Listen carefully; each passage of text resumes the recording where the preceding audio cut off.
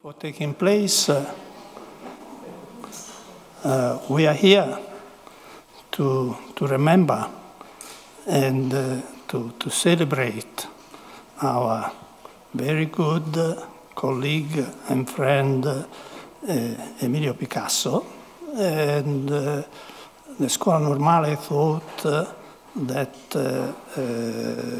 it was a, a, due homage to, to Emilio to uh, organize a scientific gathering eh, that would eh, illustrate one of his major contribution, that is the so-called LEP, Large Electron Positron Collider, which was uh, an important project CERN, which dominated the activity of the laboratory for more than 10 years, the construction, and then uh, an equivalent amount of time uh, for explo exploitation. And uh, we would like to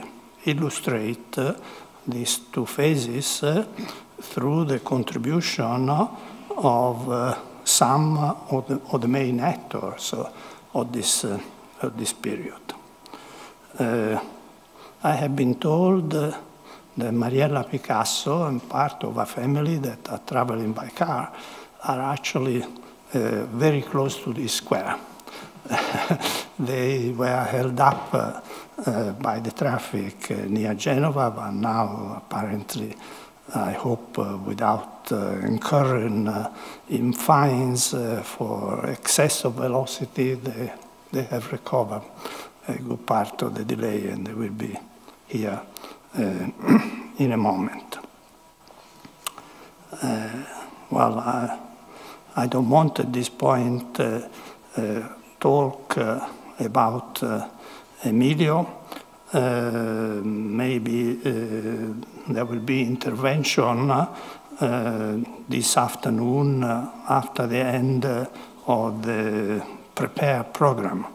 But as uh, at least some of you have had the opportunity to see uh, in, the back uh, of the leaflet uh, that uh, advertise uh, this meeting, uh, there is now also a, a, a, list of the program, and uh, we will have uh, as first speaker Professor Daniele Menozzi, who teaches contemporary history, I believe, at, at, the school, and who has gone through uh, all the documents uh, that uh, are related uh, to Emilio and his period at the Scuola Normale, they came very shortly after he finished with his responsibilities uh, uh, with LEP and he retired from, from the Scuola Normale, from, from, from CERN. So I'd like now to give the floor to, to Professor Menozzi, who will tell us uh, known and less known facts uh, about uh, Emilio, particularly in this room uh, where he was uh, the chairman for a long time uh, of the so-called Consiglio Direttivo of the school, and it was in this room that the important decisions were, were taken under his chairmanship. Thank you very much. Thank you. Good morning. Uh, I am uh, sorry, but uh, I had uh, not the possibility to translate uh, my intervention in uh, English, so I will speak in Italian. the advantage, I think, is that you have not to hear my English pronunciation. nel momento in cui ho accettato l'amichevole invito di Riccardo Barbieri, a tracciare un profilo della presenza di Emilio Picasso alla scuola normale, non sapevo i materiali che avrebbe restituito l'archivio. Una non facile investigazione in carte non ancora ordinate, eh, ringrazio il personale del centro archivistico eh, che l'ha compiuta, ha portato ad aggiungere ai verbali del consiglio direttivo il dossier personale relativo ad Emilio Picasso. Si tratta di una documentazione che disegna gli aspetti istituzionali della sua presenza alla scuola e mi limiterò dunque a questa dimensione. Non mi è infatti possibile integrare queste fonti con il suo archivio personale e anche con le poche testimonianze orali che ho potuto raccogliere, perché queste forniscono utili elementi, ma inevitabilmente frammentari. Molti aspetti dunque del suo rapporto con la scuola e immagino anche aspetti importanti saranno elusi in questo mio intervento, me ne scuso in anticipo con quanti l'hanno più da vicino conosciuto, il professor Mannelli che è stato un suo stretto collaboratore in primo luogo. D'altra parte questi sono i limiti del mestiere dello studioso di storia, deve ricostruire il passato soltanto con le tracce di quel passato che in un determinato momento gli sono accessibili. Vorrei però almeno ricordare un dato, da queste asettiche carte amministrative trapela la stima, l'amicizia che lo circondavano. Alla conclusione della relazione tenuta alla riunione del Consiglio direttivo, che l'11 settembre 1981 per presentare la candidatura di Picasso alla copertura della cattedra di fisica generale il preside della classe di scienze, Luigi Radicati di Brozzolo, teneva, vi osservava che oltre ai meriti scientifici il candidato, cito, è sotto ogni riguardo persona estremamente gradevole, umanamente ricca, profondamente leale. Si tratta di una valutazione che trova ancora oggi un puntuale riscontro nella memoria condivisa della comunità normalistica. Naturalmente al centro di quella relazione di radicati stavano gli aspetti scientifici della personalità di Picasso in seguito a questa relazione il Consiglio erano presenti solamente 12 membri su 22, ma le assenze di fatto si riducevano a due sole componenti perché erano assenti giustificati i professori fuori ruolo della scuola, il rettore dell'università e il preside della facoltà di scienze che allora facevano parte del Consiglio direttivo. Allora, in seguito a questa eh, relazione, il Consiglio decideva all'unanimità il trasferimento a Pisa di Picasso. Egli era allora professore straordinario all'Università di Messina, dove, vinto il concorso a cattedra per fisica generale eh, bandito nel 1979, aveva iniziato la sua attività di docente di ruolo pochi mesi prima, nel maggio 1981. Nel suo intervento Radicati accennava solo di sfuggita ai suoi precedenti accademici presso l'Università di Genova, ma vorrei qui rapidamente accennarli per tracciare il profilo della sua figura. Picasso, nato nel 1927, si era laureato nel 1956, pressoché trentenne, immagino per la lenta maturazione della sua vocazione scientifica, inizialmente indirizzata alla matematica, presso l'Ateneo Ligure dove la votazione relativamente bassa conseguita nella discussione della tesi non aveva impedito ai suoi professori di intuirne subito le capacità. In effetti, all'inizio di quello stesso anno accademico veniva chiamato a ricoprire la funzione di assistente incaricato presso la cattedra di fisica sperimentale e dal 1 novembre 1959 gli veniva conferito l'incarico di professore di fisica sperimentale alla facoltà di scienze e poi di fisica alla facoltà di ingegneria fino a che il 1 luglio 1965 diventava assistente ordinario presso l'insegnamento di fisica generale. Nel frattempo, nel maggio 1964, aveva conseguito nella stessa disciplina la libera docenza, ma indubbiamente questi anni che avevano visto eh, anche il matrimonio nel 1957 con Mariella Gottardi e la nascita rispettivamente nel 1963 e nel 1965 dei due figli, questi anni erano segnati più che da preoccupazioni accademiche da un'attenzione prevalente verso la ricerca. Ben lo testimoniano le borse di studio via via conseguite dalla Società Italiana di Fisica, dall'Istituto Nazionale di Fisica e dalla Nato. Quest'ultima postdoctoral fellowship, in particolare, gli consentiva di svolgere nel 1962-63 un soggiorno di studio a Bristol presso il gruppo che sotto la guida di Cecil Powell iniziava, eh, analizzava gli studi della radiazione cosmica. Qui avveniva il decisivo incontro con Francis Fairley, che stava allora elaborando il progetto di misurare al CERN di Ginevra il momento magnetico del muone. Maturava così lo spostamento di interessi scientifici di Picasso, l'iniziale attenzione sulla tecnica delle gas bubble chambers, cui eh, sono dedicate le prime sue pubblicazioni uscite alla fine degli anni 50 e sulla fisica delle emulsioni nucleari, che costituisce l'argomento dei suoi interventi nei primi anni 60, si indirizza nella seconda metà del decennio verso la fisica delle particelle. Nel 1966 inizia infatti la lunga serie di saggi, articoli, interventi a congressi, apparsi spesso in prestigiose sedi editoriali, che hanno per tema il muone, l'elettrodinamica quantistica e la verifica della teoria della relatività. Nella relazione con cui illustrava il profilo scientifico di Picasso, il preside della classe di lettere, di scienze, pur ricordando che le pubblicazioni del candidato ammontavano in complesso allora 1980-40 titoli, si soffermava proprio su questi ultimi anni del suo lavoro, mettendo in rilievo eh, che eh, Picasso aveva conseguito, cito, un posto di primo piano tra i fisici della sua generazione, in quanto aveva rivelato doti non solo di fine sperimentatore, ma anche di abile e paziente direttore di grosse equip di ricercatori. Radicati ricordava a questo proposito l'impegno nella verifica sperimentale dell'elettrodinamica quantistica attraverso una serie di misure di altissima precisione del momento magnetico del muone che l'avevano portato a dimostrare che questo mesone si comporta sotto ogni riguardo come un elettrone pesante.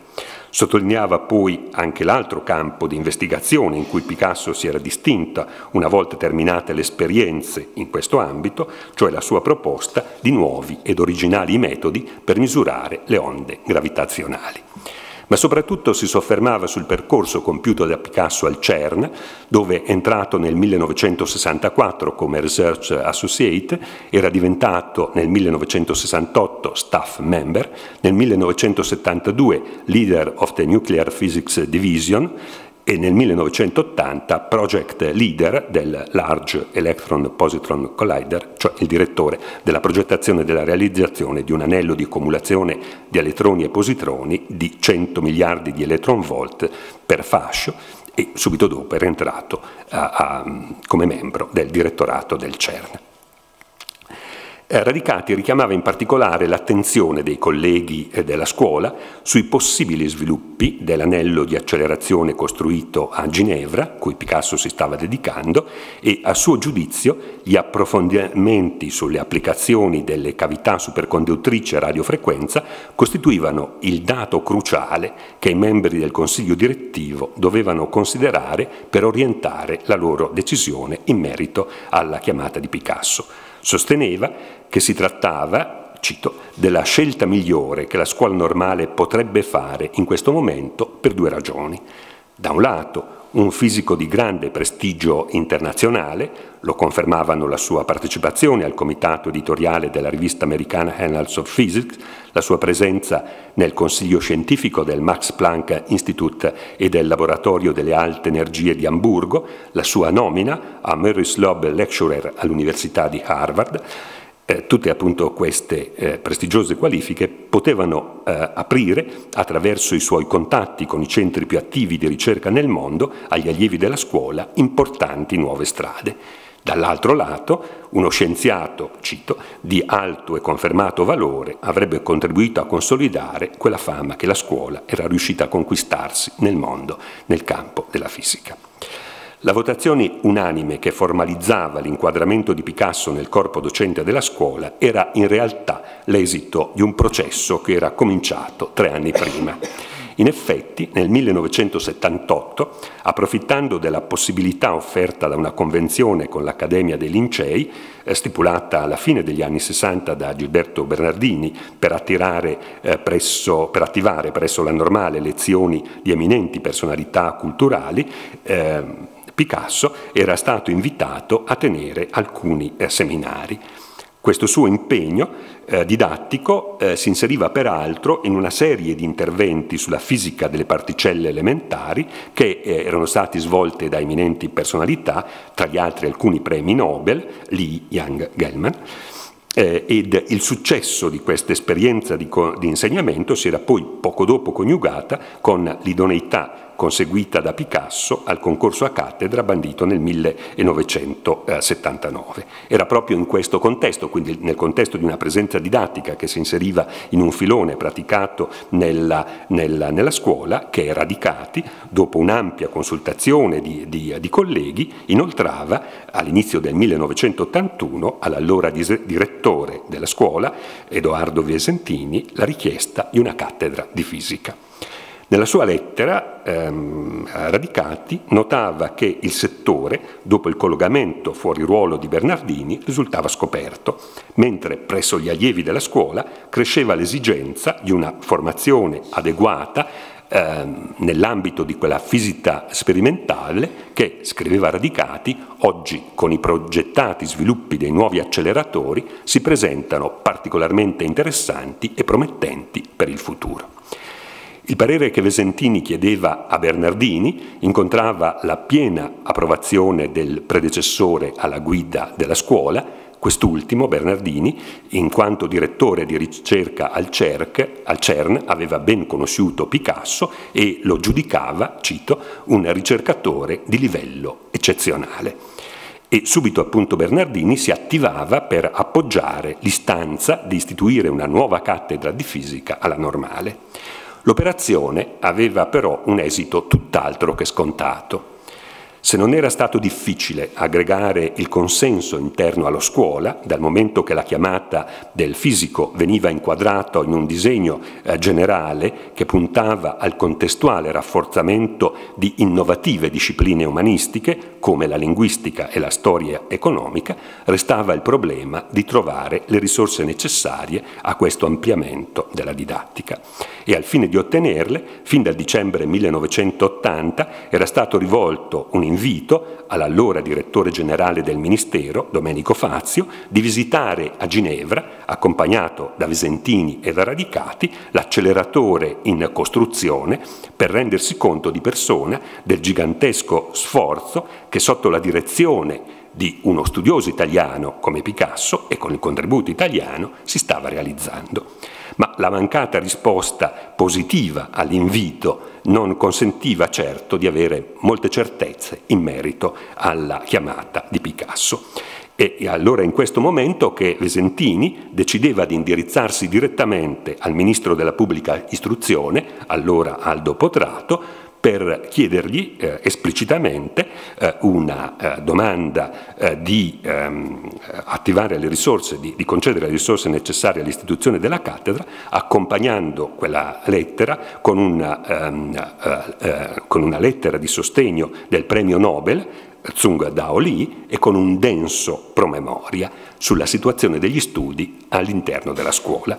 E quest'ultimo documento, eh, che partiva dalla illustrazione degli studi di fisica delle alte energie che si era tenuto alla, normali, eh, alla normale, una tradizione che partendo da Fermi, passando per Giovanni Polvani, Enrico Perrucca, Giovanni Gentile Junior, Carlo Rubia, giungeva fino alle ricerche condotte negli ultimi anni ma per i perfezionandi presso la normale era essenziale, in considerazione delle possibilità conoscitive offerte dal CERN, sviluppare uno stretto rapporto col laboratorio ginevrino non era solo una via per facilitare la loro carriera individuale, si trattava anche di consolidare nel mondo scientifico europeo ed internazionale la posizione della scuola nel campo di questi studi e dunque attraverso il consolidamento della posizione della scuola anche ottenere una maggiore considerazione del ruolo italiano nella ricerca.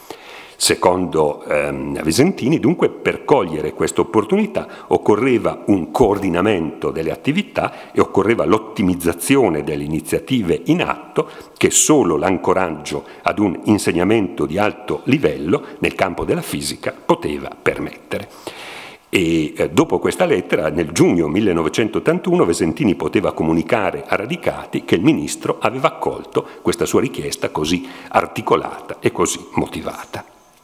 Si poteva dunque iniziare l'iter per formalizzare l'istituzione dell'insegnamento, una procedura che è iniziata come di consueto con la deliberazione del Consiglio della classe eh, di, di, di, scienze di assegnare la cattedra fisica generale e di attribuirla per trasferimento, continuata con la ricezione di questa mh, proposta da parte del Consiglio di, direttivo, chiamava, che eh, culminava con la votazione unanime del settembre 1981 cui ho fatto cenno. In realtà l'attivazione della nuova cattedra rischiava di saltare per un disguido burocratico.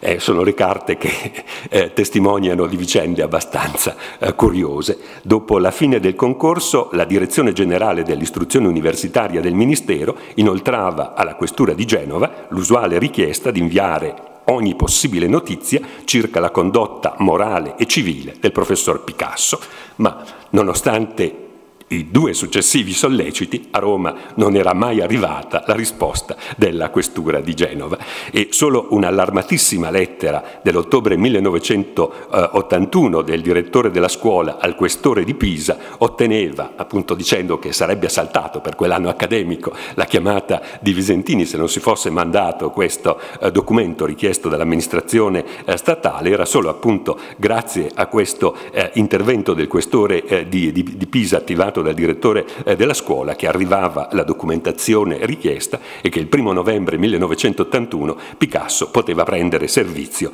eh, come professore di fisica generale alla normale. Pochi giorni dopo avanzava l'istanza di essere collocato fuori ruolo fino al 31 ottobre 1984, mantenendo la titolarità della cattedra al fine di poter continuare la sua direzione del progetto LEP al CERN. Il Consiglio direttivo approvava all'unanimità la domanda, che si sarebbe ripetuta con analogo esito nei due trienni successivi, 1984-87, 1987-90. La scarsa documentazione relativa a questo periodo non permette di individuare in maniera analitica i rapporti di Picasso con la scuola nel decennio 81-90. Attraverso le carte relative al suo passaggio all'ordinariato si può però, eh, avvenuto nel 1985, si può però ritenere che nella primavera di ogni anno egli svolgesse regolarmente corsi e seminari 10, 12, 15 ore, per alcuni dei quali possediamo anche i titoli. Teoria degli acceleratori, metrologia delle misure di frequenza, polarizzazione dei fasci di elettroni e positroni in anelli di accelerazione di altissima energia, possibilità di costruzione di un convertitore di frequenza basato sull'amplificazione parametrica. Ma accanto a questa attività propriamente didattica, Picasso svolgeva anche alcune conferenze di carattere divulgativo il dato forse più significativo appare però il coinvolgimento sia in tesi di laurea per allievi ordinari, sia in tesi di dottorato per gli allievi del corso di perfezionamento che riguardano tutte le questioni connesse alla sua attività al CERN. Ecco, c'è proprio questa insistenza di un coinvolgimento degli allievi nei problemi che poneva la costruzione dell'acceleratore. Negli anni successivi il coinvolgimento di studenti e di ricercatori della scuola nel progetto LEP appare via via crescente, tanto da essere citato nel parere favorevole del Ministero degli Esteri alla concessione del fuoriruolo per il triennio 1987-90. Mi pare appunto la testimonianza di questa crescente accelerazione di, eh, eh, di coinvolgimenti interni. La conclusione del progetto nel 1989 comportava dunque la presa di servizio alla scuola il 1 novembre 1990. In realtà essa avvenne l'anno successivo perché nell'agosto del 1989 Picasso eh, chiede e subito ottiene dal consiglio direttivo un altro anno di fuori ruolo con l'impegno di tenere gli ormai abituali seminari al Palazzo della Carovana. Infatti aveva ricevuto l'invito a passare un trimestre come Distinguished Visiting Professor presso l'Istituto Fermi dell'Università di Chicago e al contempo desiderava, dopo il quindicennio ginevrino, riorganizzare i suoi impegni in vista dell'adempimento dei compiti da svolgere alla scuola. A testimonianza del saldo rapporto che aveva instaurato con l'Istituto dei Piazza dei Cavalieri, il 21 giugno 1991, dunque prima ancora della sua presa di servizio effettivo, veniva eletto direttore della scuola per il quadriennio 1991-94, su, eh, succedendo, immagino su sua esplicita sollecitazione, a Radicati. Assunto l'incarico, decideva di prendere domicilio al Collegio Timpano, dove avrebbe poi ottenuto un modesto ampliamento realizzato in economia dello spazio in quel collegio allora riservato al direttore per alloggiare la famiglia e per promuovere la socialità attinente alla funzione direttiva. La normale che Picasso era chiamato a governare costituiva una realtà quantitativamente modesta, rispetto alle analoghe strutture di alta formazione europea. Allora vi erano 279 allievi, tra ordinari e perfezionandi, 25 professori ordinari e 7 associati, 89 ricercatori, 204 impiegati su un organico che di per sé ne prevedeva 236. In una intervista rilasciata al quotidiano La Repubblica, pochi mesi dopo l'elezione, emergevano i tratti che avrebbero caratterizzato la direzione di Picasso. Da un lato egli prospettava l'esigenza di un rinnovamento profondo della scuola, in modo che nel sistema universitario italiano arrivasse a svolgere lo stesso ruolo che in altri paesi europei svolgevano analoghi istituti e citava esplicitamente l'École Normale Supérieure di Parigi, i collegi di Oxford e Cambridge in Gran Bretagna. Dall'altro lato manifestava la consapevolezza della difficoltà del compito a cui si sarebbe dedicato per la vischiosità, le difficoltà e le remore derivante dalla struttura organizzativa dello Stato e della società nel nostro Paese. Non a caso l'intervistatore eh, poteva concludere l'articolo su Repubblica notando che dalle parole di Picasso aveva potuto ricavare un'impressione era stato molto più facile realizzare il LEP, quella che lui chiamava la più grande macchina del mondo, che eh, non eh, sarebbe stato eh, facile appunto adeguare la normale agli standard europei. Era ovviamente una battuta del giornalista, ma eh, traduceva assai bene, mi pare, il senso di quella, di quell'intervista.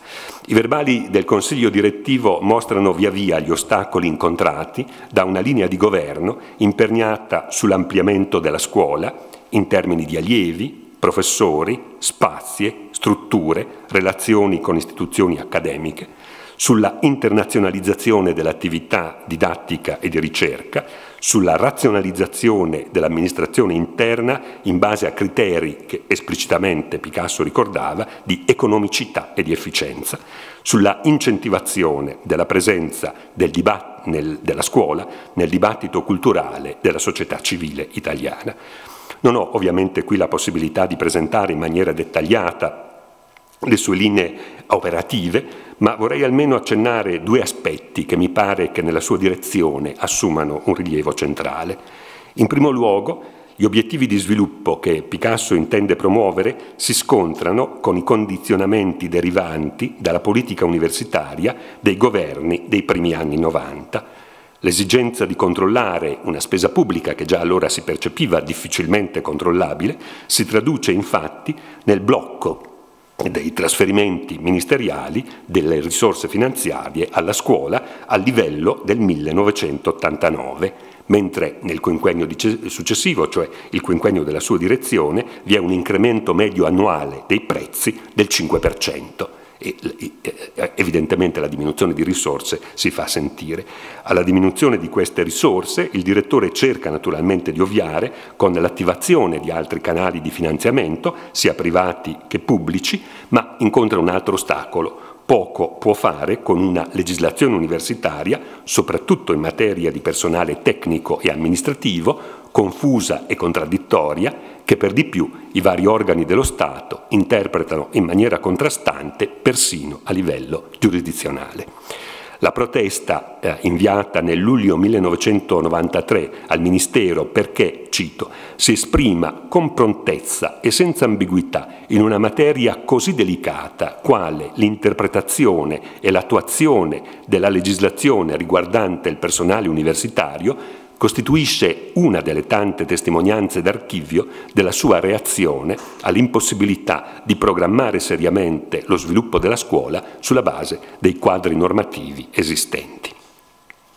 Nel quadro dei problemi generali rientra anche una normativa universitaria che all'epoca attribuiva al direttore amministrativo delle istituzioni accademiche, oltre ai compiti esecutivi, anche funzioni di indirizzo i verbali dell'organo di governo della scuola, registrando il frequente voto contrario del direttore amministrativo o la sua astensione eh, alle, eh, sulle proposte del direttore, sono rimasto davvero molto colpito che eh, eh sì, le, le, carte testimoniano questo dato di fatto, eh, ehm, evidenziano, mi pare, le tensioni che questa situazione provocava al Palazzo della Carovana le conseguenti disfunzioni, inevitabili disfunzioni, chi è chiamato ad eseguire un ordine si oppone a quell'ordine, mi pare, appaiono solo in parte ovviate dal fatto che dopo un estenuante dibattito interno Picasso impone un vice direttore amministrativo di sua fiducia quando finalmente un decreto legislativo del 1993 specificherà le competenze del direttore amministrativo, escludendo appunto funzioni di indirizzo,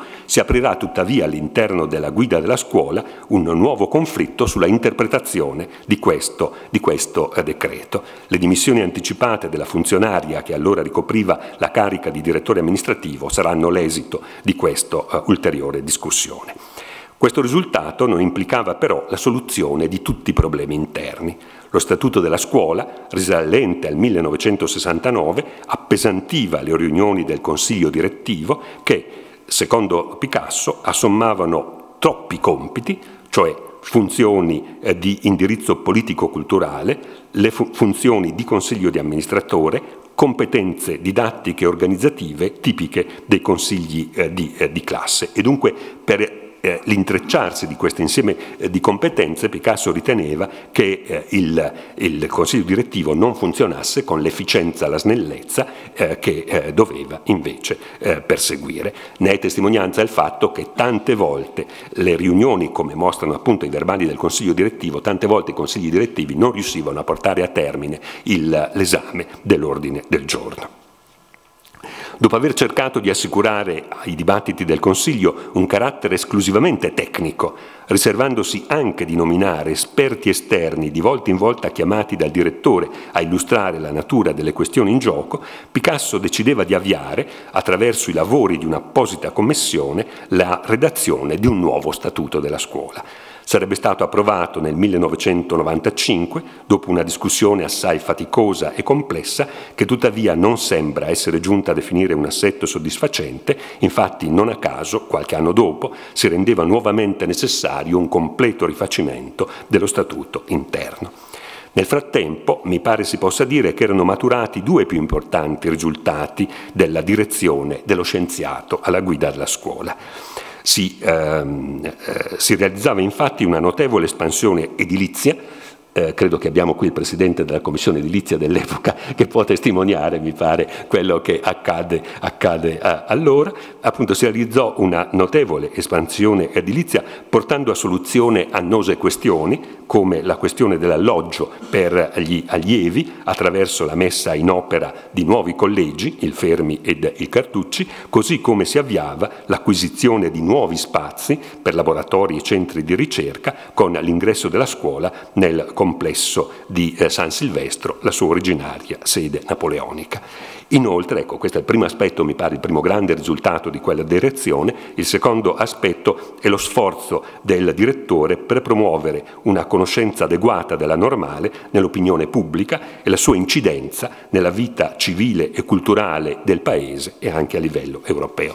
aveva un notevolissimo successo, la suo desiderio di rafforzare i corsi di orientamento universitario che si tenevano a Cortona, così come aveva un grande successo la sua iniziativa di collaborare eh, con le scuole superiori e con i loro eh, insegnanti. Per quanto eh, Picasso venisse nel frattempo insignito di numerosi premi e riconoscimenti, a testimonianza appunto dell'apprezzamento della sua attività, Melipide dotò a ricordare l'onorificenza di cavaliere della Legione d'Onore attribuitagli dal governo francese, le difficoltà di governo eh, della scuola eh, gli fecero a più riprese avanzare l'ipotesi delle eh, dimissioni e tuttavia portò eh, fermamente a termine il suo eh, mandato. Poi il primo novembre 1995 riprendeva le funzioni di professore unitario, eh, ordinario tenendo eh, una serie di lezioni, dedicando la sua ricerca agli studi di strumenti elettromagnetici per apprezzare con sempre maggiore precisione gli spostamenti dei fasci di particelle, partecipando agli esperimenti del protosincrotrone del laboratorio statunitense di Brookhaven. Eh, veniva confermato in servizio oltre i limiti di età dal 1997 al 99, teneva eh, seminari come professore fuori ruolo fino al 2002 per essere infine proclamato professore emerito.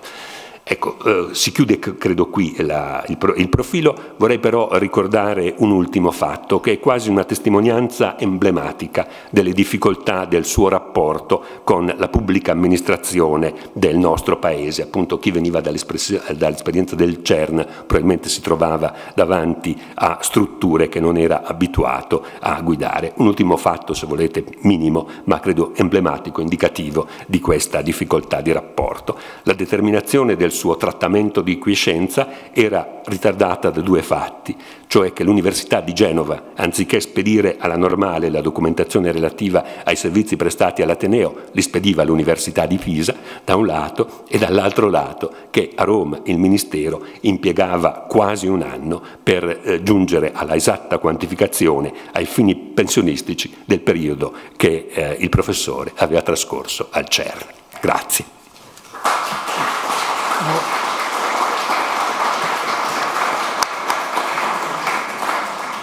No, vorrei davvero ringraziare molto il relatore per questa relazione che eh, resterà, spero, eh, negli archivi della scuola a documentare in una maniera esaustiva effettivamente tutti i rapporti che, eh, di un certo tipo eh, che Emilio ha avuto con la scuola, ma naturalmente eh, non può comprendere tutti quei rapporti di, di, di, amicizia e di piacevole convivenza che hanno caratterizzato i suoi rapporti con la scuola. Grazie a tutti. Grazie molte. Ora, ora vorrei dare il benvenuto a, a Mariella e al figlio che, che sono arrivati nel frattempo e che...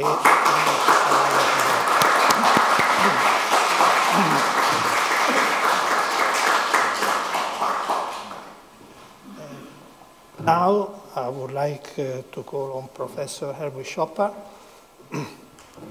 to come and uh, uh, to talk about the lab from conception to the completion.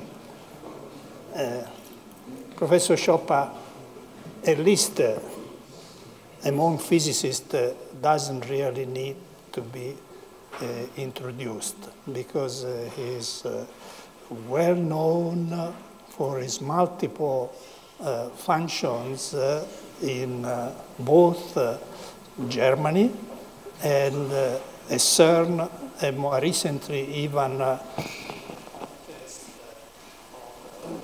hopefully positive and significant contribution uh, to the situation in the Middle East uh, where a project uh, uh, for the construction of a synchrotron radiation facility is coming to completion in a context uh, where countries that in the normal relationship uh, actually don't talk to each other, uh, are willing to share knowledge and, and education, and, and, this is, is quite important. But I would like on this occasion to uh, mention an aspect of the activity of Herwig, which uh, is perhaps uh, uh, Eh, not so well known, uh, and that is innovation in instrumentation.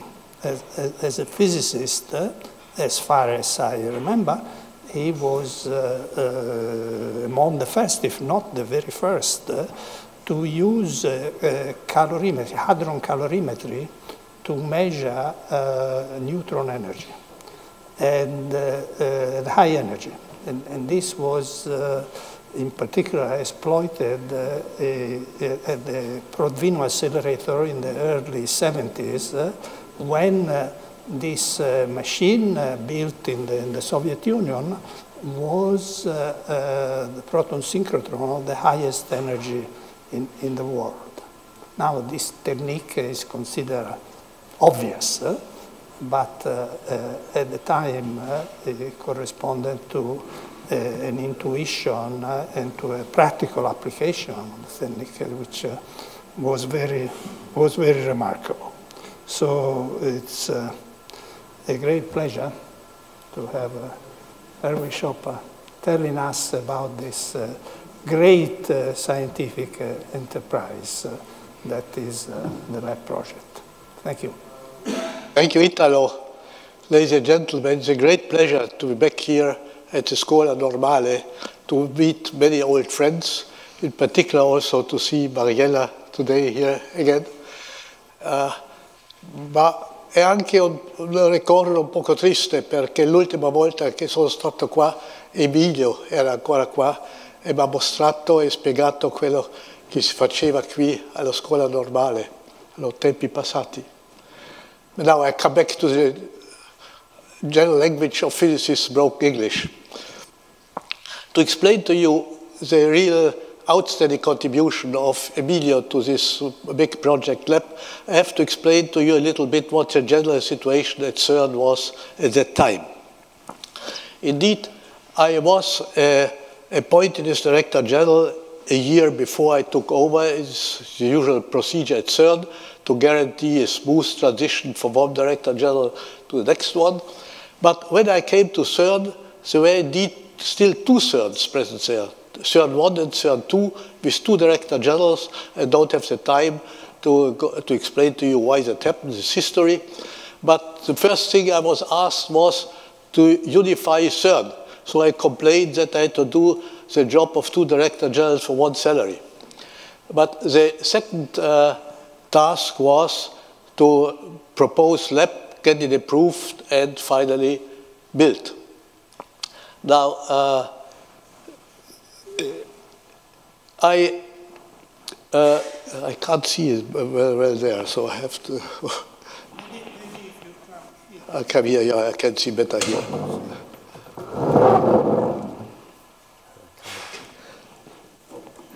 Well, yes, that's better. So that's better.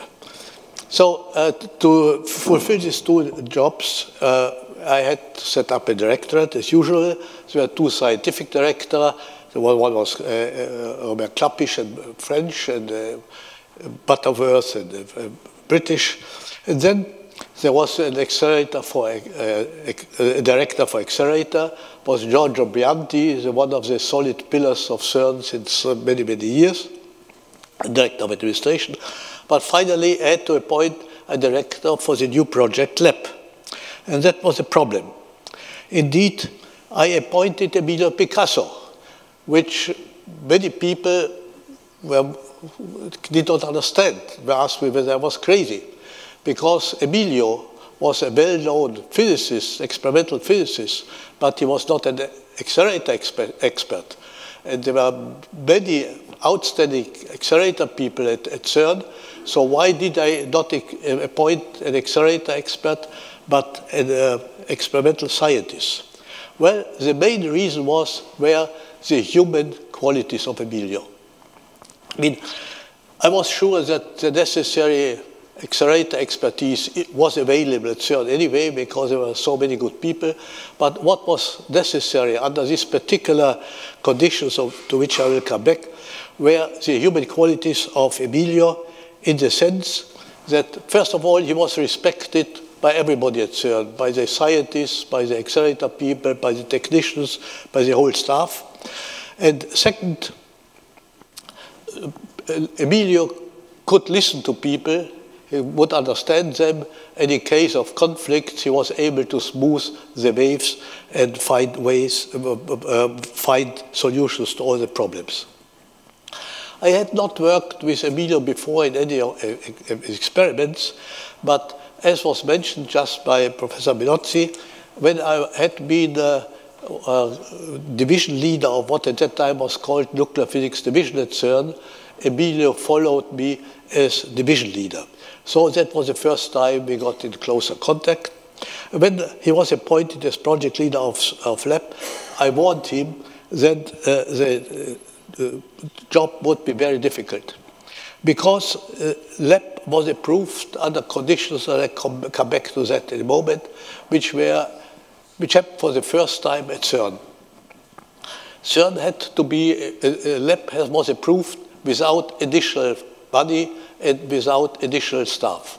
So without the unification of CERN, one and two, it would not have been possible to build LEP because all the resources had to be found within the existing laboratory.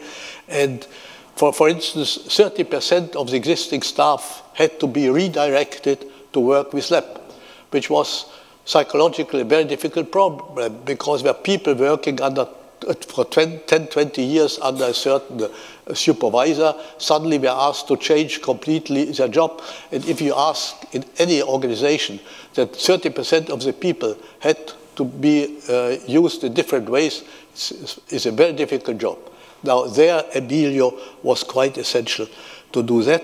And as I come back to that, we also had problems with uh, not getting additional money. Now, I must say, during all the time and the difficulties we had to overcome, and I will mention them a few, we really become friends. And uh, I had always, we were trusting each other uh, all the time without uh, uh limits. But that didn't hinder Emilio to threaten me several times with his resignation. He was a good psychologist when it came to negotiation. I'll come back to that. Well, let uh, was, had been discussed already in the 70s and several proposals has been made. The first proposal was a so-called LEP 100, was a machine with a tunnel 50 uh, kilometers circumference. Uh, that was refused, not even costed, because was considered to be too ambitious. In 1978, a, a proposal was made, the so-called Blue Book, with uh, a tunnel with a circumference of 22 kilometers and an energy of 70 GeV. That was refused by the physicists because it was thought the energy was too low. So finally, in 1978, John Adams came up with a so-called pink book, which was a compromise between the two, with a circumference of about 31 kilometers at, at the first stage an energy with copper cavities of 86 GeV, which then could be upgraded by using superconducting cavities to 120 uh, GeV. Now, this was, uh, the cost was 1.3 billion Swiss francs at that time, was refused to be too high. So at that time, then John Adams came with a new proposal. He said he had considered originally LEP as a machine alone standing without using any of the infrastructure of CERN, of the existing CERN. So he came up with a proposal. He said, no, we can do it by using the existing accelerators at CERN as injectors. And in that way, he brought down the costs from uh, uh, 1.3 billion Swiss francs to 950 million. Now, then I was appointed, and I, we were asked during my year of transition the three director generals to come up with a common proposal, and we made a common proposal to the council in the summer of 1980, and that was this uh, uh, reduced version of the pink book. I come back to the final green book in a, in a moment. Then a year later, I made the final proposal with so-called green book.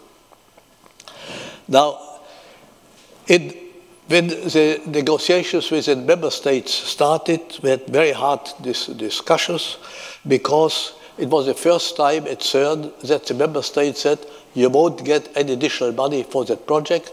You have to find all resources with, within the existing budget, not with, within the existing budget, but within a constant budget. And in fact, I proposed at first time a constant budget of 629 million, which was much lower and I'll show you a picture in a moment, than the combined budgets of CERN 1 and CERN 2. We uh, had to reduce the tunnel from the 30 kilometers, which we had proposed by John Adams, to 27 kilometers. And one idea of Emilio Picasso was that we had to declare it as a stripped down LEP which means a machine which would not be completed in the first phase, but would be completed in various stages, with first a stripped down phase where one could do already interesting physics, which then later would be upgraded from LEP 1 to LEP 2, and finally what now is called LHC, which for us, I think also for Giorgio Brianti, who was essentially at that time, uh, was for us all LEP 3. Now, because of the limitations, we also said there should only be four experiments at, uh, at LEP instead of the possible eight. And uh, we said that the total investment for the machine would be 910 millions, but we had to say, and Emilio pointed that out again and again, there was no contingency foreseen.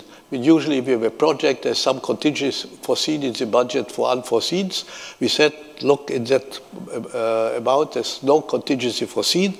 If something unforeseen happens, contingency would be time. That was a say this saying of Emilio all the time. Another completely new aspect was it was the first time that for a project at CERN we had to tell the users coming from the outside there's no money for the experiments. You have to find the money yourself for the experiments it has to be financed outside the CERN budget. And you have to bring it, not the money, you can bring equipment, you can bring it by contribution in kind, can bring it to, to, to CERN, but CERN cannot provide any money for the experiments. That was completely new. we could only provide 20 million or so for some uh, infrastructure things. Still, with all these restrictions which we proposed to Council, the LEP approval was still extremely painful.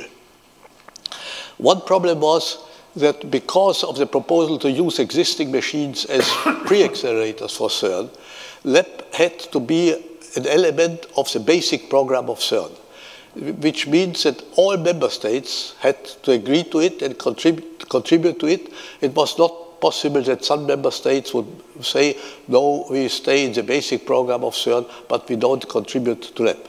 So all member states had to be uh, convinced, and they said, no, no, 629 million per year is too much. Some member states said, no, should be reduced to 610, and after long discussions, the compromise was 670.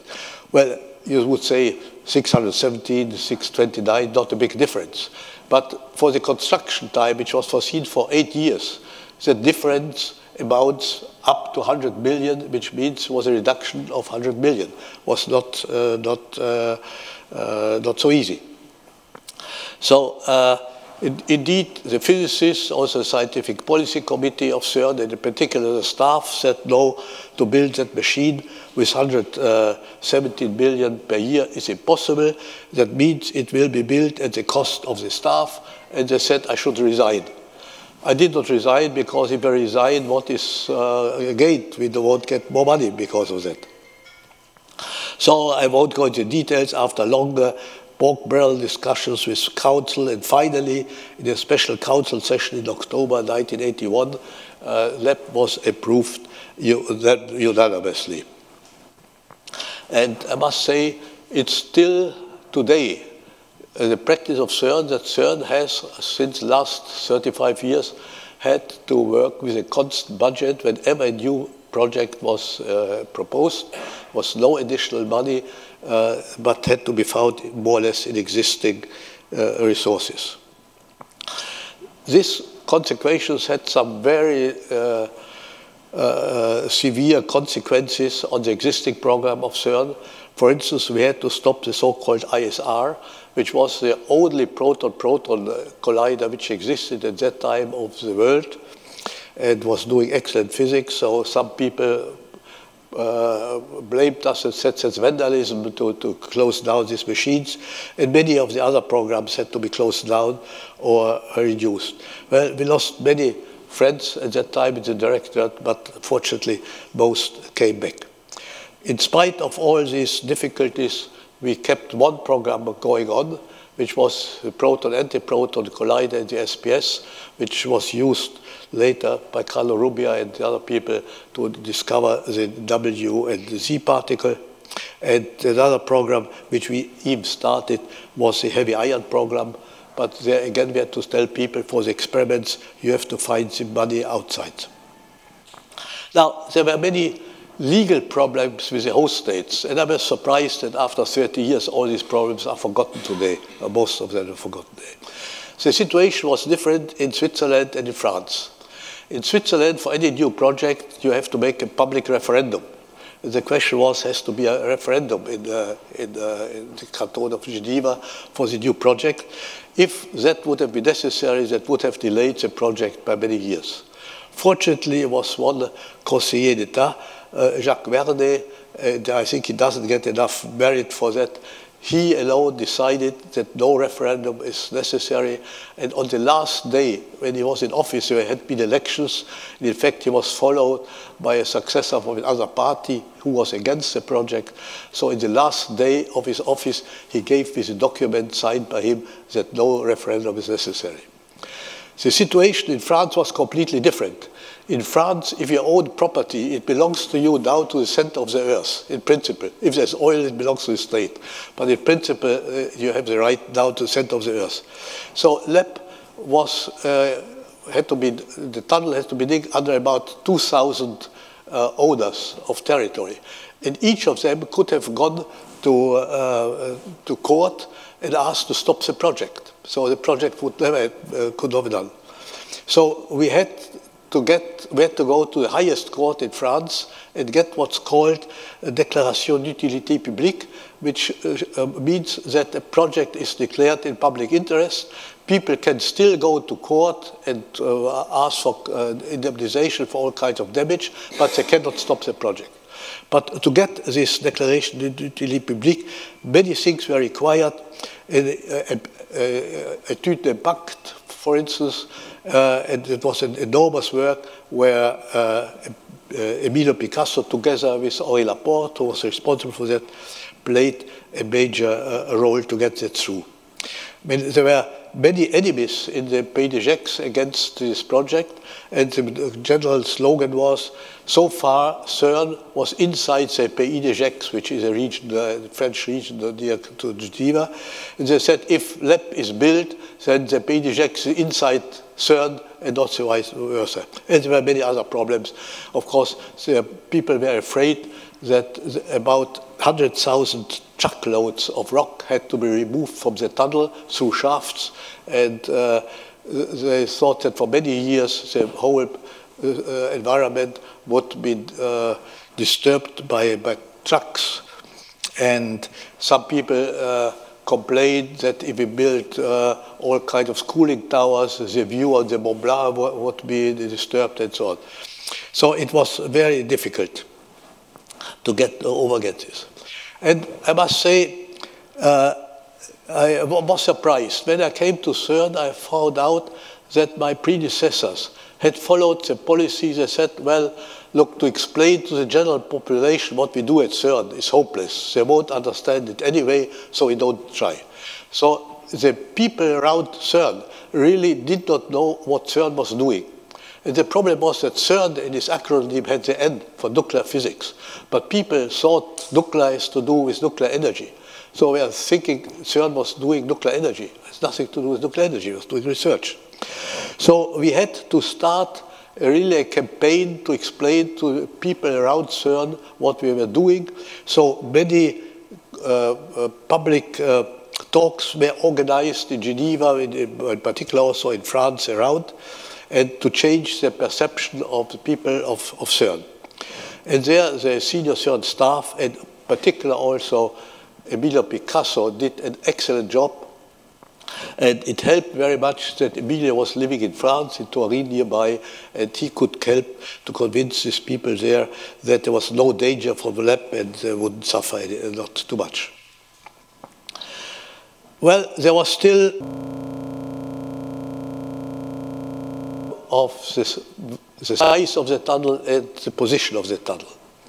Because here you see uh, in green, perhaps the largest tunnel on the left, was the original tunnel of 30 kilometers, which had been foreseen, which was passing deep under the Jura Mountains. Now, that was too big, so we, we changed it to 27, but they, maybe it's difficult to see, between the green and the red ring, there's a yellow ring, which was the position of the LEP when it was approved by council. But even after the approval, we uh, were discussing it, and this, LEP, this yellow part still had about eight kilometers under the Jura Mountain, which were geologically very difficult. In fact, Emilio had excellent, built up excellent uh, uh, relations with uh, tunneling experts. One of them was uh, Giovanni Lombardi, one of the best known tunneling experts in the world. And when Lombardi learned from Emilio under which conditions LEP had to be built, concerning the time schedule, that we had no, uh, no uh, extra money to, to cover any unforeseen things. Uh, Lombardi said, you either get the tunnel out of the mountain uh, uh, or my advice is to let it build other people. So, what should we do? At that time, many people got afraid that the trouble was that uh, geology, the, the about there's many cracks which are full of water, many cavities. So there was a danger if the tunnel, tunneling machines and things that would fall in the cavity, disappear completely, or there would be water in the tunnel under high pressure because mountains go up 1,000 meters. So many people started to think about the dangers and many people said, look, you have to come back to this, uh, this uh, pr proposal of the blue book, a ring with 22 kilometers, because the 22 kilometers would have been sufficient to get the energies necessary to, to uh, see the W, to discover the W, no, to, to investigate the W and the Z particles, which are the most interesting part of the physics. So, in fact, I got letters from two colleagues, John Adams, who was one of the major experts, and also from Carl Rubbia, saying reduce the tunnel and go back to 22 kilometers. And I must tell you, there had long discussions with Emilio. I had a very bad nights. I'm sure also Emilio had a few bad nights. And in the end, we decided to stick to the 27 kilometer tunnel because having in mind the future of the standard, not only for LEP, but for other possibilities, indeed, as it now the LHC, we thought now we take the risk, uh, the geological risk, and stick to 27 kilometers. At that time also, uh, there was a, a, workshop in Lausanne where already the idea came up that after LEP, one could put, in addition to LEP, another machine in the same tunnel, which is the LHC. Well, this was not realized later. It turned out that space in the tunnel was not sufficient, so LEP was thrown out, but the LHC is now in the tunnel.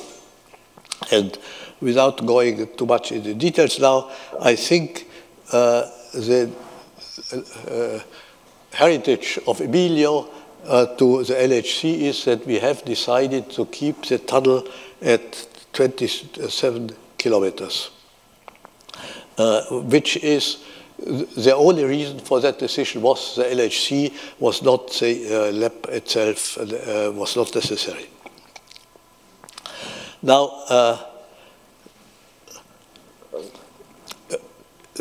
what we did, however, was we moved the ring a little bit out from the, to the position to the right, and the LEP was put in a inclined plane uh, to reduce somewhat the, the, geologic difficulties, but still we could not avoid them completely. I'll come back to that in a moment. Well, so at a certain moment, all these problems, uh, uh preliminary problems, were overcome. And on the 30th of September 1983, we had a groundbreaking ceremony with the presence of the two presidents of the host states, was Mitterrand from France and Aubert from Switzerland. And since we were short in manpower, in the left you see we asked them to help to, to do some work. So they put the first building stone. And here on the right side, you see Emilio explaining to the two gentlemen what the project would be look like. Now, of course, what happened was that our decision had serious consequences when the tunnel was made. We had water in the tunnel, was uh, the price we had to pay for that. In fact, it delayed LEP one year, cost some extra money, but I think now afterwards everybody is very happy that we kept the tunnel at 27 kilometers for LHC. Tunneling was very difficult, all kinds of problems. I will not go into detail, but still nobody here will talk about tunnel. Let me say a few words at least. You see, it was a big project, not easy, but Emilio always was on the front. Uh, whenever there were problems, he was there, tried to overcome them. And there were the following problems. Of course, the firms which did the tunneling had made a cost estimate which was very low in order to get the contract. And then whenever there was something unforeseen happening, that water came in or something came down and so on, they came and asked for more money. Now, of course, we knew that policy of, of uh, firms. We recognized that in some, sometimes the, the extra requests were justified, but not always. They simply wanted to compensate for their too low, uh, too low offer. The trouble was we could not discuss that openly because CERN has a finance committee where any financial uh, uh, decisions have to be approved. If we would have gone to the finance committee and said, look, we came to a compromise with the firm, we propose to pay them a little bit more, this would have been known through the firms immediately, and they would have costed, would have asked for more money. So Emilio and myself, just the two of us, very often had meetings with the top people, top CEO of the tunneling firms, and were negotiating with them like horse traders how much money we were prepared to give them, how much not. And uh, uh, explained that could not be done in the open. They uh, really had just have had to full trust with Emilio what he was proposing. So I think that was done in full harmony. It was not easy. Uh, well, uh, however, sometimes when there are problems, Emilio was writing to be an, an internal note, but in Italian. And in fact, recently I met uh, Henri Laporte, and he told me that at that time he had asked Emilio, why are you writing letters in Italian to Schopper? Well, he said, the answer of Emilio was, first of all, he, is, he understands it, and secondly, he said, if I write to him in Italian, he will ask the same question, why I'm writing to him in Italian. So he will uh, notice that there's something special, and he will give more attention to it than if I write to him in English. So Emilio was a very good negotiator, a very good psychologist. Well, then during the uh, construction, of course, we had many visits, and here, in the meantime, Chirac had become president of France. Here we have uh, a visit of 1987, and uh, we had a little ceremony placing the first LEP, magnet, and you see here Emilio explaining to Chirac and Aubert what's going on. Well, during that visit, was in June 87, uh, Chirac asked Emilio, when will the, the project start? And without consulting his collaborators, Emilio said, 14 juillet 1989, the French holiday. So many of, the, uh, of his collaborators were shocked because they had not before discussed this date. So Emilio was courageous enough to say that, and indeed, as you will see later, it happened that date that LEP started uh, uh, uh, uh operation. Well, here you see uh, Emilio with on the left, left uh, the right Laporte when the tunnel was finished and the machine could be installed. I will, of course, not talk about the machine, about the construction machine, because Steve Myers will cover that later. And here on the first, on, indeed on the 14 juillet 1989, was, it happened that the first beam went around uh, LEP as Emilio had promised. But at that time, Carlo Rubbia had followed me as Director General. So uh, uh, you see here the first the picture of the first beam. And the strange thing is that Emilio is not on that picture. I uh, never understood why he was so modest, so he did not come. Uh, well, let me uh, make a few remarks about the management of the LEP project because that, as I mentioned at the beginning, was also completely new at CERN and is quite remarkable. Well, we, of course, we have set up a project management board where Emilio was the chairman, he was responsible for it, with uh, the people you mentioned here for the various parts of uh, the project.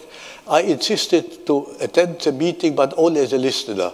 I uh, interfered only one moment, which I'll mention later, Otherwise, I just listen to understand what's going on.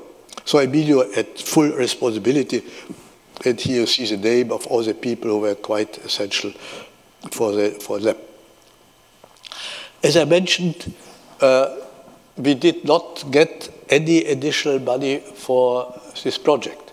You see, the, you see the budget from the foundation of CERN in 1954 went up exponentially then it had a peak when the two ex laboratories existed, Lab 1 and uh, CERN 1 CERN 1 2. And when we built LEP, then it went down to the so-called constant budget. The constant budget had two light wiggles that happened when Spain and Portugal joined CERN. So part of their contribution was used for, for the program of CERN, but only part, part was used to reduce the, the contribution of the other member states. Now, the cash flow of a project like, uh, like uh, LEP, one billion or so, the cash flow is a, a Gaussian curve, a bell curve. How can you accommodate a bell curve in a constant budget? Impossible. You have to cut off somehow the peak of the expenses. And what do you do? One has to make debts. So I had to go to council and ask, can we make, take a loan from a bank? Council said no. So in the end, we had to take a loan from the pension fund of CERN, which is independent, and they were happy because we had to guarantee them a, a, a fixed uh, uh, income. Uh, so you see, right, you see the curve, which is, was the cash flow, and then what we did to cut off that peak. This happened at, at uh, and unfortunately also became a customer at CERN now. When the LHC project was approved, same problem. The said, council said constant budget. And this time the only difference was they allowed CERN to take debts for the bank, but now CERN has to pay, pay back these debts. This caused, uh, of course, uh, all kind of problems. Now, a very special thing, which I'm uh, uh, very proud, and Emilio should be proud with it, is how we managed the, the project. Normally, if you have a project with a total budget, you distribute that budget, give it to the various sections for the various components, and everybody gets so much money, and uh, for that he has to build his stuff. That we did not do. We agreed with Emilio, we would, it was known what the total sum would be, but we kept secret how much was for the various sections. Where only three people who knew about it was Emilio, Müller, and myself. And we told each the people who were responsible for the magnets, for the uh, RF and for vacuum and what have you, you do your job as cheap as possible. The surprising thing was, in the end, for those parts which needed a lot of imagination, new technologies, new inventions, like vacuum, like RF, like uh, magnets, those parts came out cheaper. Whereas those parts, which you can buy from the shelf, ready-made by industry, came out more expensive. Fortunately, these two things compensated, and only by that um, kind of management we could build LEP for the for money foreseen and also more or less within the time.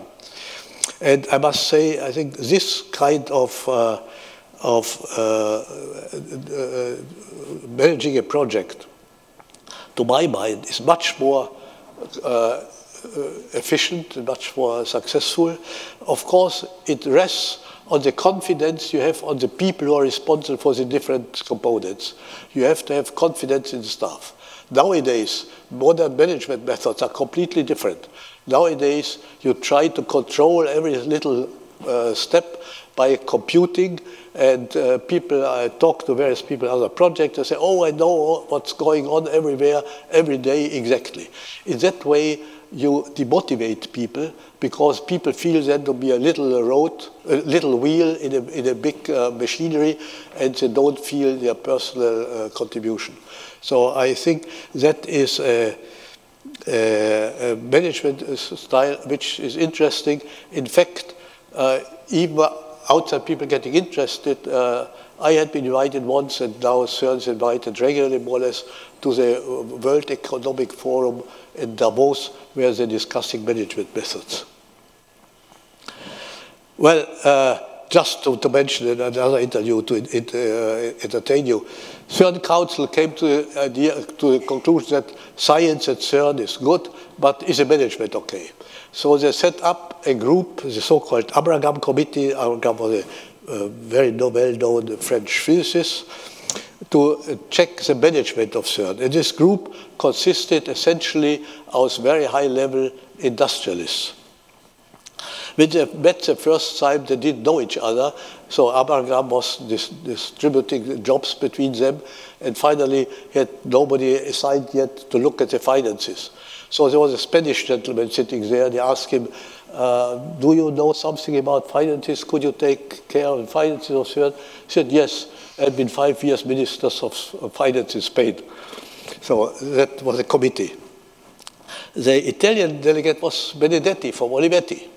He asked me, how, what is the turnover of staff at CERN every year? I said about four, five, six percent. Oh, he said, then CERN is completely sclerotic. So I asked him, what is the turnover of staff at Olivetti? He said, 30 percent. So I said, how do you do that? Do you fire really people if they are not no good? And since his personal manager was standing next to him, he could not lie. So he, he said, no, no. So I said, how are you doing? So the personal manager said, well, we have an early retirement program which is paid by the Italian state. Nevertheless, uh, the only, I would say, the only uh, relevant proposal which this committee made was CERN should introduce an early retirement program, which was done. And, but the, uh, when it was discussed in council, said, yes, but somebody has to compensate the, the pension fund. Council said, you introduce the early retirement program and it's your, your job to find a, a way out with the pension fund. Well, this program was installed and with the consequences that the CERN staff, which at that time was about 3,500, is now going down to 2,500 in spite of getting uh, more, more tasks to do. That could only be done by outsourcing. Huh? The, the modern version of management, again, is outsourcing.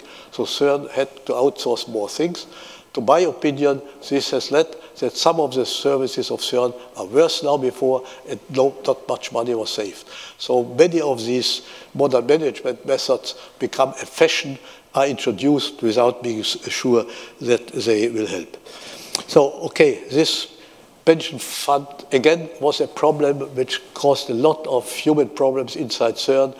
And here again, Emilio was one who was important uh, to, to, help uh, problem solve. LEP experiments. Well, Ugo Amaldi will talk about this uh, later. So let me make only a few general remarks how we introduced these experiments and uh, some decisions we took. Because again, as I mentioned at the beginning, it was the first time at CERN that we could not give any money to the experiments. So uh, the trouble was, as I mentioned, we had possibility of approving four experiments, but we had proposals for six experiments. So there were two possibilities. We either follow the American procedure, uh, shoot out problem. Huh? We approve four and say the other two go home. We didn't want to do that because LEP was a unique facility in the world, so we thought that every physicist in the world who wanted to work there should get a chance. So instead of just disapproving two experiments, we organized a workshop, a kind of marriage market, where we tried to bring physicists together and convince them that they should come to an agreement uh, and uh, to work together on four experiments. Well, I won't go into, into the details, but the outcome was indeed, in the end, four experiments were approved. And there, there, is a, there was very interesting sociological experience I made. Two of the experiments had very strong leaders, spokesmen as were called. In fact, two Nobel Prize winners, one was Jack Steinberger, the other one uh, uh, uh, Sam Ting, two Americans. The other two experiments had two Italian spokesmen. One was Ugo Amaldi, one Aldo Michelini. You see them on the left there, the thing on the right. And they were much more democratically minded than the two Americans. So I said, okay, that will be an interesting experiment. I mean, it was the first time that experiments, which are called experiments, really had to become international organizations. I mean, they are completely more or less independent of CERN because they had to find the resources from all over the world. They had to organize it and so on. They had their own committees and so practically independent organizations. So I thought, well, such a complicated uh, thing might work with two strong leaders, but I was not sure whether it would work with the two democratic leaders. To my surprise, all four experiments worked beautifully, equally well, and the model for the later LHC experiments were not the two uh, experiments with strong leaders, but with these two democratic leaders. All the, LEPIC, the LHC experiments now have followed the democratic model and not the model of the strong leaders. So that is social. And well, at that time, that was the first step to make uh, CERN really a world lab you see here the curve, the right, the uh, right curve, which is the uh, uh, outside uh, uh, scientists from all over the, from the United States, where the green curve is where the physicists from member states working in the United States. Was the first time that we had more Americans at CERN than, than Europeans working in, in, in the United States. Well, as I said before, I intervened only once in the, in the uh, management board. That was when we decided what should be the maximum energy the magnets should take. These were very special magnets. And I had one experience for the physicists I would like to tell a story. When I was, when DESY in Hamburg uh, designed their first E plus E minus storage ring, Doris, Jentschke was the director of DESY, went round to the theorists and asked them, what is the highest reasonable energy for the plus machine? And you will be surprised, he asked all the most uh, famous theoreticians in the world. The answer was two and a half GeV. And the, answer, the reason they gave was very good. They said, we know that the quantum mechanic point cross-section goes down with 1 over s, the square of the energy, and with all the form, we know that all the form factors are smaller than 1. So with the luminosities, which is the number of collisions, you hope to get, you will never, never be able to see anything interesting above 2.5 GeV. Jentschke was, did not trust the theorist. And he said the magnet is not the most expensive part of the project, so the magnet should go up to 5 GeV.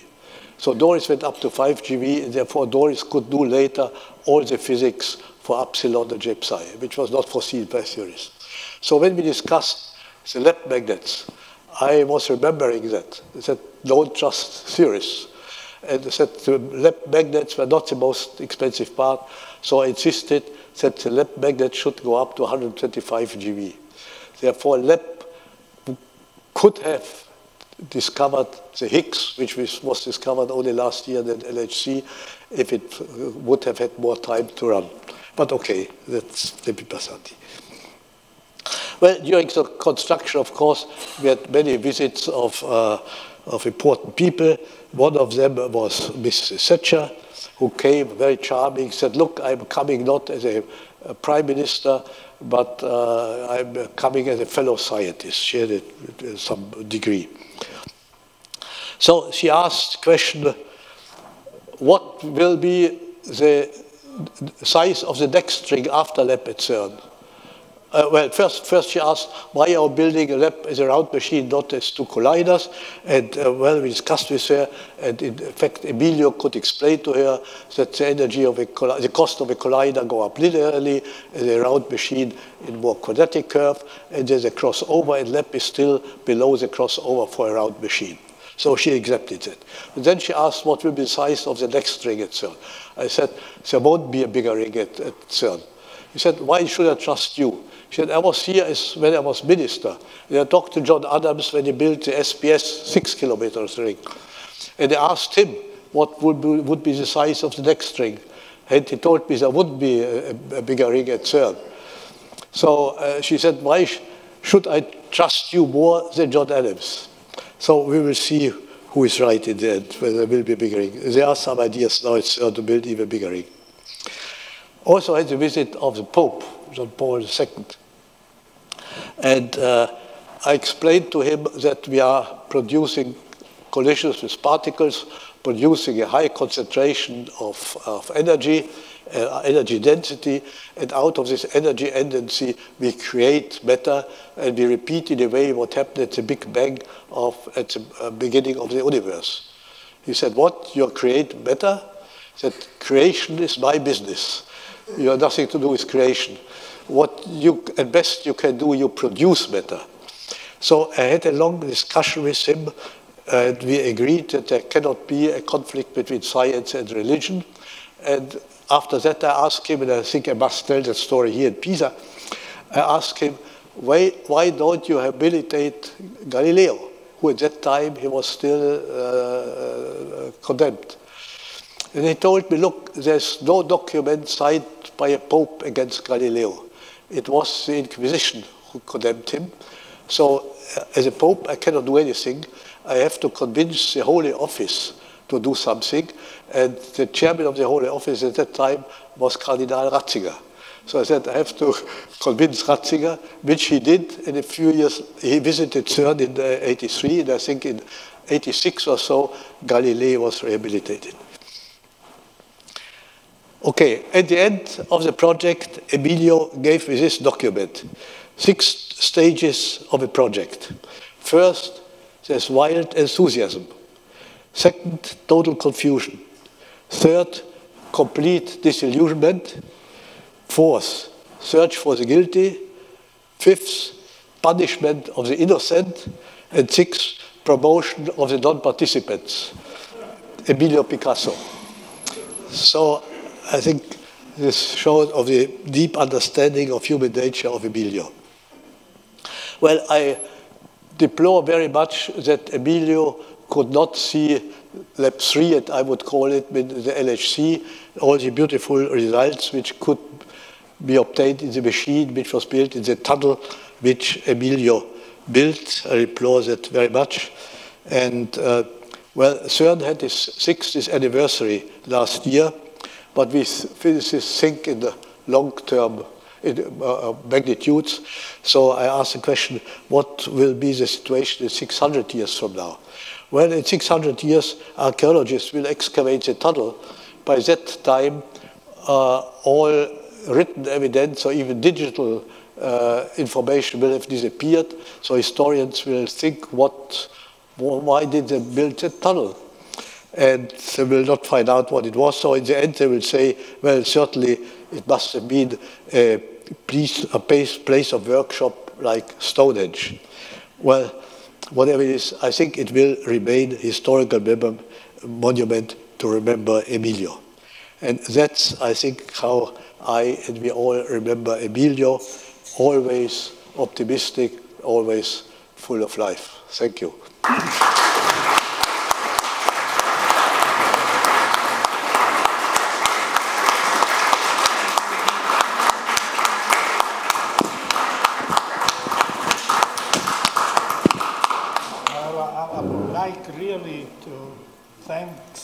and I'm sure you join me in this thank, uh, to thank Herwig Schopper for this uh, very, very interesting uh, illustration of the complexity of this project, uh, list of some of the major managerial and, and technical problems. Huh? And uh, uh, so now we will continue with Steve Myers, who will tell us uh, about uh, the construction of the E plus and minus collider and uh, its uh, exploitation. Thank you very much. Um, I'll speak more about operation. Sorry, I'm sorry. Let me just say a few words of introduction. Very, very, very few, I promise. Excuse me. Steve has been a CERN for more than 40 years. Uh, I believe he started in 72 and uh, he has been uh, a central figure, although sometimes uh, in the background for the physicist, let's say, but doing an indispensable and, and, and fantastic job to be able to uh, exploit uh, this accelerator to their best uh, is, uh, is an art which uh, has been uh, constantly refined by, by Steve up to the point, as on all newspapers, that the, the sensitivity to the dimension, to the physical dimension of LEP uh, uh, was uh, such that the influence of the moon, terrestrial tides, could, could very well be detected uh, by exploiting the accuracy with which uh, uh, the rotational frequency of the spin of, of the electrons around the ring.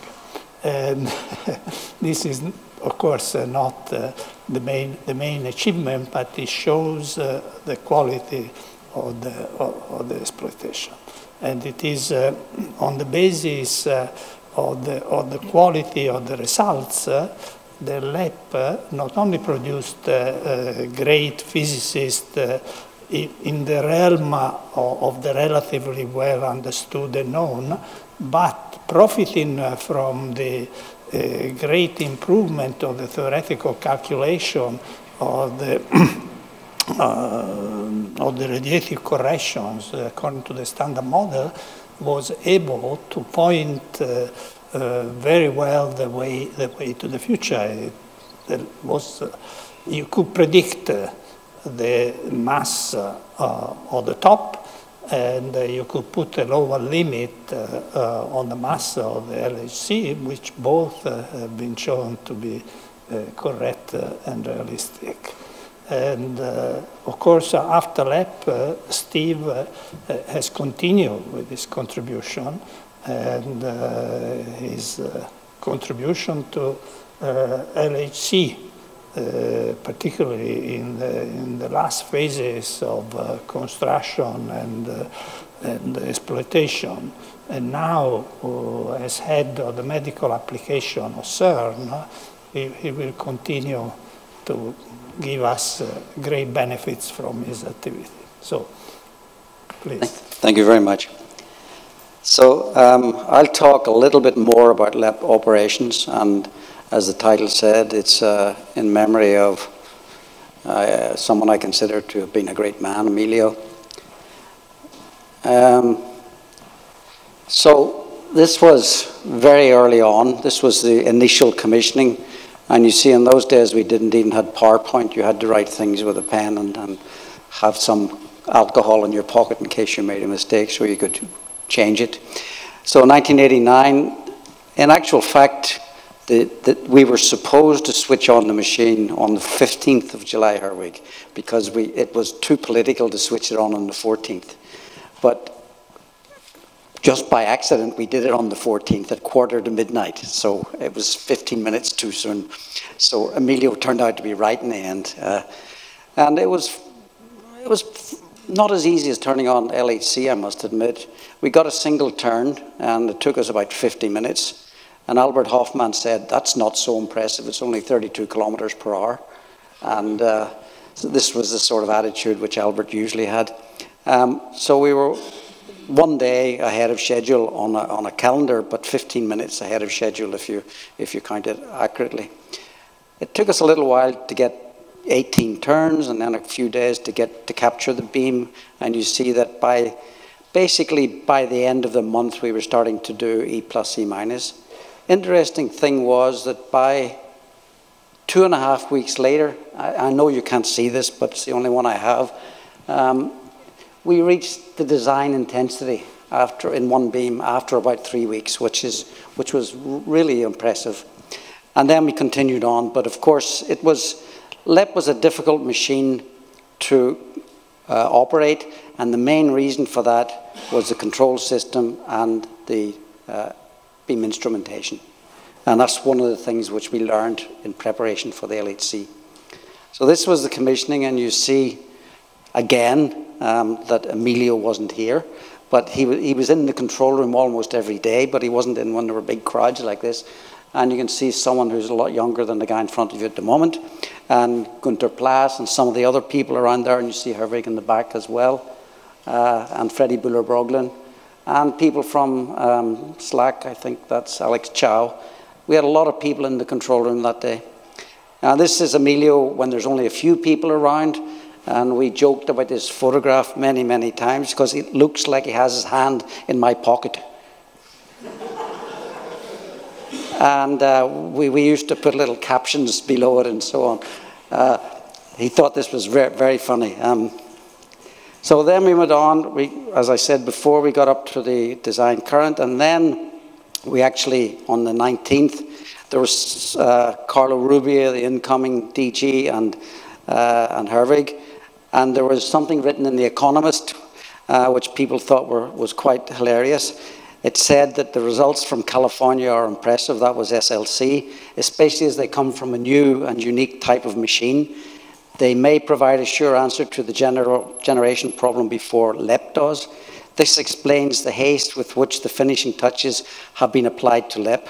The 21 kilometre, uh, 21 long 21 kilometre long device, six years in the making, it's a little bit more than that, uh, was transformed from inert hardware to working machine in just four weeks.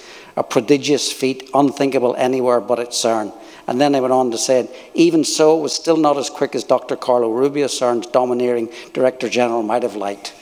So, uh, so why is it so big? Um, you've heard the, the, the, starting with 50 kilometers, going down to 30, going to 27, going to 22, going back to 27. Um, really, it's all about synchrotron radiation and electron machines. The synchrotron radiation goes with the fourth part of the, of the beam energy. So you want, if you want a high energy, you need a very soft bending radius. That's why the magnets had very, strong, very uh, weak fields and why they were actually copper, they, they were actually concrete uh, iron magnets and why um, was a, good, a very good decision to make allow them to go to 125 GeV. Now you see from this as well, I don't want to go through the de details here, but uh, with, with conventional uh, room temperature cavities, the power goes with the energy goes with the eighth power whereas with superconducting it only goes with the fourth part. So for the first stage, since we staged this machine, the first stage was lower energy, just under 50 GeV, and with standard room temperature, uh, room temperature cavities. Later on, for the higher energies, we needed to go to uh, much, much uh, higher field gradients in the, in, in, the, in the cavities. The performance, this is a, just a summary of the history of the performance. Uh, we started in 88, we did an octant test. There was a lot of discussion about whether it was worthwhile or not, but it turned out to be extremely worthwhile because we found the coupling in the magnets due to the nickel layer, and we corrected that between 89 and 88 and 8 and 90 actually. First turn was on 14th of July, first collisions on the 13th of August, and we did the first pilot physics run in uh, middle of August. Uh, we stopped from time to time to do accelerator physics. 1990 to 1994, we did the Z0, that was the lower energy physics. And then we started the pushing the energy. 95, we went from 65, 70 GeV. 96, we went 80.5 up to 86. 97, we reached 92. And 98, we made 90, almost 95. And 99, we made 102. And then the last year of running, the maximum energy we reached was 104.4 GeV per beam. Now, this, you can see that uh, since the synchrotron radiation losses go with the fourth power of energy, to do this you need an incredible amount of accelerating uh, gradient in, in, the, in the cavities. And this is just a, a, a, tabular form of the performance. You see the year on the first column, the luminosity. The luminosity is just the number of events we produce. The beam energy, KB is the number of bunches. And the total current, which is important as well as, as, a limitation, and the peak luminosity. And finally, on the right-hand column is the dreaded parameter for all E plus E minus, the beam-beam tune shift, uh, how normally that's a fundamental limitation to the accelerators. And you can see that we started with a fairly small number and finally got it up to what was and still is a world record 0.08. Um, now, the modes of operation to do this every year, well, we, we invented this workshop in Chamonix um, uh, every January. And in, work, in, the in the January workshop, we looked back on what we'd done the year before, and then we prepared for the year after. And you can see from this that um, in these three columns, uh, optics were changed almost every year, uh, and the bunch scheme, because in a single ring collider, there's a strong limitation to the number of bunches you can put in. You can easily figure out if you put in one bunch per beam, they'll collide in two points. And if you put in 20 bunches per beam, they'll collide in 40 points. So you don't want them to collide in those regions where there are no detectors. So what you want to do is separate them in, in the non, in the regions where they would normally collide, but uh, there are no detectors. And that we had various schemes for that. We had uh, we had uh, so-called pretzel schemes, which make the beam go like a pretzel so they miss each other. And we had other types of schemes like bunch trains. And we tried these out continuously to increase the number of bunches or the number of the rate of collisions in the wanted collision points. Now this meant that every single year we started up LEP, it was a new machine. And that was uh, quite, quite a challenge. And as I said before, pushing up that energy uh, uh, all the way from 45 up to over 100 GeV needed a lot of RF voltage. And here you see that um, this is the RF going from 3.1, uh, 3,100 megavolts up to um, 3,600 in the, in the last stage. In the beginning, we had a very small amount of voltage. Now, this was the period from 1999 to uh, during 1999 actually. So what we, the way we did this, because the RF is so crucial, we run the machine at an energy where we had a little bit of RF margin, so if one of the cavities tripped, you didn't lose the beam.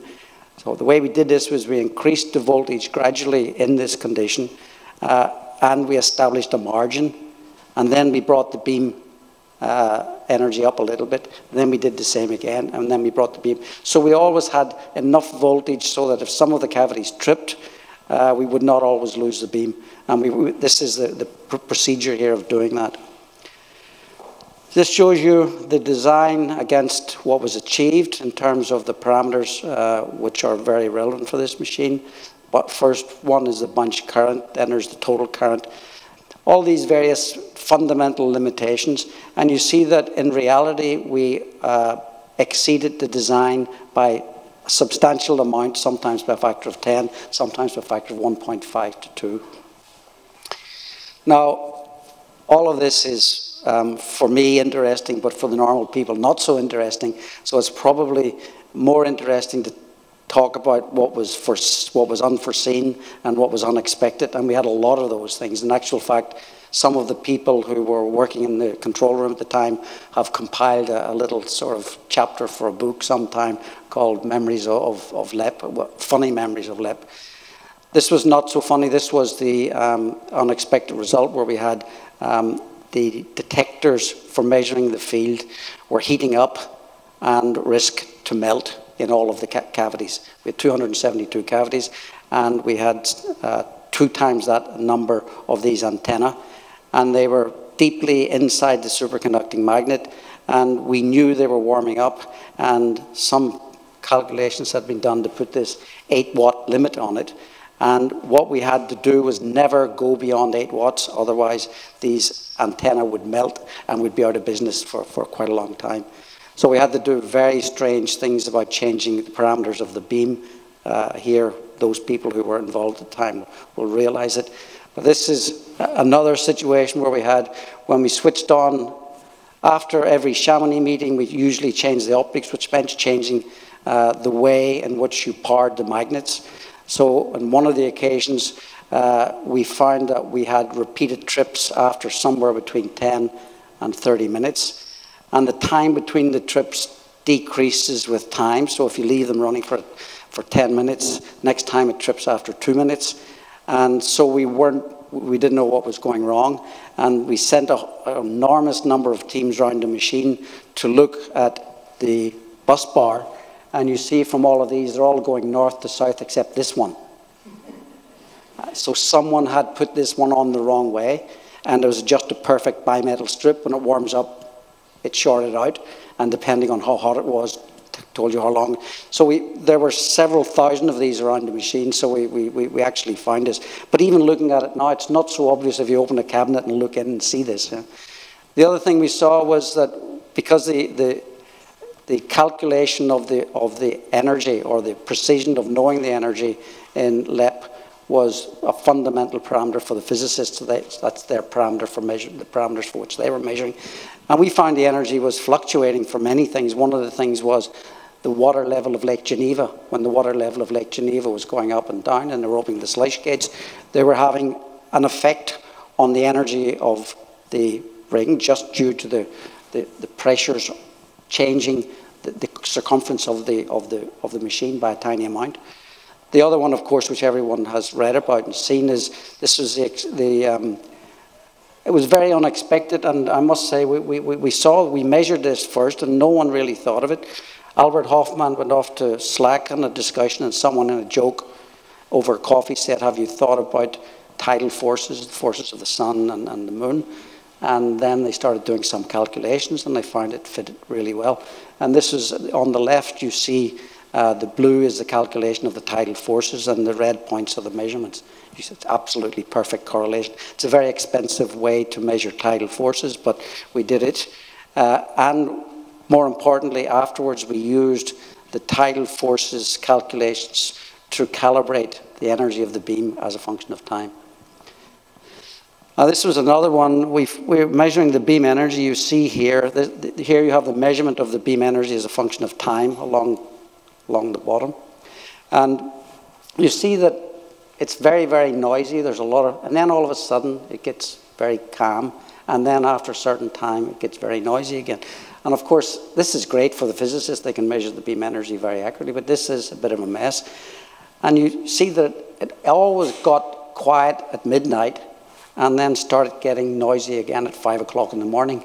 And um, this was very confusing for us because the first time we did the measurement, we did it over a two day period and we had a perfect calm signal with no noise. So after a lot of discussions, I sat on the Jura Mountains looking for planes coming in and out to see if that was causing it because they don't come in and out between midnight and five in the morning. We did all sorts of things like this. We found out it was coming from the TGV.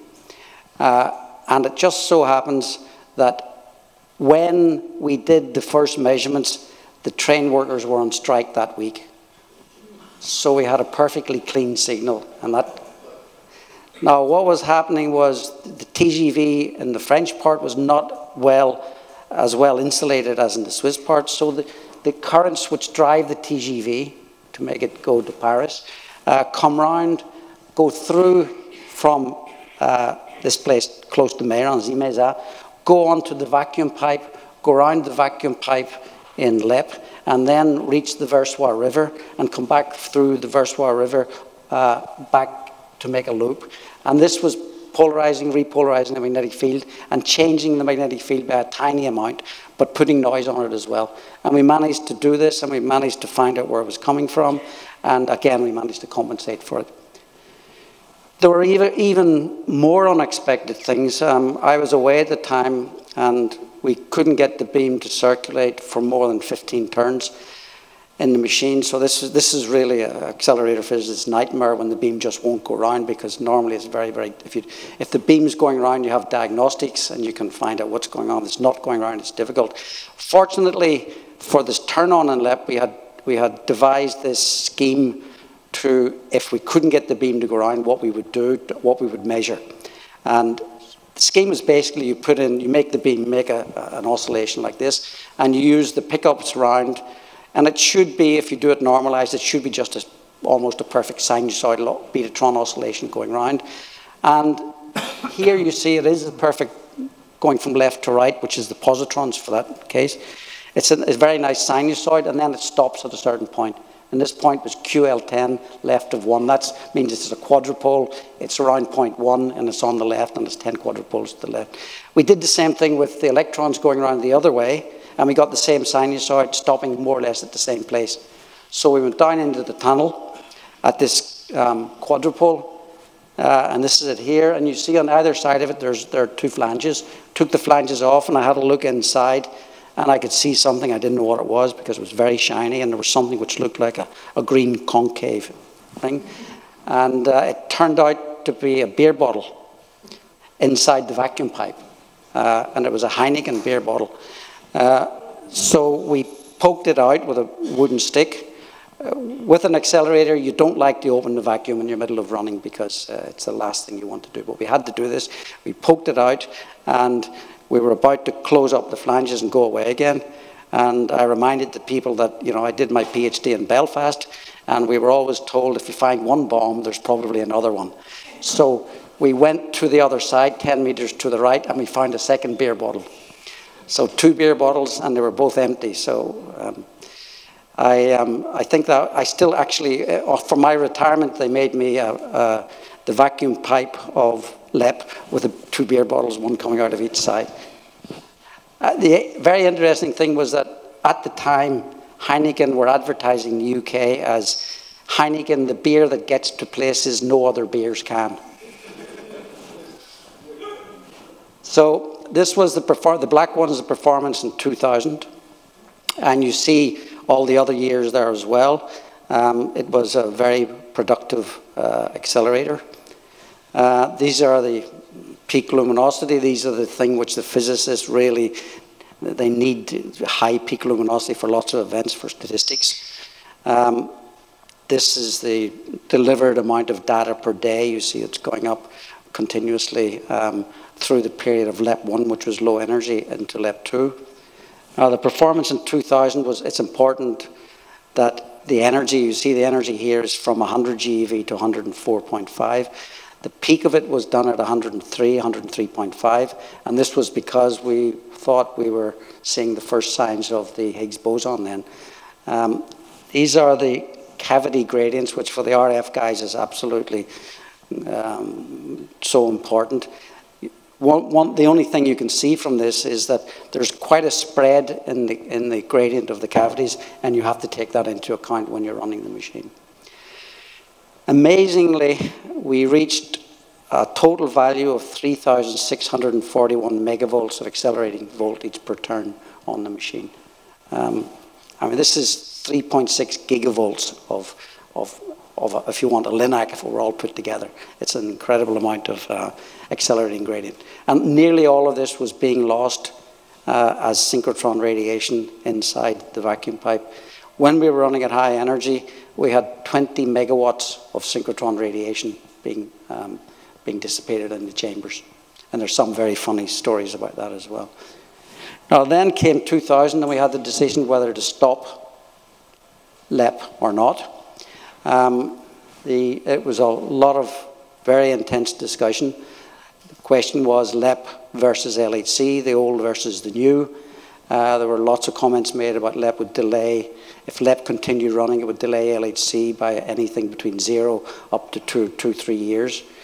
There was competition from the Tevatron. Probably the most important thing was that the manpower transfers needed to the LHC from LEP would not have been able to be done then. And there was also the materials budget, there was electrical power and so on needed to run LEP.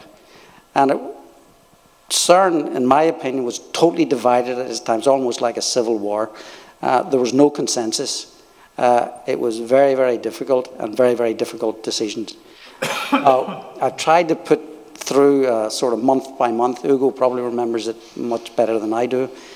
On middle of June, there were the first candidates for Higgs. The problem here was one experiment initially, and then two experiments, and then maybe even three experiments, thought they saw the Higgs at a certain energy, 114.5 GeV. Um, so the first candidates were in, and Gigi, of course, was in the experiment, which, which thought they had it. Uh, 14th of June, first candidate. 20th of June, there was the LEP committee, and ALEPH presented this excess at high, high, high masses. Um, then the LEP committee proposed two reserve weeks at the end of September to be granted.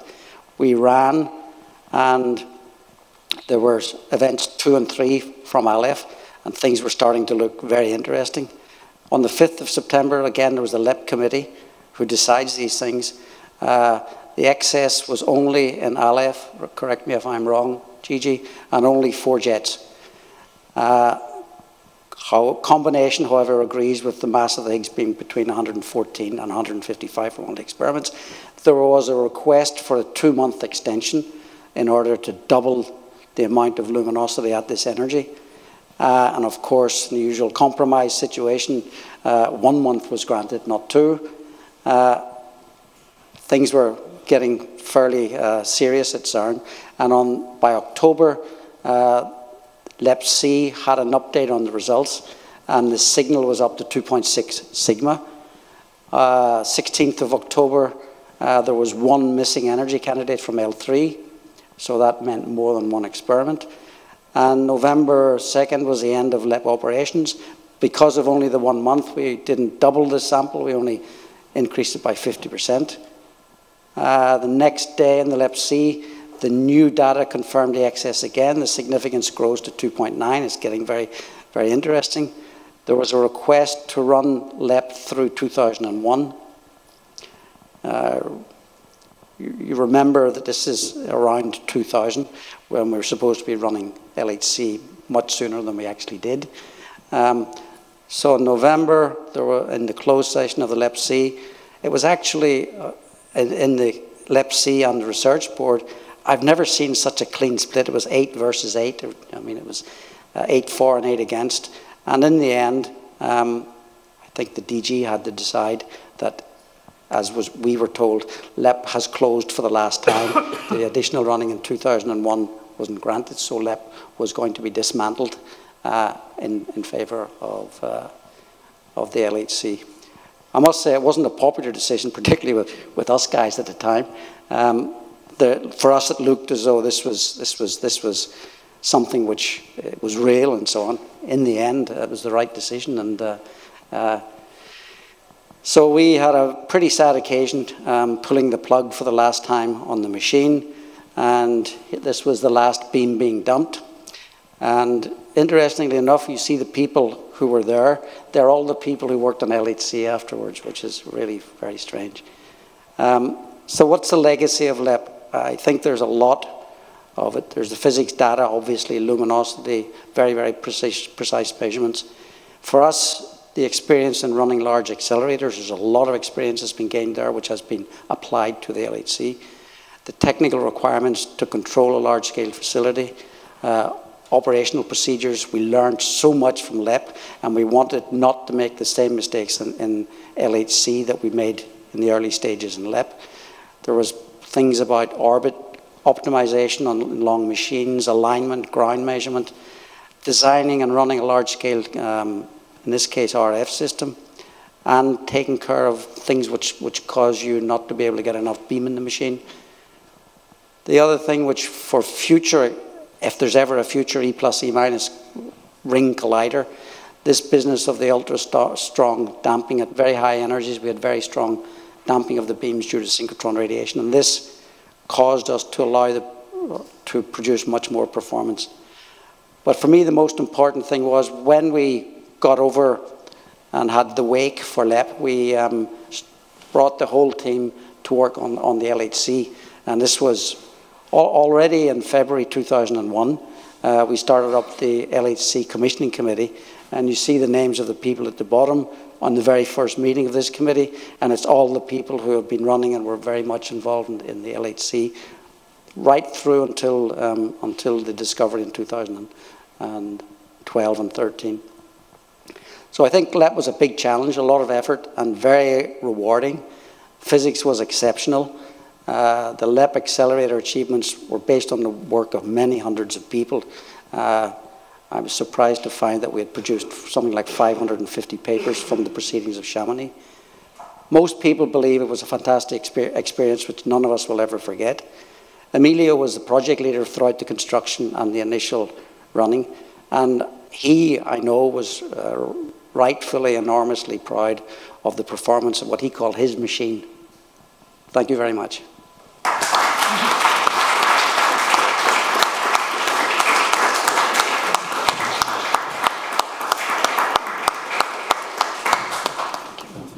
A lot, uh, Steve, but don't go away. There may be question or comments.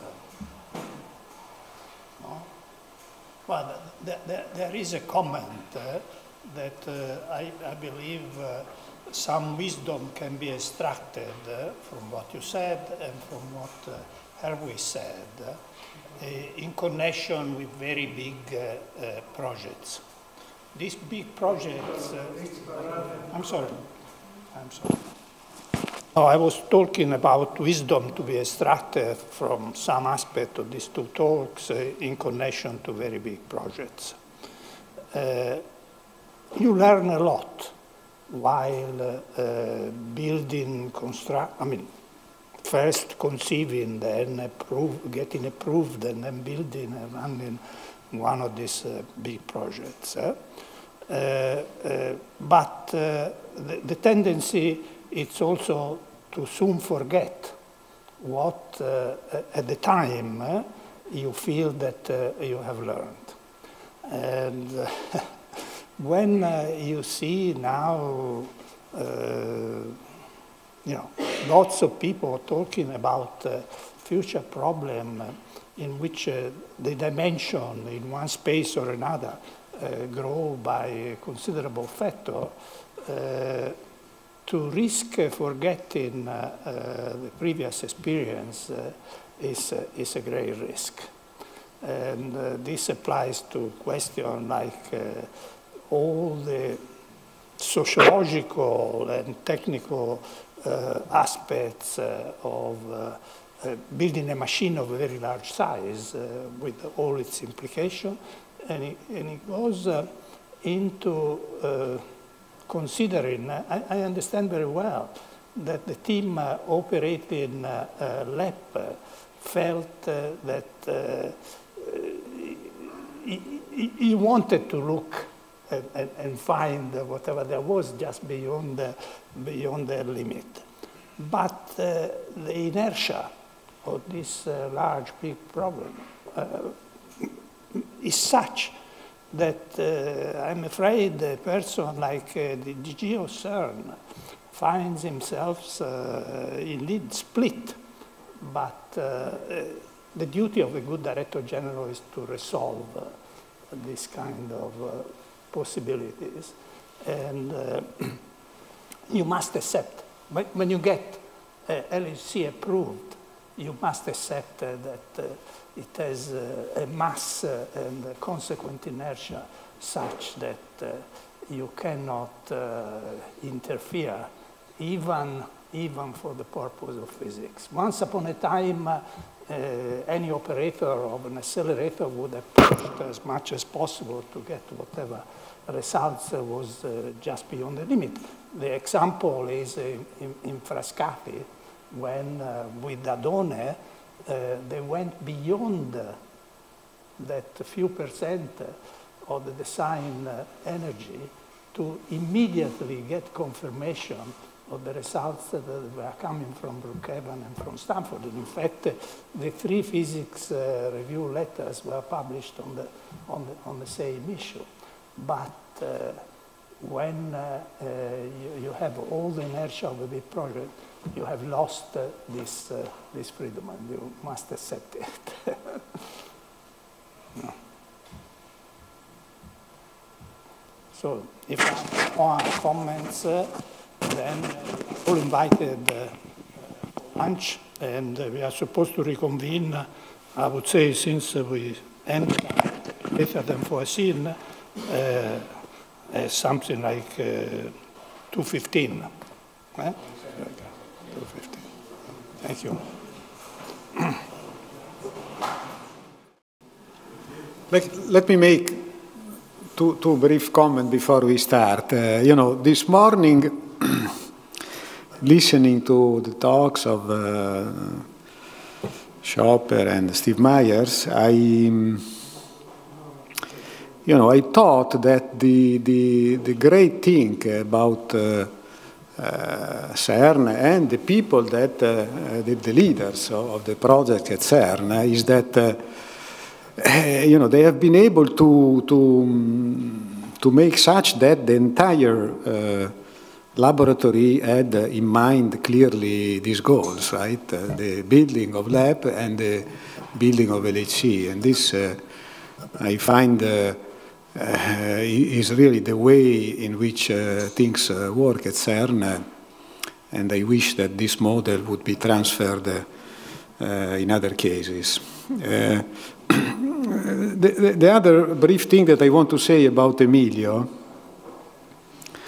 uh, you know, for various reasons, uh, I am a theorist, Emilio an experimentalist, they're, they're different in age.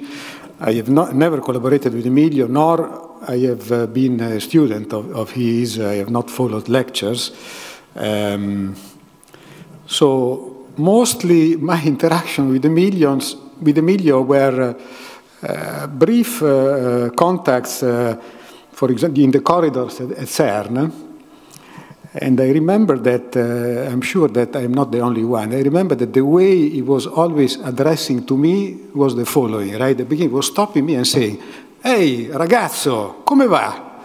That was the way Emilio, eh? I am sure that other people had the same, uh, the same, Hey, ragazzo, come va? All right, well, so um, uh, this afternoon uh, we start with uh, Giorgio Brianti. Uh, I want to say briefly that uh, Giorgio, I learned actually uh, today, has been one of the very first engineers um, entering CERN in 1954. And since then, he has played a major role in various enterprises.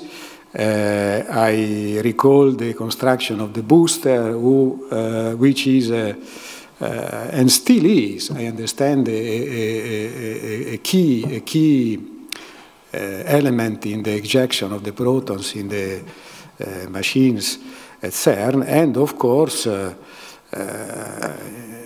you know, he has been uh, the key figure at the beginning of the construction of LHC, right? So um, uh, he is entitled to, to recall uh, those years, uh, I think, from a, a very relevant position. All right, thank you, Giorgio.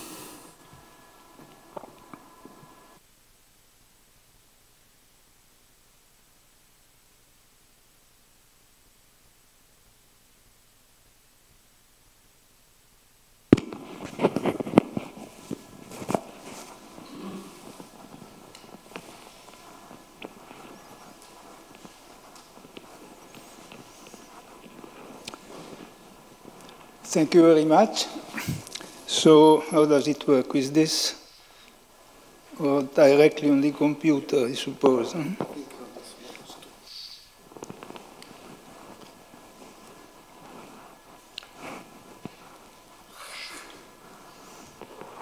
Maybe we do it here, no? Maybe I sit down and do it here. Okay? It works. I don't know if you see it very well. Maybe you could uh, blind a bit the window.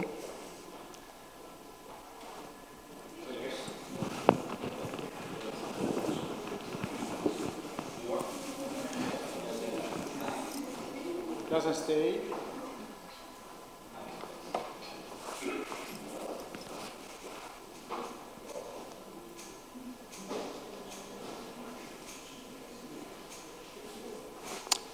All right.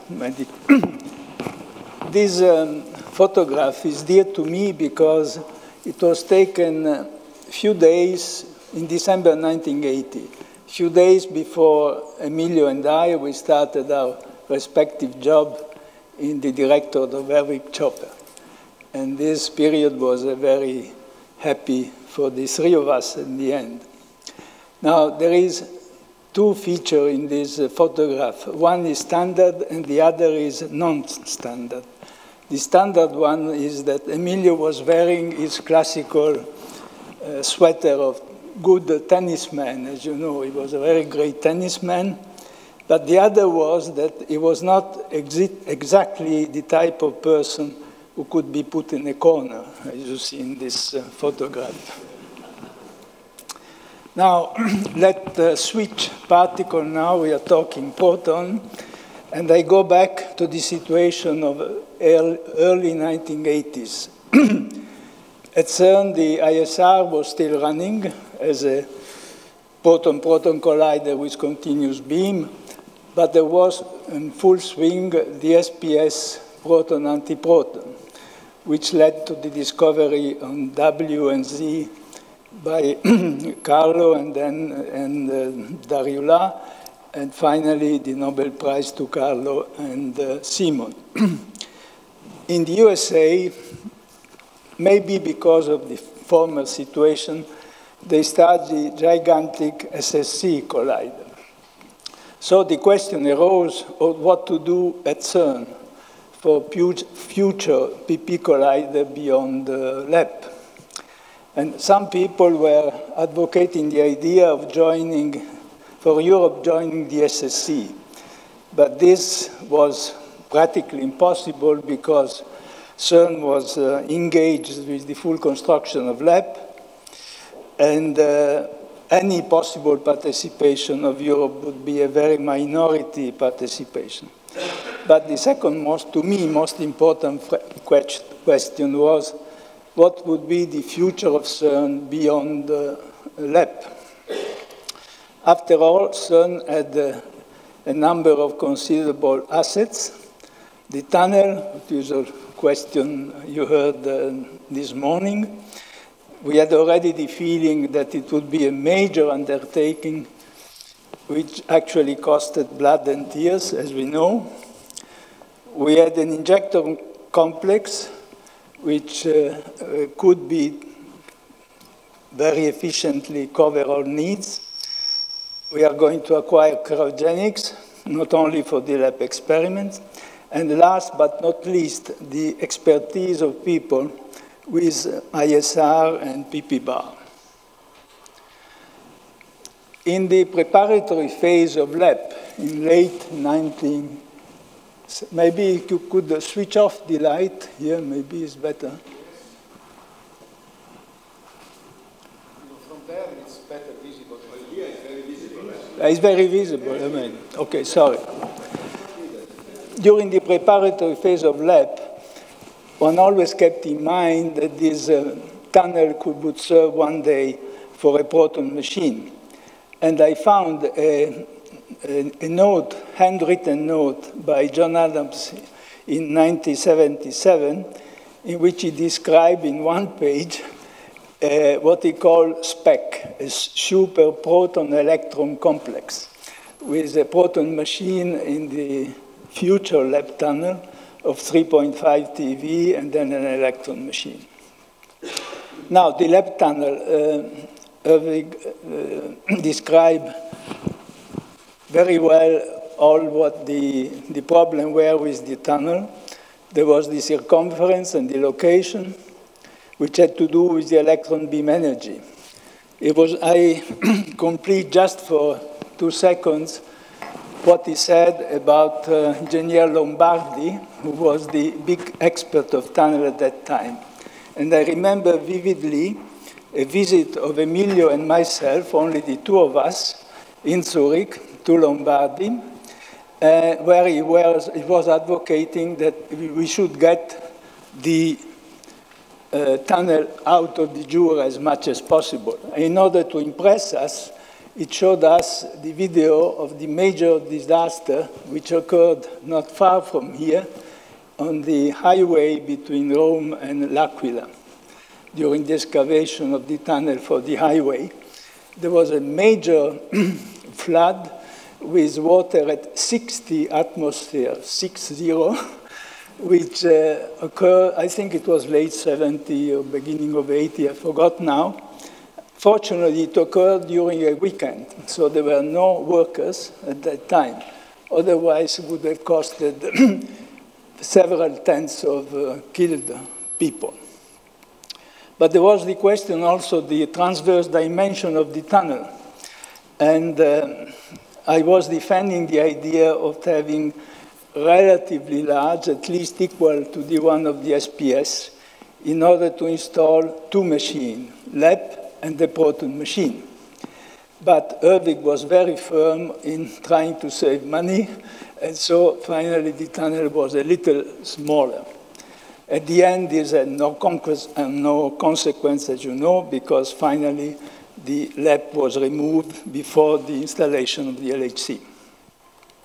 So in 1982, more than 30 years ago, we start to study what to do, how could look like a proton-proton collider in the LEP tunnel, which by definition, it should have been at that time compatible with LEP, so simultaneously installed. And this led to the first immediate choice, namely that we could not make two separate machines for the two proton beam, as it was foreseen in the SSC, but we had to adopt the so-called two-in-one magnet structure with, of course, two beam tubes, two sets of coils, but a common mechanical and magnetic structure around it, and therefore one cryostat only. This constraint turned out to be in the end an advantage because it, it saved, to my mind, about 20% of the cost of the magnet because there was a unique cryostat and unique mechanical structure. The next question, which superconductor? Of course, since the tunnel was limited with respect to the perspective uh, SSC1, clearly should be superconducting magnet, but which, which superconductor? There are the usual two candidates, niobium titanium and niobium 3 tin. We made model of both, but niobium 3 tin was soon discarded because of the difficulty of winding the coil in a non-superconducting state and cook it all up in order to turn it into a superconductor. So we stayed with niobium titanium. But then we said, let's gain as much as possible field with the same amount of superconductor. And the idea came of cooling further down, which was the first time with respect to a other superconducting machine, from 4.2 Kelvin to 1.9. And this produced a gain of about 1.5 uh, Tesla, or a total gain of 1.3 TeV for the time machine, which actually is more than a tevatron. But now, going down to 1.9 offered the possibility of using superconduct, superfluid helium as coolant. Superfluid fluid helium is a quantum state of helium, which is a special beast. It has certain properties which are negative and some other are very positive. The negative one is has no viscosity and therefore you must be extremely careful with the thousands of welds around the machine in order to avoid leaks. But the positive is that it has a very high heat conductivity. If my memory is right, about 1,000 times the one of copper. So it offered the possibility to keep all the 80 tons of helium static in the machine, not moving, thus avoiding possibility of uh, frozen impurity in valves, conduit, and so on, and cooling by a very small stream of, of, of helium-2 flowing in a small conduit throughout uh, the magnet. So this initial work, which produced a first report of about 100 pages, prompted the interest of the physics community, and as Herwig remember, in 1984, there was a first ECFA CERN Lausanne workshop for the LHC in the LEP tunnel. After that, there were other physics workshops, especially one in La Thuile in early 96. But also in 1986, Council uh, established to set up the long-range planning committee to study the future of CERN after LEP. The chairman was Carlo. The member, I don't know if you see it there, the special thing about this committee was that half of the members was Nobel Prize uh, laureates.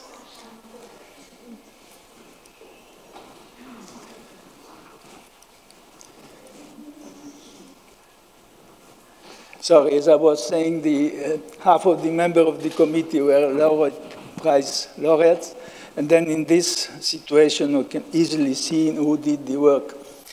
Now, the conclusion was that uh, the LHC should be the next uh, LEP project, which was a very positive conclusion. Now, we were aware that this would require a lot of preparatory technical work. The problem arises from the higher field. You cannot wind on all uh, fronts because the forces and the stored energy square uh, go with the square of the field. This would re require large cable in the radial dimension with a small superconducting filament for the high precision field and the, the question of quench protection to which I'll come back. So the forces at CERN were limited because most of the laboratory was engaged for LEP. So I tried to call to external participation. I must say that I got a very good response from INFN, especially through LASA in Milan, and then uh, CA, Saclay, and Grenoble. The CA, Saclay specialized in magnets, and Grenoble specialized in cryogenics.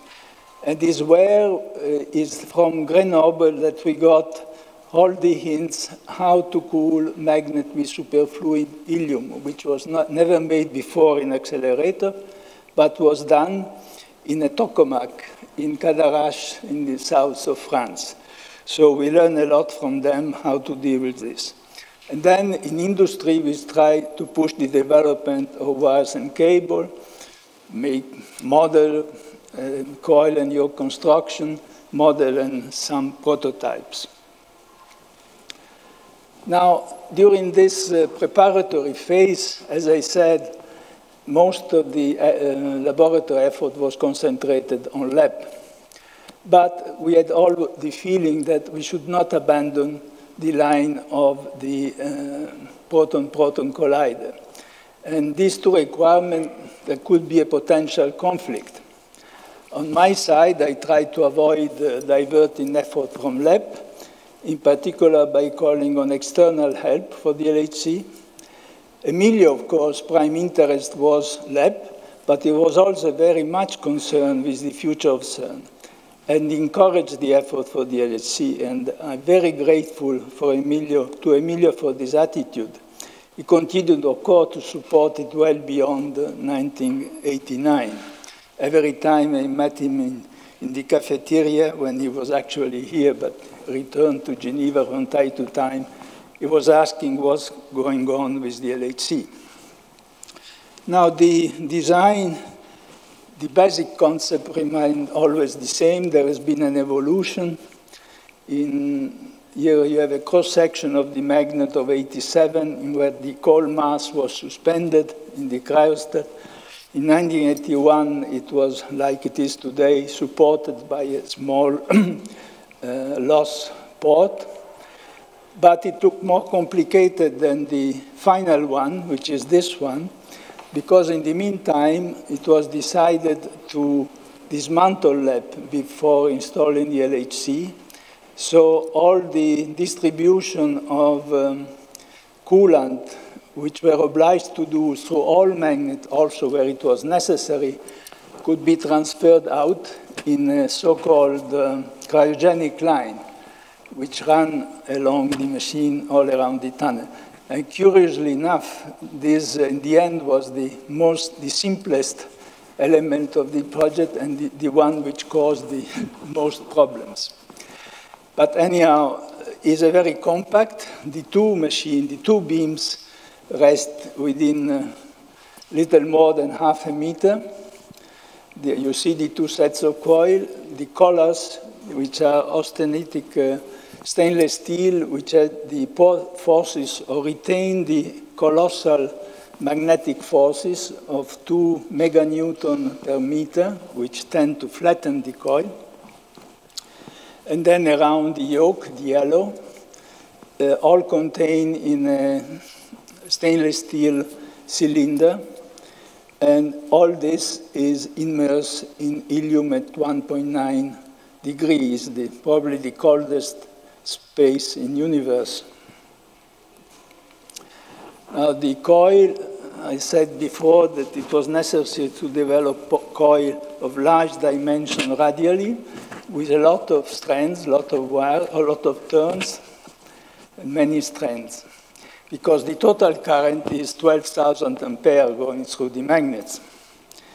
These uh, superconductors, which were made, but all, all the industry in the world uh, working in this field are quite amazing. Uh, they start with a bar of niobium titanium of about 200 millimeter diameter, about one meter long, and by extrusion, stacking, wire drawing, etc., and these processes, it becomes finally a 30 kilometer of one meter wire with 9,000 filaments of superconductor inside. Each wire is a quite amazing achievement. This is not made by CERN, it's made by industry. Now, concerning vacuum, one would think that with a cryogenic temperature 1.9, there are no problem with vacuum, can easily reach very low pressure. But there is a problem because the beam produces some heat, even synchrotron radiation. Uh, also image current in the tube uh, electron beam cloud and so on, is a heat of around one watt per meter, which seems very small, but to absorb it at 1.9 would be equivalent to the entire cryogenic load of all the magnets. So we are obliged to insert what is called a beam screen, namely a second tube, perforated, in order for the beam to see the pressure as if produced by the outer tube but cooled at a much higher temperature, between 5 and 20 degrees, and therefore much more economical from the point of view of cryogenics. Now is a, a glory of INFN that the very first real magnet of uh, six, me six, meter long uh, length at that time was provided entirely by INFN and it was constructed by Ansaldo, and this occurred in 1994. Now, a very important uh, element on the way of realizing finally a machine was a 100 meter of machine, a real machine installed in a hall, uh, two machine cell, make of dipole quads, where everything was tested, including all the problem of cooling, cryogenic handling of this uh, uh, uh, fluid. Finally, the dipole magnet has a nominal field of about 8 Tesla, an overall length of 16.5 uh, meter, a total mass of almost 28 tons. I think is objectively this most difficult object ever built for accelerator. I'm not speaking of the detector. More than 1,200 are installed in the machine and many more were produced. It also the, there is a complication of the junction between all these, uh, these uh, magnets. Now, some striking number I was speaking before, the beam energy at full swing it could be 660 megajoule, equivalent to 77 kilo of TNT, of dynamites, capable of melting 500 uh, kilogram of copper. And this has been demonstrated dramatically in the accident of 208, where a simple opening of a circuit between two magnets produced damage to about one kilometer of the machine. Actually, magnet which actually of 27 ton actually taken off the floor. Uh, you see also the magnetic energy of one dipole already is more than one kilo of TNT, but the magnets are arranged in strings of 154 dipole. So each of these strings has 1,000 megajoule, with equivalent to 200 kilo of TNT. This shows the difficulty and the problem of being very sure that event like the one of 208 would not occur again. Now, one aspect of the machine which was very much pushed uh, at the beginning by a perspective user was the luminosity. The SSC uh, planned at the beginning 10 to the 33, but there was a big push for 10 to the 34. I do not want to go into the technicality, but the main ingredient are the number of particles per bunch, the number of bunches, and the size of the beam at crossing. So we try to push on all these elements, in particular including, including the number of bunches. In the SPS, there were six bunches, and there we planned 2,080 bunches, namely the train of particles follow seven centimeter apart around the, ring. Now, I don't resist to the temptation to see what has actually happened. In the 212 uh, run, of course, the beam energy was lower. It was 4 TeV for the, for beam for the reason of this accident. The bunch spacing was great. The number of bench, uh, bunches were about half the one what was foreseen at that time, but this could be compensated by higher current per bunch and also somewhat better emittance, better quality beam from the injector. So, goal, so that the top luminosity achieved was almost 10 to the 33, and if scaled to the final energy would have been above 10 to 34 and integrated luminosity collected by ATLAS and CMS has been 23 inverse femtobarn. So I think it was quite a success thanks to all the people who work on that. Now going back to the LEP period, this is the photograph of the last directorate under Herwig Schopper with Yossi Emilio, myself, Dario Darriulat, Thresher, Hein, and Martinez, who was an administrator. And it was a very happy period to my mind. But of course, during my time, the LHC was still a dream.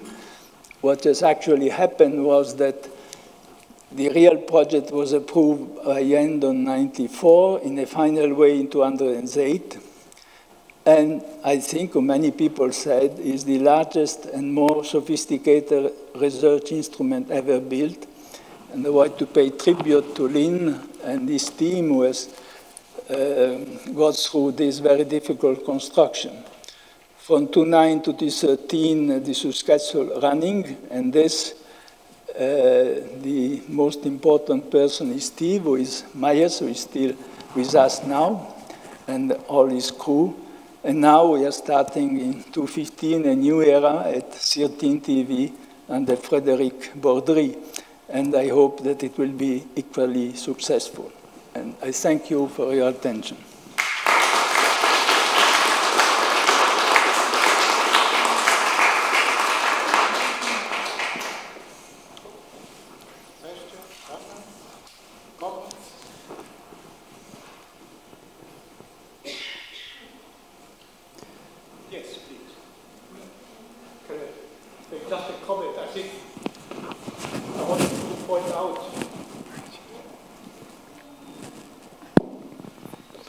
that the Carlo committee, Carlo Rubbia committee, which looked at the future of CERN, had one uh, under committee for, the, uh, for, for LHC, which was chaired by Giorgio Brianti. He was too modest to mention that, so he did all the work for that committee.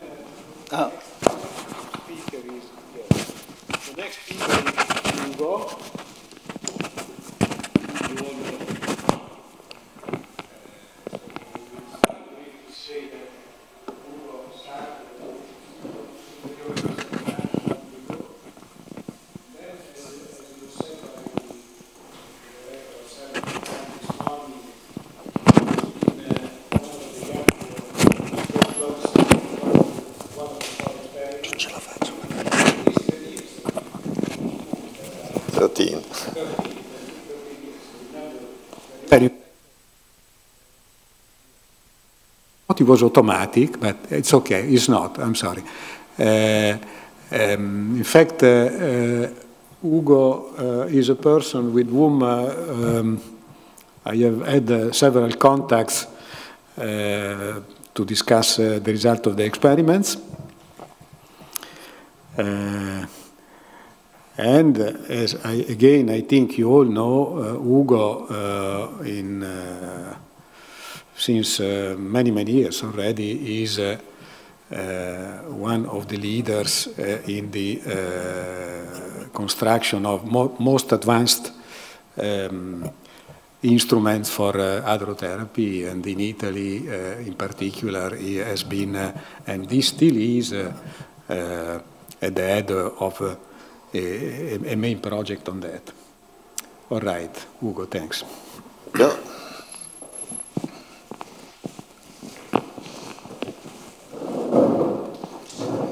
Great pleasure for me to sit here recalling Emilio with Mariella and all of you who loved him and tell you about the physics result. This has been a wonderful time for me and for many of us. So I will speak about the experiments first. We had four experiments, as has been said. The first one in order, alphabetic order, is Aleph. Two people have been very important in Italy for this, Lorenzo Foa and uh, Gigi Rolandi. Aleph has a, a characteristic a time projection chamber. In fact, uh, Gigi was the responsible for it, a magnet which was built in Saclay, 1.5 Tesla field, and the time projection chamber work on the principle that electrons drift along the lines of this field, and uh, Gigi has been one of the people who have developed this technique mostly. I bring for every uh, experiment two things which I think are characteristics. One is the measurement of the ionization. The tracks in the TPC that leave a certain charge, and if they are slow, they have uh, a large ionization, and this can be measured very well. And these are the results of the separation of different type of particles in the TPC of uh, Aleph. And this is the second uh, detector, microvertex detector. We speak about that. And this, the group, INFN, Pisa University, have a lot of, put a lot of effort. And I will come later to the importance of microvertex detector in the physics done at LEP. This is Jack giving a speech, and Jack congratulated by Emilion. You see all this, uh, the smile of Emilio. By the way, this is uh, Francis Farley, if you note. And this is another uh, picture taken on the same occasion, uh, this Erwin Gabathuler. Alphabetic order, second one is Delphi. Our speciality was a small TPC, similar to the one of Delphi, but smaller, but around it a Cherenkov counter called the Rich counters, which by measuring the Cherenkov light for the first time, I must say, in an experiment of this dimension, could detect the different particles. And uh, uh, this is Delphi in construction, a hand cup, and uh, the, our TPC inserted inside this ring, which is this barrel rich. Around there is an electromagnetic calorimeter, a gas electromagnetic. We also had a microvertex detector, but our detector had three layers from the beginning, and so the, we could get a purity. This is the tagging efficiency towards purity of B quarks, uh, which was uh, not as good as the one in SLD, which is the detector in SLAC, but a bit better than the others. SLD was better than anybody else because the beam pipe was very small. And so that's easy gain in this game. But it's very important because uh, discovery and studies of the Higgs would have been impossible without the development of microvertex detector, which uh, was really a novelty in this field. Eventually, all the experiments had one. This is a picture of a visit to CERN of uh, President Václav Havel uh, in 89. And uh, here you see Emilio, you see Carlo speaks always, of course, and we listen to him, and this is even more clear here. I mean, he is explaining, and everybody else is listening to the explanation that uh, Carlo was giving to the president.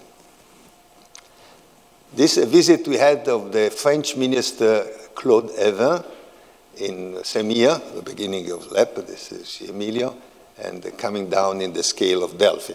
The advantage of Delphi, I have quite a lot of pictures with Emilion, uh, Schopper, and others because we are sitting in uh, P8, which is close by. Aleph was on P2 very far, so not because we are better, but only because we are closer. We got more visits than them. I don't want to say anything else. When once uh, uh, Herwig can tell you the story how we got this bit instead of Aleph.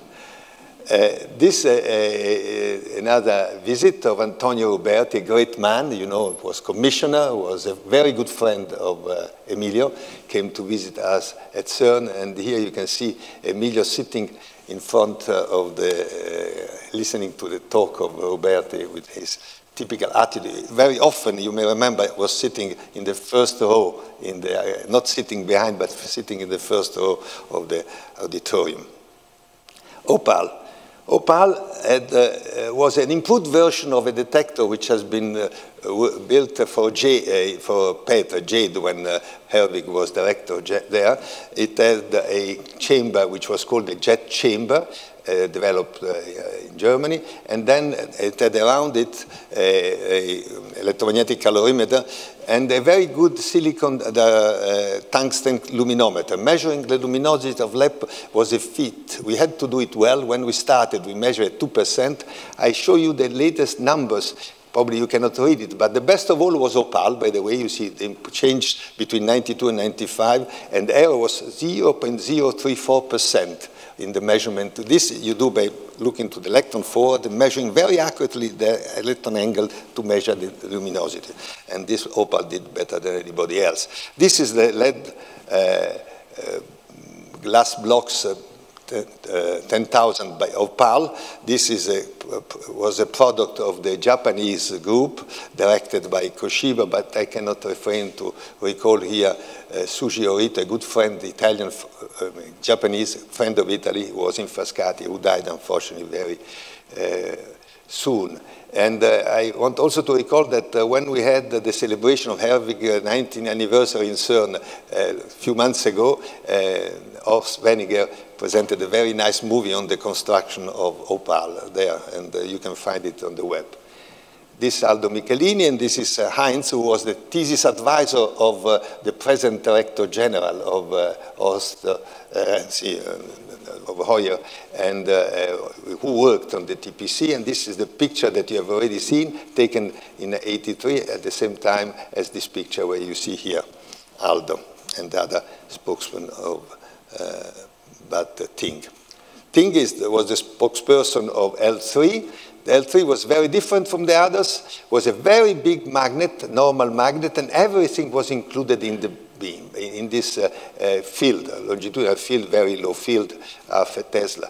You see there is here at the center a, a track detector, the electromagnetic calorimeter, BGO, hadronic calorimeter, and the muon chambers, very accurate measurement, all supported by this tube. And this is during the, uh, the construction, and uh, this is uh, uh, the BGO. This is made of 11 crystals, very delicate crystal, which have to be calibrated very accurately. And here, for the first time, there was installed inside the, the, the ring, in the, the interaction region, a, an accelerator, an RFQ, 1.85 MeV, and with protons, this would produce 7.6 MeV gammas, which calibrate the old detector online. This was certainly something nobody had done before. I find it very interesting as a technical challenge. I got from Sam, for this meeting, some pictures of Emilio visiting uh, L3. You see, this is Emilio down the pit, this is Emilio uh, O'Fallon, and uh, some uh, the surface, and then there is a nice picture of uh, also Wolfgang Schnell smiling, and you see this is very characteristic attitude of Emilio, who was very interested in the experiment. As usually, he would uh, not tell me ragazzo, not often. He would tell ragazzo to my wife, not to me, but he would meet me in the canteen and ask me, how's it going, Ugo? And then I would tell you, and then you would pass to another thing. And so all the years, and I suppose he was doing the same also with the other spokesperson, but of course, at this I, I don't know, and only my experience. Or I would draw for him on a napkin some schemes if uh, this was necessary to explain an argument. The results. Now, of course, the results I could keep you here busy for two, three hours. So I decided to make a selection and tried to make it simple, but uh, it's not simple to explain the results. It was fantastic, this I can say. Oh, Luigi is coming. Thank you, Luigi. Thank you.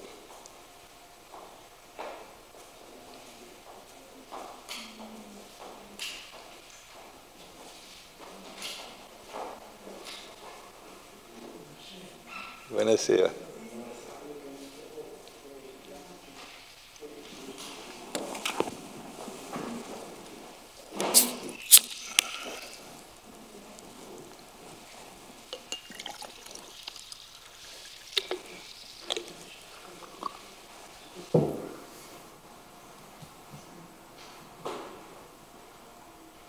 Sorry, I was distracted and they went too far. So the results. This is an iconic figure produced by L3 in which you see the cross-section, that is the probability, the number of events, as a function of the energy between 80 GeV and 200 GeV, which was the energy span of LEP. You see, the largest number of events were in this peak.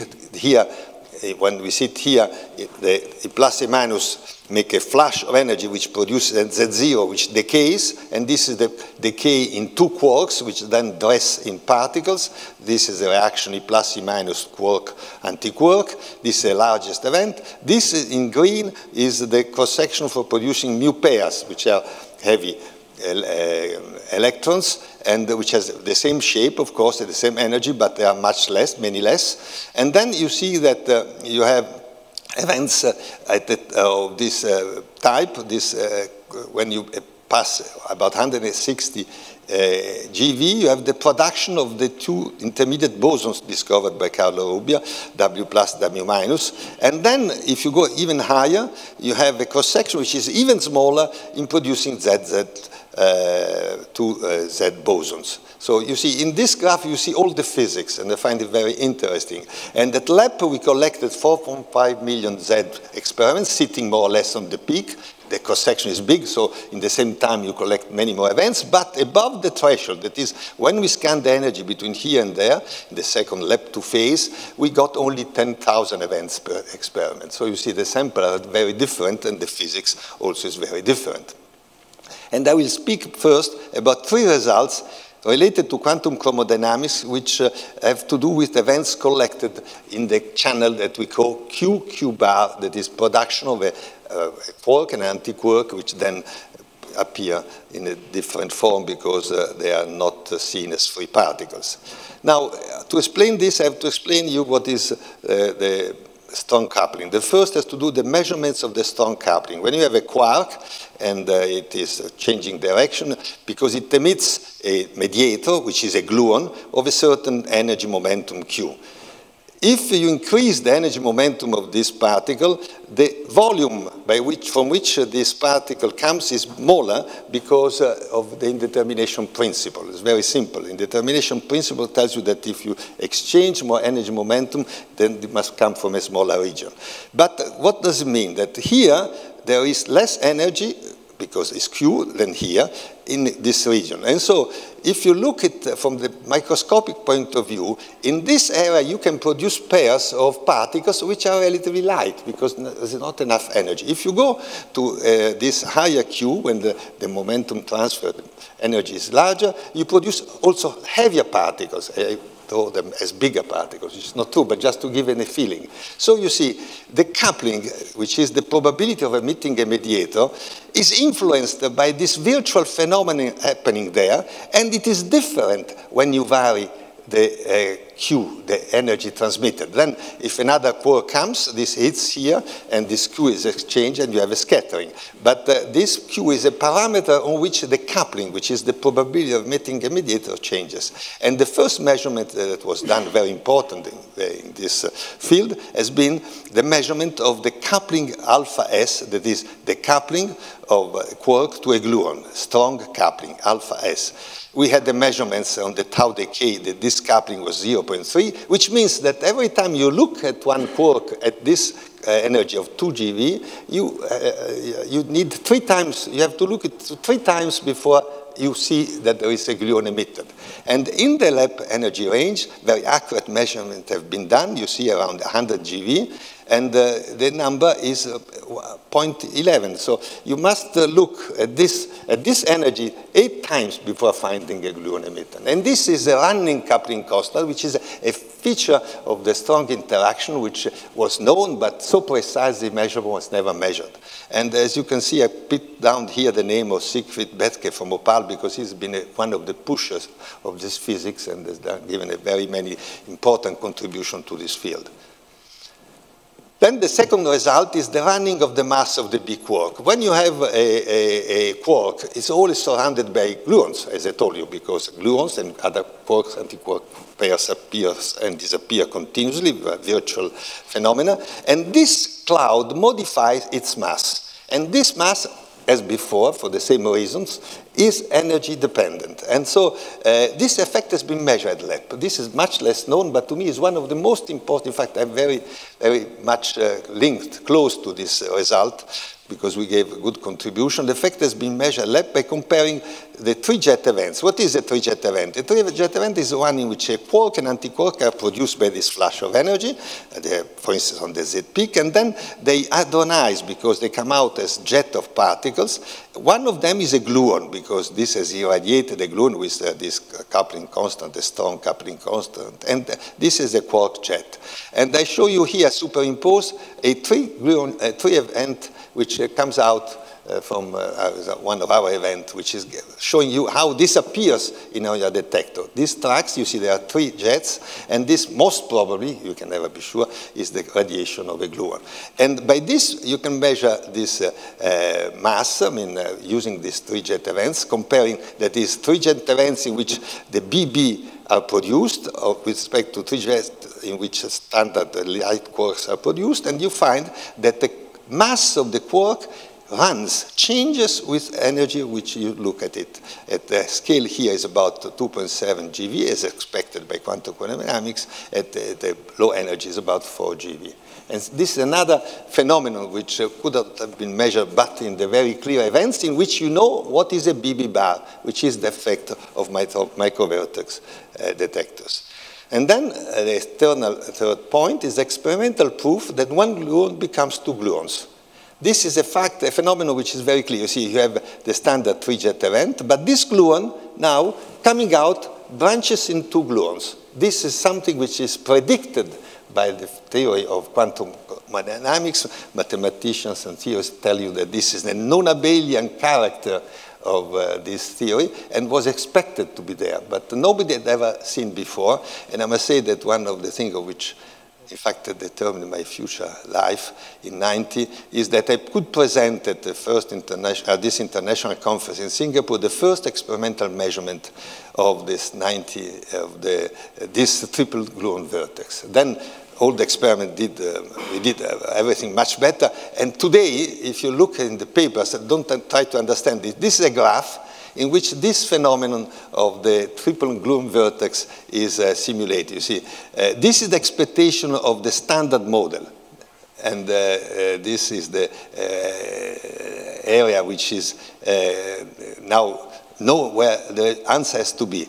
But if our model would be different for theorists, if the group would be SU4, Luigi, for you, SU4, you have been working on SU4 instead of SU3. You may remember, I read your first paper was SU4. If it was SU4, we should have found here the result. Instead, it's there. And this is uh, the, together, you see, this is Delphi results, this is Aleph, uh, the green, and this is Opal. And these are other ways of measuring. I don't want to go into detail. But what I want to say is that this is the third very important result we have this uh, uh, triple gluon vertex, and we have measured very well the SU3 character of this non-abelian theory. And behind this figure, there are very many complicated calculations. You cannot believe how difficult it is to compute all this. It's difficult to measure it, but it's more difficult to compute it. And there, I want to come to a point which is very important in talking about physics experiments. I've been writing a book which came out recently particle accelerators from Big Bang physics to hadron therapy, Springer. And in the preface, I start by, uh, and I read to you what has been written, said by Vicky Weisskopf in 61, 65. There are three kinds of physicists, namely the machine builders, the experimental physicists, and the theoretical physicists. The machine builders are the most important ones, Giorgio. Because if they were not there, we would not go get into this small-scale region of space. If we compare this with the discovery of America, the machine builders correspond to captains and ship builders who really developed the techniques at that time. The experimentalists were those fellows on the ships who sailed to the other side of the world and then landed on the new island and wrote down what they saw. The theoretical physicists are those who stayed behind in Madrid and told Columbus that he was going to land in India. This is a reason for which in this book,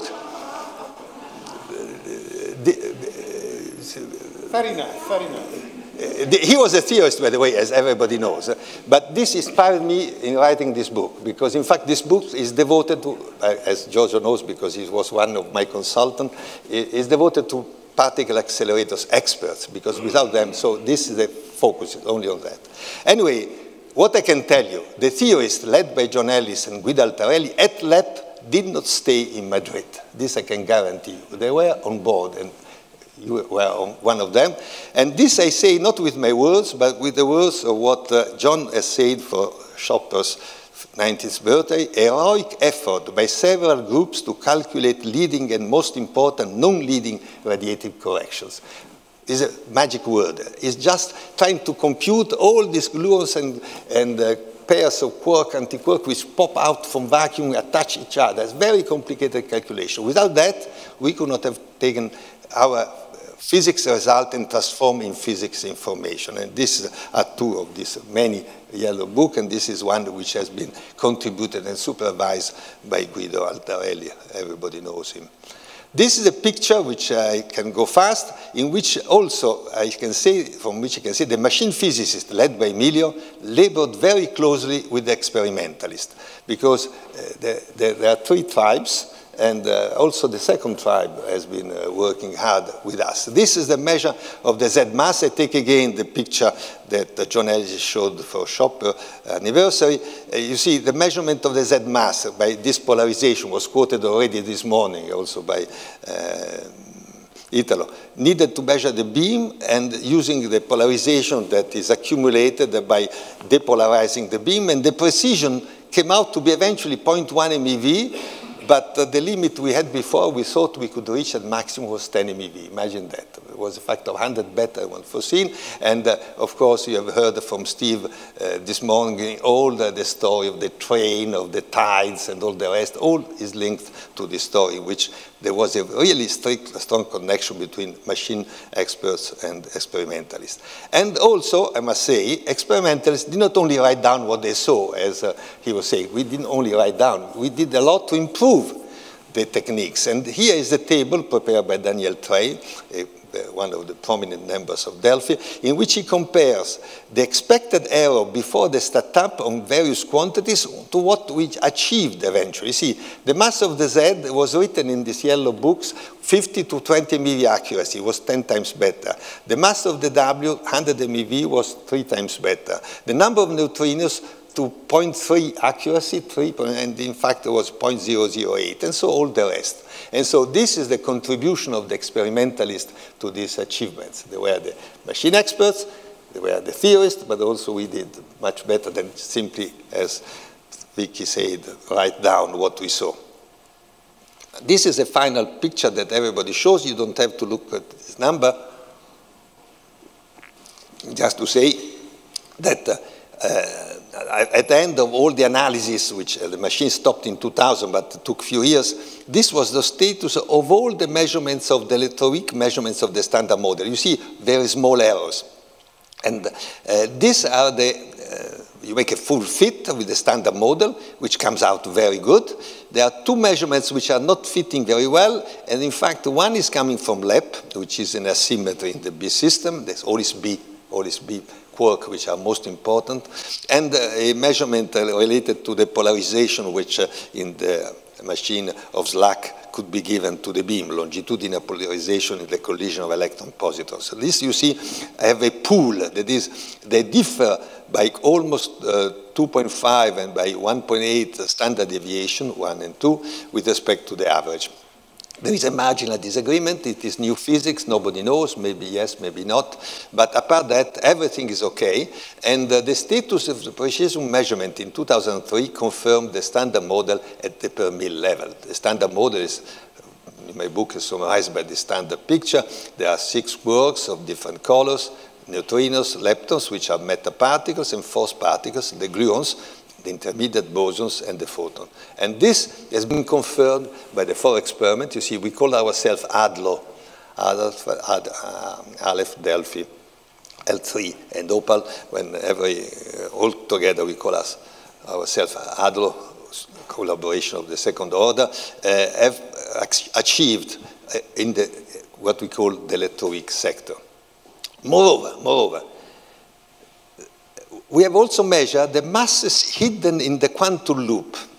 When you have a, a Z boson or a W boson, from time to time it can emit an Higgs and reabsorb it. And this shifts a bit, a bit the mass of this particle. And these are hidden radiative corrections which have to be computed. And they are connected with the names of 't Hooft and Veltman, which, uh, who did the theory behind it, but I don't go into detail. So I give you the numbers which, uh, by measuring very accurately all these quantities, you can see and put and measure things that you don't see, but are virtually present around the particles that you actually measure. And in 97, before they discovered the top quark, I found these were the limits. The mass of the top was predicted 178 plus or minus 20 by LEP without seeing it, without seeing it. Uh, the number today is 173, and the mass of the Higson was predicted to be 150 minus 15 plus 150 GeV, and uh, uh, nowadays we know very well it is 125. It was actually four years before. See, this is, uh, I, I looked at the numbers in 97. 94, actually. Already these numbers so precise? Yeah, and, uh, and the discovery as well. What in sense? 94, yes. What discovery? No, I look before the discovery of the top. That's right, that's right. Uh, so probably I was 94. I looked. 94, that's okay. Those so, was I took what was before because then you introduce the top mass and then all the errors collapse. But that's not interesting because not LEP any longer contributing. That's my so I mean maybe I wrote down uh, 90, 97. I thought it was 97. Now uh, now I have to talk about uh, two subjects. I have still a few minutes.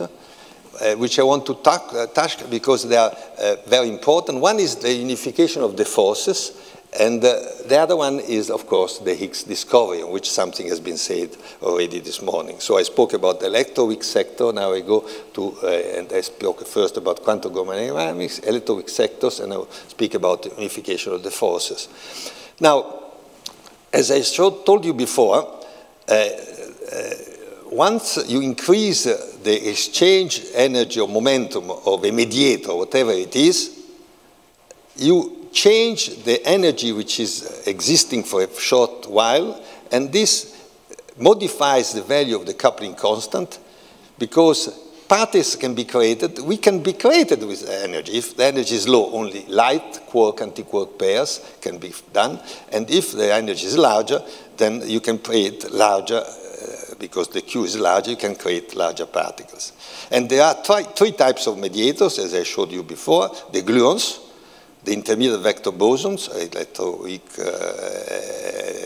uh, the weak force, and the photon, which together uh, of course, forming the electroweak sector. Now, once you increase very much this energy, you can ask yourself, could be this a pair of these new particles, so-called supersymmetric particles, which the theorists tell us should exist because of very general constraint and uh, elegance of the theory. There is a theory that tells you that the standard model is only a small fraction of the totality of the reality, and there is another uh, great number of particles, supersymmetric particles, which help theory to make their theory more uh, stable, less divergent, but I don't want to go into this, is the reasons that I leave to them to say. They proposed these supersymmetric particles, which have a very definite structure. Every particle has its own supersymmetric particles, and so from 36 they've become twice that. And uh, they have to have a larger mass because they've not been observed. So if you want to have to see their virtual effects, you must go to larger, to larger energies exchanged or created.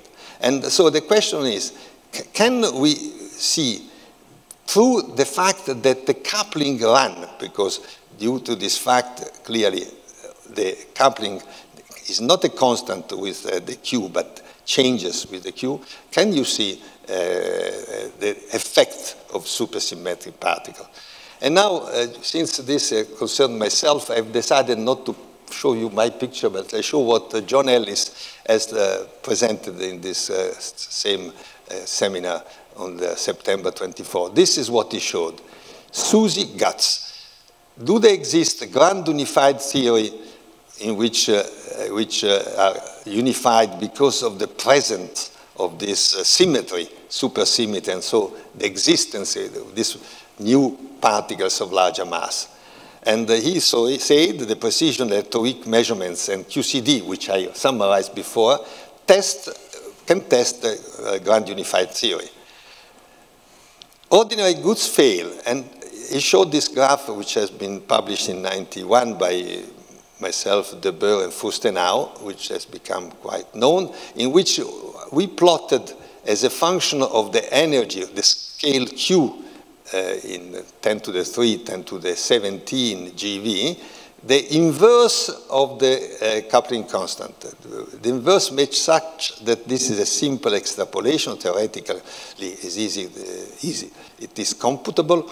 And uh, we saw that if we use ordinary goods, guts that is extrapolating what exists, they fail, they miss each other at high energy. Instead, if one introduces what is called, was called, still called the minimal supersymmetric model, which means adding supersymmetric particles in an energy range which is suitable, and we try to find what is this energy range, then you can uh, get a convergence. And so data may be consistent with SUSY guts. And he concluded that, of course, for the moment, everybody knows that uh, we would have expected to see these particles at LHC, but we have not yet seen them. So this is the picture, but to explain it a bit better, I write more what is written. So you see here is the inverse of the coupling constant. This is the strong force. The fact that it goes up means that it becomes always feebler, as I've shown you, because it's the inverse of the coupling. Then there is the pure weak force, which uh, is getting also a bit feebler, but less. And then the pure electromagnetic force, which is getting stronger as soon as you go to high energy. And they miss each other if you suppose that there are no other particles than one of the standard model. Even if you produce all these particles, they go straight and they will not fit. Instead, if you assume that there are particles in a range which is going between 300 and 3000 GeV, these new particles of the supersymmetric type with the right number and the right couplings, which theory tells you, then you can get a convergence at 10 to the 16 GeV. And so this has been considered at the time, in 91, as a indication, not a proof at all, that SUSY could be there. The graph has not changed. Yes, in fact, it has changed. We have done it many times. Here I put down uh, the status of this graph, I mean, uh, in detail, as Wim de Boer describes in a paper which has been written by the volume, for the volume which uh, Schopper and Di Lella are editing on the 60 years of CERN uh, discovery. But anyway, the principle is the same. No supersymmetric particle has yet been found. This is one of the hopes of the next run of Large Hadron Collider, or that minimal supersymmetric model is not right and there is different model which makes a unification, or that there is no unification at high energy. But this has been certainly an important result coming out from uh, the LEP uh, analysis data more than the LEP physics. Finally, in search of the Higson uh, at LEP. Well, the long story starts uh, with Emilio, Philippe, Herbert, and Chris. I mean, I'm very happy Philippe is there. This is Herbert Lengeler, and this is Chris Benvenuti. And uh, I owe to all this John this memorandum, you cannot read it, is 11 12 1978, written by Philippe and Herbert to Adams, tentative program for studies of superconductivity in view of LEP applications. This was, I didn't know it, so I put it down. It was uh, John Ellis showed it to me. This was 11 12 78. And now I want to tell you something because this is also related to myself and my father. Because Emilio, and I checked this this morning with Philippe to be sure, was interested in superconductivity and in cavities, not at all for LEP. He got interested in studying superconductivity in cavities because discussing with my father, who was working on the gravitational wave, as people around here know very well, with this antenna which was uh, installed in CERN, got the idea, talking to Luigi, who is there, to use a superconducting cavities with very narrow band as a detector of gravitational wave. And so he wanted to make a very narrow band uh, resonator of small dimensions, eh, am I right? Uh, to make, and this had to be superconducting. And so he got interested in this and so started to talk to Phil and you talk with Horst Wenninger, if I'm right, and so on. And then the story started, and this was the origin for which started the idea of developing superconducting cavities, just to say how fundamental physics uh, is coming always along paths that you cannot recognize.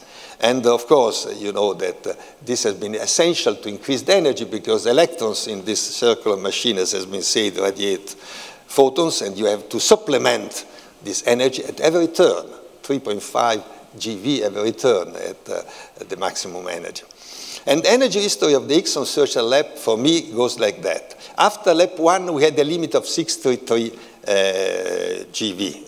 But then, around 1990, Daniel Treille started to speak about the fact that uh, the mass of the Higgs would be, uh, and he had some argument to say, uh, in an experiment, 2e minus 100 GeV. This was, uh, he said it the first time I found it in Karlsruhe with this, uh, in a lecture in Karlsruhe. Then in 1994, maybe I'm wrong by one year, maybe, the minimal standard supersymmetric model people decided that, uh, and the people have done theories, of, that uh, there was an upper limit to the mass of the uh, Higgson of 130 GeV, more or less at that time. And so it's clear that if you take this formula, you take this formula, you need 230 GeV to discover the Higgs. And that was an argument was made and made, and there is, there is this was quoted also by, I think, by uh, John Ellis, a paper or a document by Steve and uh, Carlo Wyss, in which one was speaking about 384 superconducting cavities instead of 285 which were foreseen. And uh, this was, in this moment, in 96, that the management decided not to continue to produce the cavity. And this made Emilio very mad. I, met, I remember to have met him in the canteen, and he was really furious for this decision. I can say he was very wise. He was right to be furious. Many were. Daniel Treille was as much. Uh, I was saying that at that time I had already, unfortunately, unfortunately changed my interest, so I was following not very in detail because working already on this medical accelerator in 96. Anyway, this is a decision which was taken, and this has determined all the rest because uh, here is the story which has been already shown how the energy and the luminosity, the number of events, went up from uh, 96 to 2000. You see, this is the last year with the energy pushed up to almost 209. 2E was 209, but most of the energy uh, was 206. 207, between 206 or 7. Meanwhile, meanwhile, we had developed the bit tagging capabilities of our detectors. We knew very well how to distinguish B from others. And since Higgs goes in BB bar, that was very important to discover if it was an Higgs discovery. So uh, Daniel Treille modified his formula from 2E to minus 100 to E minus MZ, which is uh, 90. And so we were being limited up to 115 GeV. So that's the reason for which we didn't have the 384 cavities. The formula, which was then eventually applied, giving us this limit. And then the story, you know very well, was already said this morning very well by Steve. Aleph had a, three candidates at the end of November, beginning of November, Delphi 0, L3 1, Opal 0, and at this moment, uh, a decision had to be taken. And I'm very happy that, uh, uh, I mean, I have this occasion to finish because I want to finish reading you a piece uh, which has to do with this decision because uh, Steve did not say this. It was Luciano Maiani who took this very difficult decision, certainly. And he wrote a piece on it in Italian because he has written a book with uh, Romeo Bassoli, uh, some of you know him, unfortunately he's no longer with us, was a great man working in the communication office of uh, and the A caccia del Bosone di Higgs. And uh, in my book, I've translated in English, so I can read it in English. I read this piece because it's very beautiful. Luciano writes, 10 years later, it was necessary to kill Lep, the king of CERN, to build the larger giant, the Large Hadron Collider. I did it. There was much stress, which I feel as a right. It was really a transition drenched with great emotion, as well as a stubborn exercise of rationality. Lorenzo Foà and Gigi Rolandi from CERN urged me in a letter to prolong further the life of LEP. I could answer them with some justification. The chance of finding ourselves by early autumn of next year still with only 3, 3.5 sigma is not at all negligible. I explain it in the answer to my colleagues. In a limited time, no more can be done, or must we think of continuing for two years. At this point, we would have spent all our financial reserves, time and credibility on a very, very risky bet. I never, have never cared for poker. He continues, but I cut it here to say how difficult must have been for him this decision. By the way, I also call him by night, trying to push him, but I think it's interesting to know a posteriori what happened. And uh, I think maybe it was also good because LHC got his triumph by discovering the Higgs. Not like maybe. the- For sure, it has been a good decision, right? yes, Yes. it was a good decision. Yeah, sure. And uh, I finish with this picture by Gilles Forconi, who was working for L3, which uh, describes in this way the startup of the four experimental LEP, all running in competition and trying at the end to arrive to a Higgs, uh, which instead uh, was not uh, fortunately reached because it opened the way to the discovery leg. So, in conclusion, thanks, Emilio, for your friendship and for the intellectual pleasure LEP gave to all of us, accelerator physicists, theorists, and experimentalist.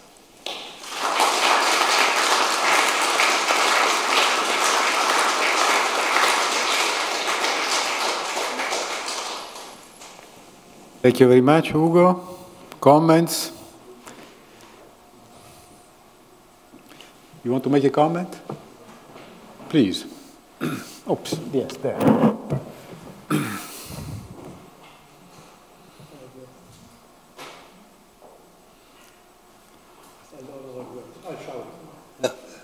No, but If you allow me, I would like to make three comments. Please, please. You are welcome, you are Will be- welcome. Will be very short. You are welcome. The first one is the results which, which uh, Ugo showed about the meeting of the coupling constants. To my mind, as far as I know, is the only indication from experiments we have now that there's some new physics behind, beyond the standard model. I think there's no other indication. Uh, unfortunately, the, where that happens, this change of the coupling constants, is not known well enough, so we don't know whether that will change within the reach of LHC or not. It will be very interesting to find out. Second comment, I uh, think, uh, well, uh, no, uh, what was I say? Well, well uh, I skip that comment. The last comment, I think, it refers not only to, to his talk, but to all talks this today. I think we have neglected one point. CERN was founded after the war, not only to promote science in Europe, but to bring nations together after the war, science for peace. And that, I think, cannot be pointed out strongly enough. I think I cannot give a, special example where Emilio uh, was involved, but I know that it was very much at his heart. And uh, I think this uh, tendency to bring, bring, bring people together was uh, continued also at the LEP experiments, is continued now at the LHC experiments. For instance, to give an example, in the LEP experiments was the first time that Chinese physicists from mainland China and from Taiwan were working together, which was possible only with approval from the highest levels, of course. And it was also the first time that US has provided essential uh, uh, contributions to experiments, to a project which was not at American soil. So I think LEP also continued this tradition of CERN to bring people together. Thank you.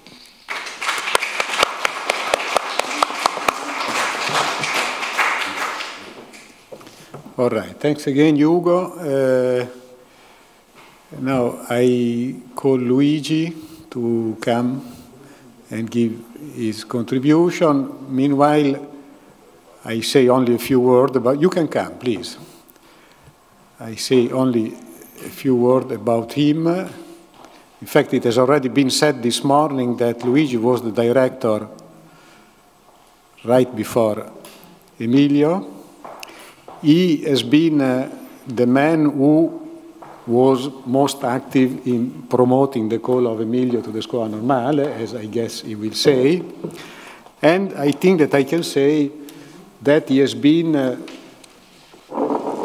fr from some point on of the life of Emilio, one of his closest friends, with, uh, I think I can say, probably daily contacts as, or almost daily contacts, as Mariella can testify.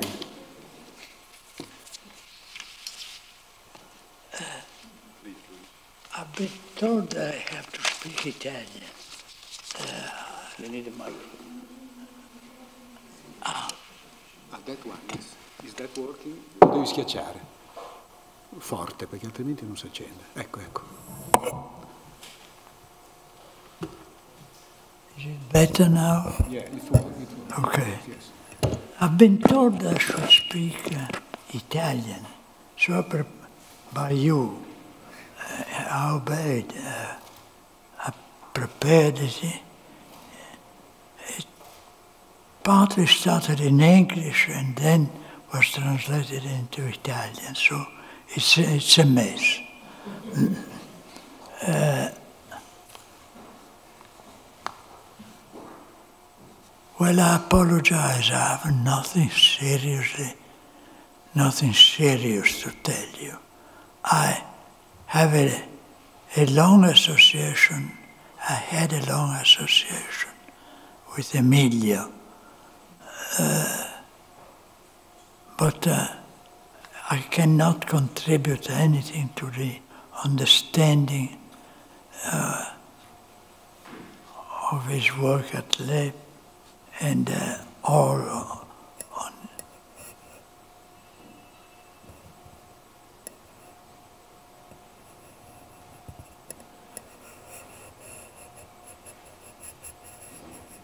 Mi dispiace, questi sono arrivati al momento. eh,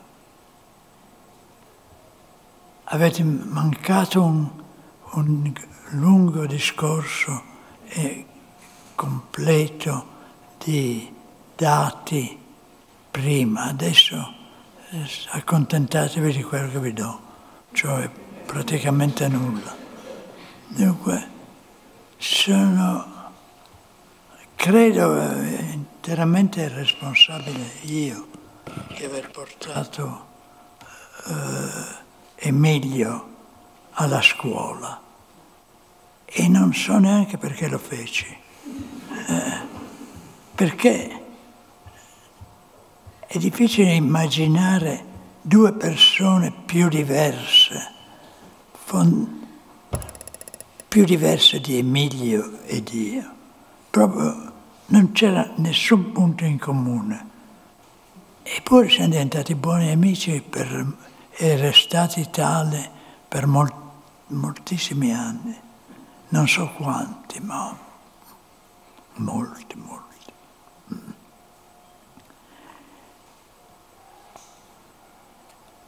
Emilio era fondamentalmente un ottimista su tutto, eh, specialmente sul suo lavoro.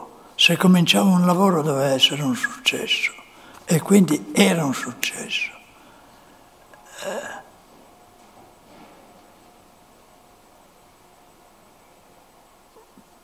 poi era un pra- pragmatico, voleva occuparsi di cose che poteva risolvere rapidamente.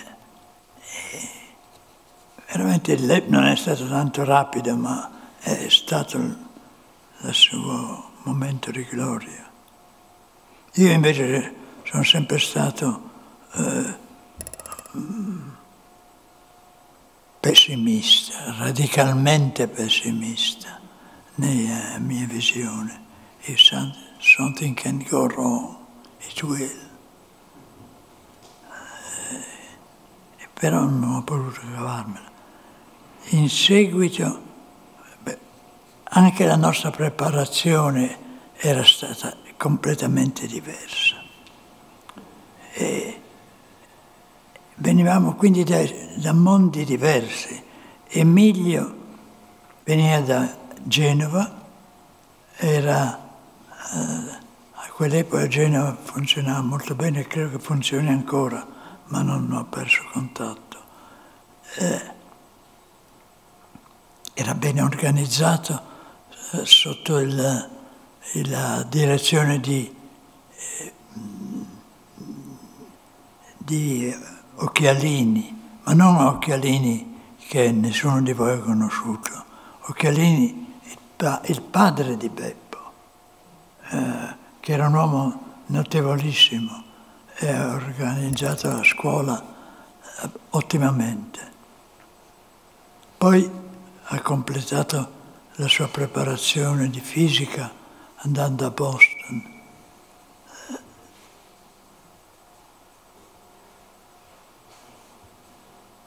No, ma che Boston? Bristol. Bristol. È stata Bristol eh, non so quanti anni e non so bene cosa abbia fatto. Si occupava di raggi cosmici eh, con quella... Era, aveva avuto il premio Nobel. E, e lì è stato ha finito la sua istruzione. Io invece venivo dalla scuola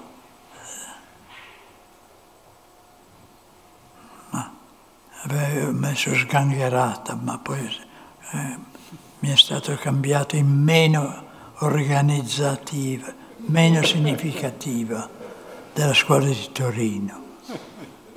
Eh, sgangherata andava benissimo, ma e Torino era eh, dominata dal corso di fisica sperimentale, si diceva a quell'epoca eh, era dominata da un professore, il quale pare fosse un ottimo musicista, eh, questo non posso dire, eh, forse lo era. Certo, il suo nome non incoraggiava molto, si chiamava Pocchettino. E fermi non era maligno, ma cioè, era un nome troppo grande per lui. Eh, e, e, quindi non mi ha formato per niente, non devo nulla a lui, ma riconoscente mi faceva alzare presto la mattina. Vabbè, eh, siamo diventati amici con Emilio e abbiamo preso l'abitudine di telefonarci alla sera dopo cena con scarsa soddisfazione credo di Mariella, ma insomma, eh, perché la menavamo per le lunghe. Eh, eh, sì.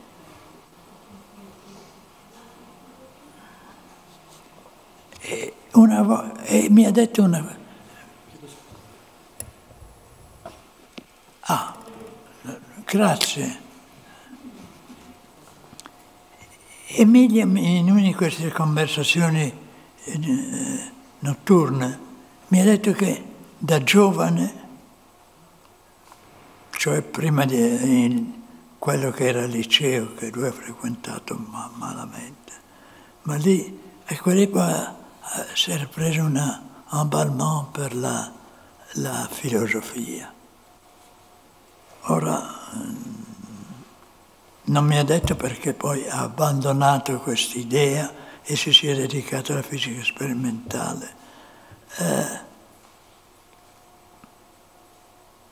devo dire che non credo che la, questa deviazione filosofica abbia avuto nessuna influenza sul pensiero di eh, Emilio, che era... No, non, proprio parola filosofo non si adatta a Emilio. Eh,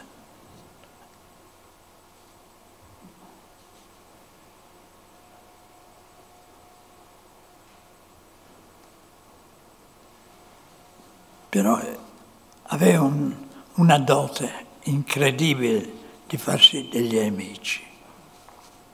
E, eh, peggiore sono stato io, probabilmente, ma lui vedeva una persona, immediatamente decideva se meritava perderci tempo o no. Sono lieto che eh, mi abbia approvato in qualche modo. Eh, però dove siamo diventati, eh, dove io l'ho conosciuto, una sorta di microcosmo del eh, metodo di lavoro di Emilio a Lep, che era il macrocosmos era a quell'epoca. Dunque l'idea era, c'era un centenario, perché non avevo abbastanza libri a casa e non ho trovato bene perché c'era un centenario di Planck. Non so bene cosa fosse nell'epoca in cui eravamo assieme. E beh, eh, non credo che Emilio fosse un, competente di Planck in nessun modo. Eh, e neanche um, avevamo dei gusti storici, ma insomma ci siamo messi in mente di, che bisognava fare un centenario, far, organizzare un, una festa per Planck. L'abbiamo fatto e io per fortuna conoscevo un fisico, fisico storico della fisica tedesco estremamente competente di cui non ricordo il nome, eh, che eh, ha subito accettato, stato charmé da Emilio, subito accettato di fare la pièce de résistance per un convegno. Un convegno che è andato bene, eh, c'era diversa gente, eh, fra l'altro anche un certo numero di letterati, con mio stupore.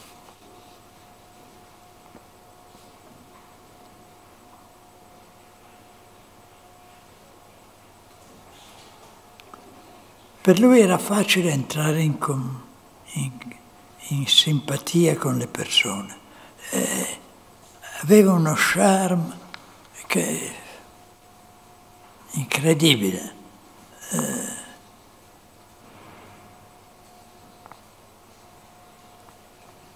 cosa di cui ero, ero e sono totalmente sprovvisto.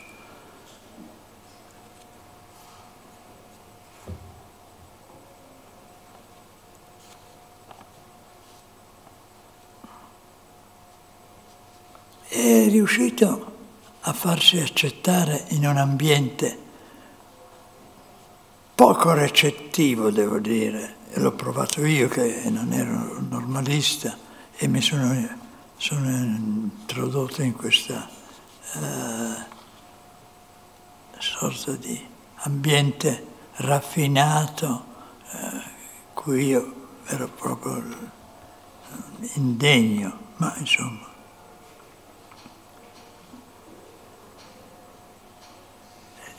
Fra gli studenti di fisica ha avuto un successo enorme. Eh, tu non c'eri, eh, Italo, eri già uscito, credo. Ma insomma, fra gli studenti di, di fisica ha avuto un successo enorme. Credo in parte perché hanno subodorato che gli avrebbe aperto le porte del CERN. Eh, e di cose che ha fatto, vero? Ne ha arruolati un bel numero di normalisti.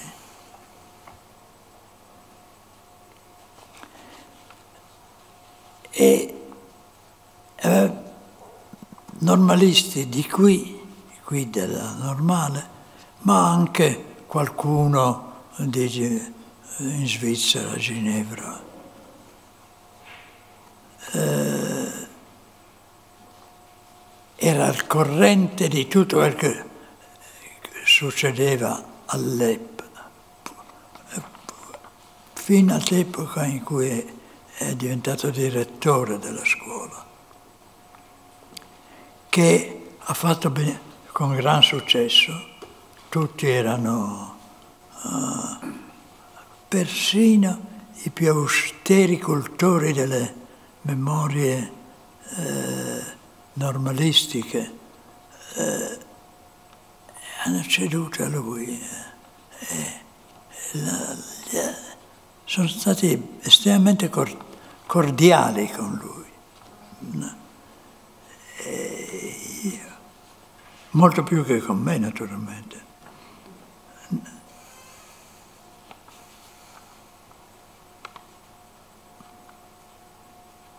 Beh, poi però a un certo momento eh, era direttore, ma a un certo momento ha capito che eh, nonostante tutto neanche lui poteva fare due cose, fare il direttore della scuola e il direttore, il, occuparsi a pieno tempo del LEP.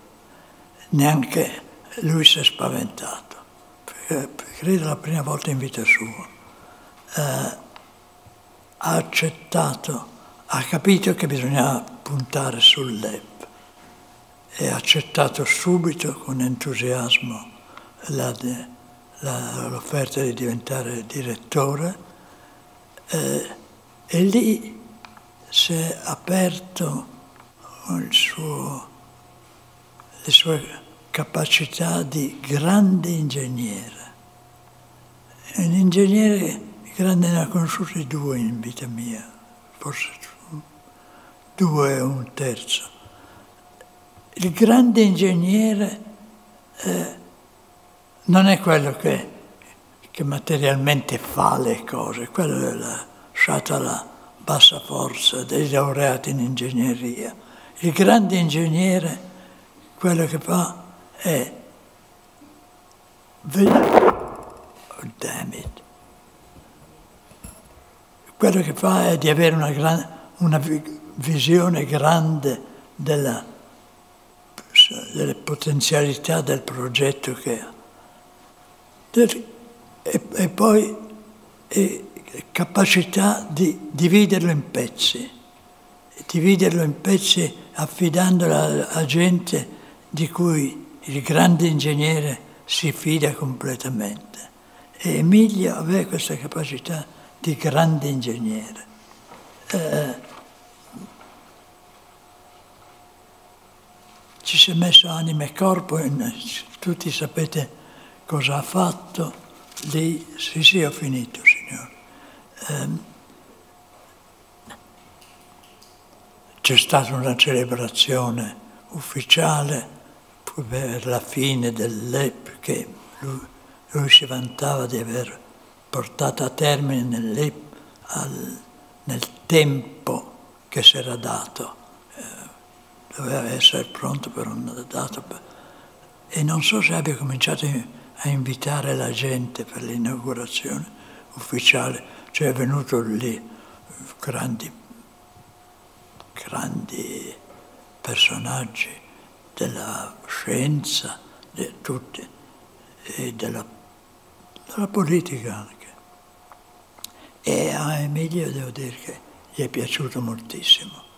Eh, è stato molto eh, generoso, ha dato tutti i riconoscimenti necessari al gruppo grossissimo, grosso per allora, eh, al gruppo di fisici che si occupavano del CERN, ha, diviso, ha assegnato, assegnato eh, discusso eh, in dettaglio perché doveva fare, poi lo lasciava fare, se, seguendolo da, da, vicino, ma no.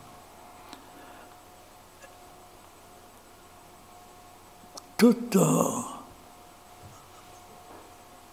andava bene, eccetto che dopo quella grande celebrazione Emilia era come un pallone sgonfiato. Cosa fare? Non si poteva fare un altro lep subito. Eh, il prossimo passo, eh, no, per quanto ottimista fosse, non poteva neanche pensare di essere lui a farlo. E quindi pallone sgonfiato alla ricerca di un lavoro. Non c'era cassa di, di integrazione al CERN, credo che non ci sia neanche adesso. E, e, e si è guardato intorno, cosa fare? Ma gli è piaciuta, ha avuto una una, un, un desiderio di occuparsi di cosmologia. Eh, non sapeva che il primo eh, problema di uno che vuole occuparsi di, fisio, di, di, di, ehm, di cosmologia è quello di andare a, a seguire quello che fa. Eh, eh, al primo notizio, eh, insegnamento che dava Franchi anche a, a chi si metteva per quella strada. Cioè, si ricordi che il nostro cervello cioè, è, è limitato. Più di tante informazioni non ci sta. Quindi è inutile sperare che di risolvere i problemi cosmologici. Certo non saranno risolti da uh, un omino o donnina, scusatemi. Uh, uh, quindi anche quello gli è sfuggito ma soprattutto gli è sfuggito. Era entrato, era finita la primavera, finita l'estate, stava finendo anche l'autunno per lui. È stata una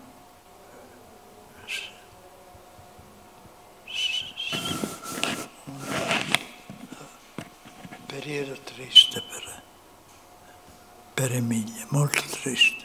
Per fortuna che aveva l'aiuto e la comprensione di Mariella, che è stata qualcosa di incredibile. Si è occupato di questo marito che, che evaporava, eh, sfuggiva completamente a, al suo aiuto. Mariella è stata esemplare. Eh, un esempio che mi ha molto impressionato. Vabbè, è finito così. E per me è finito un, un grandissimo amico. Grazie di tutto, di avermi ascoltato. Come...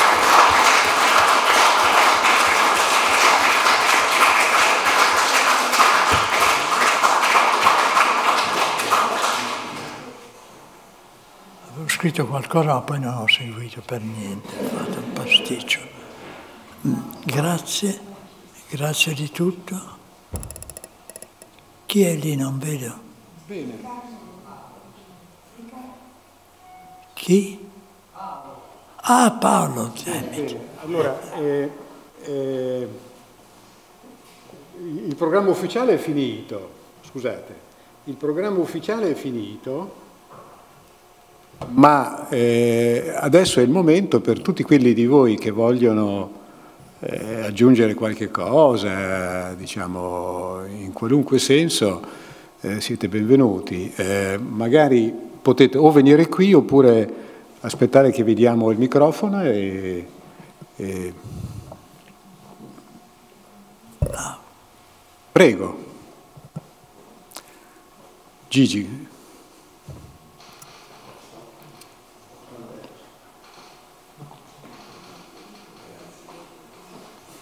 Beh, io di Emilio, con Emilio ho avuto moltissimi contatti per, per, per diciamo, la preparazione e l'approvazione di Virgo.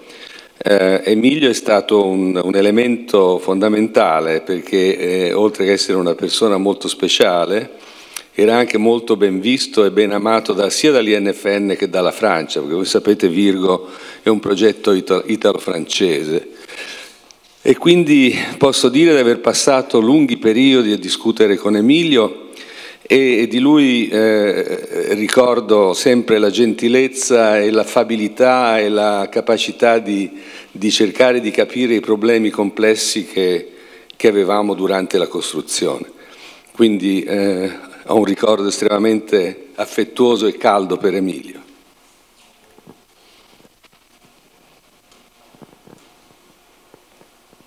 Venire lì. Sì. Io credo di essere forse eh, quello che lo conosce da più, da più tempo, a parte Mariella probabilmente. Intanto me lo merito perché porto lo stesso cognome, veniamo dalla stessa città, poi le mie iniziali sono L e P, eh, quindi era l'estate del 1957. Io stavo preparando la tesi, eh, ero a Genova, dove abitavo di, quando ero in vacanza, e stavo preparando la tesi che mi aveva assegnato qui presente il professor Radicati, eh, la non conservazione della parità nel decadimento beta. Era il periodo del, insomma, c'era stato il lavoro di Lia Yang, gli esperimenti di Wu, quindi era un argomento molto caldo. E dovevo calcolare eh, l'emissione, il decadimento beta con tutte le possibili interazioni che violavano e non violavano la parità scalare, pseudoscalare, vettoriale, pseudovettoriale, e così via. Poi qualche anno dopo è venuto fuori il Vumeno A e io mi sono detto ma perché ho fatto tutta quella fatica? Eh, solo, eh. Dunque era l'estate del 57, preparavo la, la, tesi e qualche volta andavo nel, nell'istituto di fisica di Genova, nella biblioteca a, a studiare, a lavorare. E un bel giorno è venuto un, ragazzo, un pochino, pochino più anziano di me, un pochino meno giovane di me, mi dice, ma tu hai il mio stesso cognome, vero? Ti chiami Picasso? Eh sì, mi chiamo Picasso. Eh, anch'io mi chiamo Picasso, Emilio Picasso e siamo presentati. È stata un'amicizia improvvisa, perché è una persona, come tutti hanno detto, con la quale non si poteva non essere amici immediatamente. Una persona che ti mette, ti mette, mi ha messo subito, io sono un genovese di quelli eh, timidi, riservati, eccetera, eccetera, mi ha messo subito a, a, a mio agio. Eh, questo è stato eh, diciamo, il mio primo incontro con, con, Emilio, poi ce ne sono stati altri in seguito. Ricordo, ricordo un'ottima, piacevolissima serata a, a casa vostra in, in, in Francia, ricordo una bellissima cena qui a Pisa, in quella bellissima appartamento che aveva una vista spettacolosa. E mi ricordo che in quell'occasione mi chiese, ma eh, cosa stai studiando su questo libro? Ma eh, sto, sto, cercando di capire che cos'è l'effetto Auger, perché mi domando, non si potrebbe verificare se la parità si conserva o non si conserva nella emissione Auger? Sì, eh, bravo, bravo, interessante, interessante. Poi la cosa è caduta lì. Poi, qualche mese dopo io tornato a Pisa, ho incontrato Rubbia, eravamo dello stesso anno, eh, ho incontrato Rubbia e ho detto, senti, così cos'ha, ma non si potrebbe provare a vedere, insomma, ha senso vedere se si conserva la parità nell'effetto. Cavolate, cavolate. Ormai si sa tutto, non c'è bisogno di fare. Vabbè, chiuso, quindi non l'ho nemmeno scritto sulla tesi. Va bene, eh, c'è qualcuno che, stato, che l'ha conosciuto prima di me, oltre Mariella? Grazie.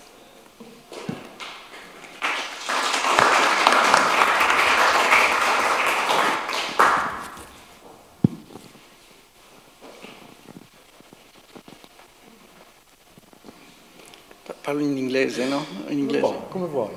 Say, I will say a few words in English. So, uh, ladies and gentlemen, um, so thank you very much for these uh, nice words for uh, Emilio.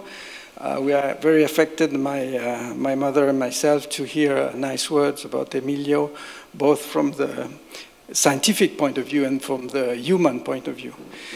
So Emilio was very happy to be, um, to be at CERN and was very happy to be at Scuola Normale Superiore so CERN, outstanding people and big projects, and Scuola Normale Superiore, outstanding people and very small, even personal projects. So I will, since I am in the academic world, I will say a few words about my view of uh, the particle physics. So when I was small, I didn't understand anything about particle physics, and I was just looking for, just watching uh, particle physicists uh, discussing about physics and building machines that I could never see or try or whatever. And then when I became older and, and I understood all the, the importance of this work, and I'm, today I'm very much impressed. I'm impressed by the, the money you can get, but I'm impressed, first of all, because you, you can, let's say, you're the only discipline where you can uh, discuss around the world and find, find a common subject for all the physicists, particle physicists in the world. And I can tell you that in mathematics, uh, this is not possible. And I'm quite sure that uh, it's not possible in very many uh, disciplines. We have now one of the European uh, flagships at EPFL, and uh, it's one billion, so it's 10 times less than the LHC, but there's already war and everything because of this project. So, so you can find, you can design a project for all the particle physicists in the world, then you can find the money, a lot of money. You can, then you build the machine as expected on time within the budget. And at the end, you just run the machine and everything works perfectly as expected. So, uh, uh, yeah. So uh, what I would say is uh, long life to CERN and long life to Scuola Normale Superiore.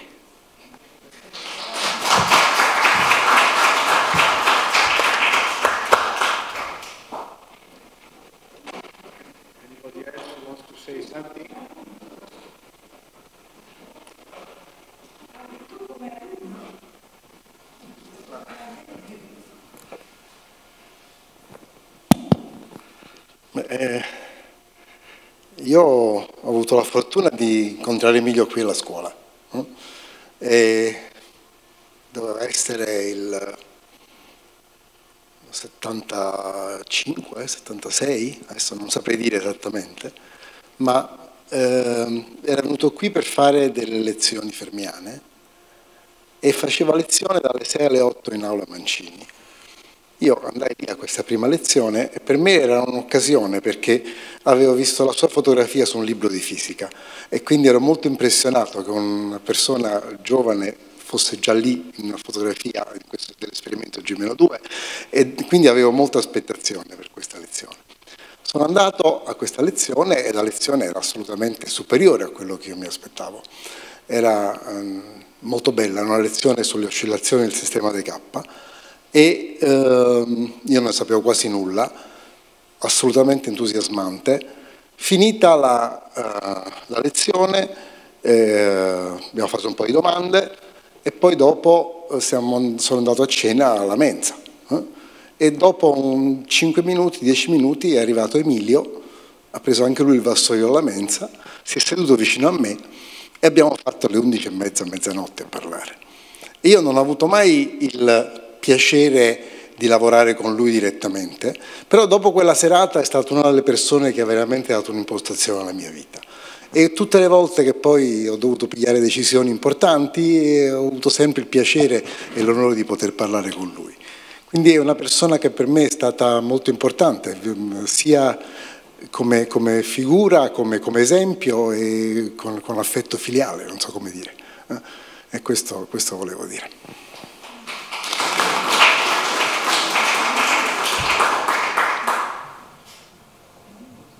Visto che ho il microfono posso dire un'altra cosa, perché per me rivedere il professor Radicati oggi è stato un piacere immenso. Eh? Grazie. Sentivo Luigi Ettore dire che, lui, il professore Radicati ti aveva dato la tesi da studiare e tu stavi a Genova a studiare. Io mi ricordo che ero studente qui alla fine del secondo anno, era un anno buono, avevo finito tutti gli esami a giugno e andai nell'ufficio del professore Radicati e gli dissi come posso passare quest'estate in maniera proficua. E lui mi diede una sua copia del libro di Dirac eh, e dicendo ma può cominciare a leggere questo. Io a Capri, un po' rilassato, incomincio a leggere questo libro, non capivo niente, niente, niente via niente, non capivo niente e poi quando ho guardato dietro la, sull'ultima pagina di copertina, che era stato scritto da qualcuno che al momento in cui lo scriveva aveva circa la mia età o poco più, questo mi ha completamente frustrato. Mai più farò fisica in vita mia, non potrò mai arrivare a fare niente. Va bene, quindi professore, grazie a lei io stavo quasi per lasciare la fisica, ma non, non è stato questo.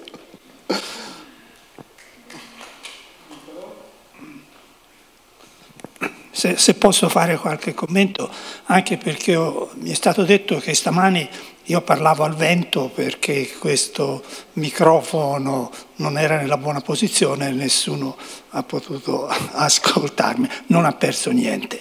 Ma eh, riflettendo, eh, in fisica, oltre eh, alle interazioni che si osservano direttamente, si dà grande importanza e rilevanza a quelle virtuali fra queste particelle.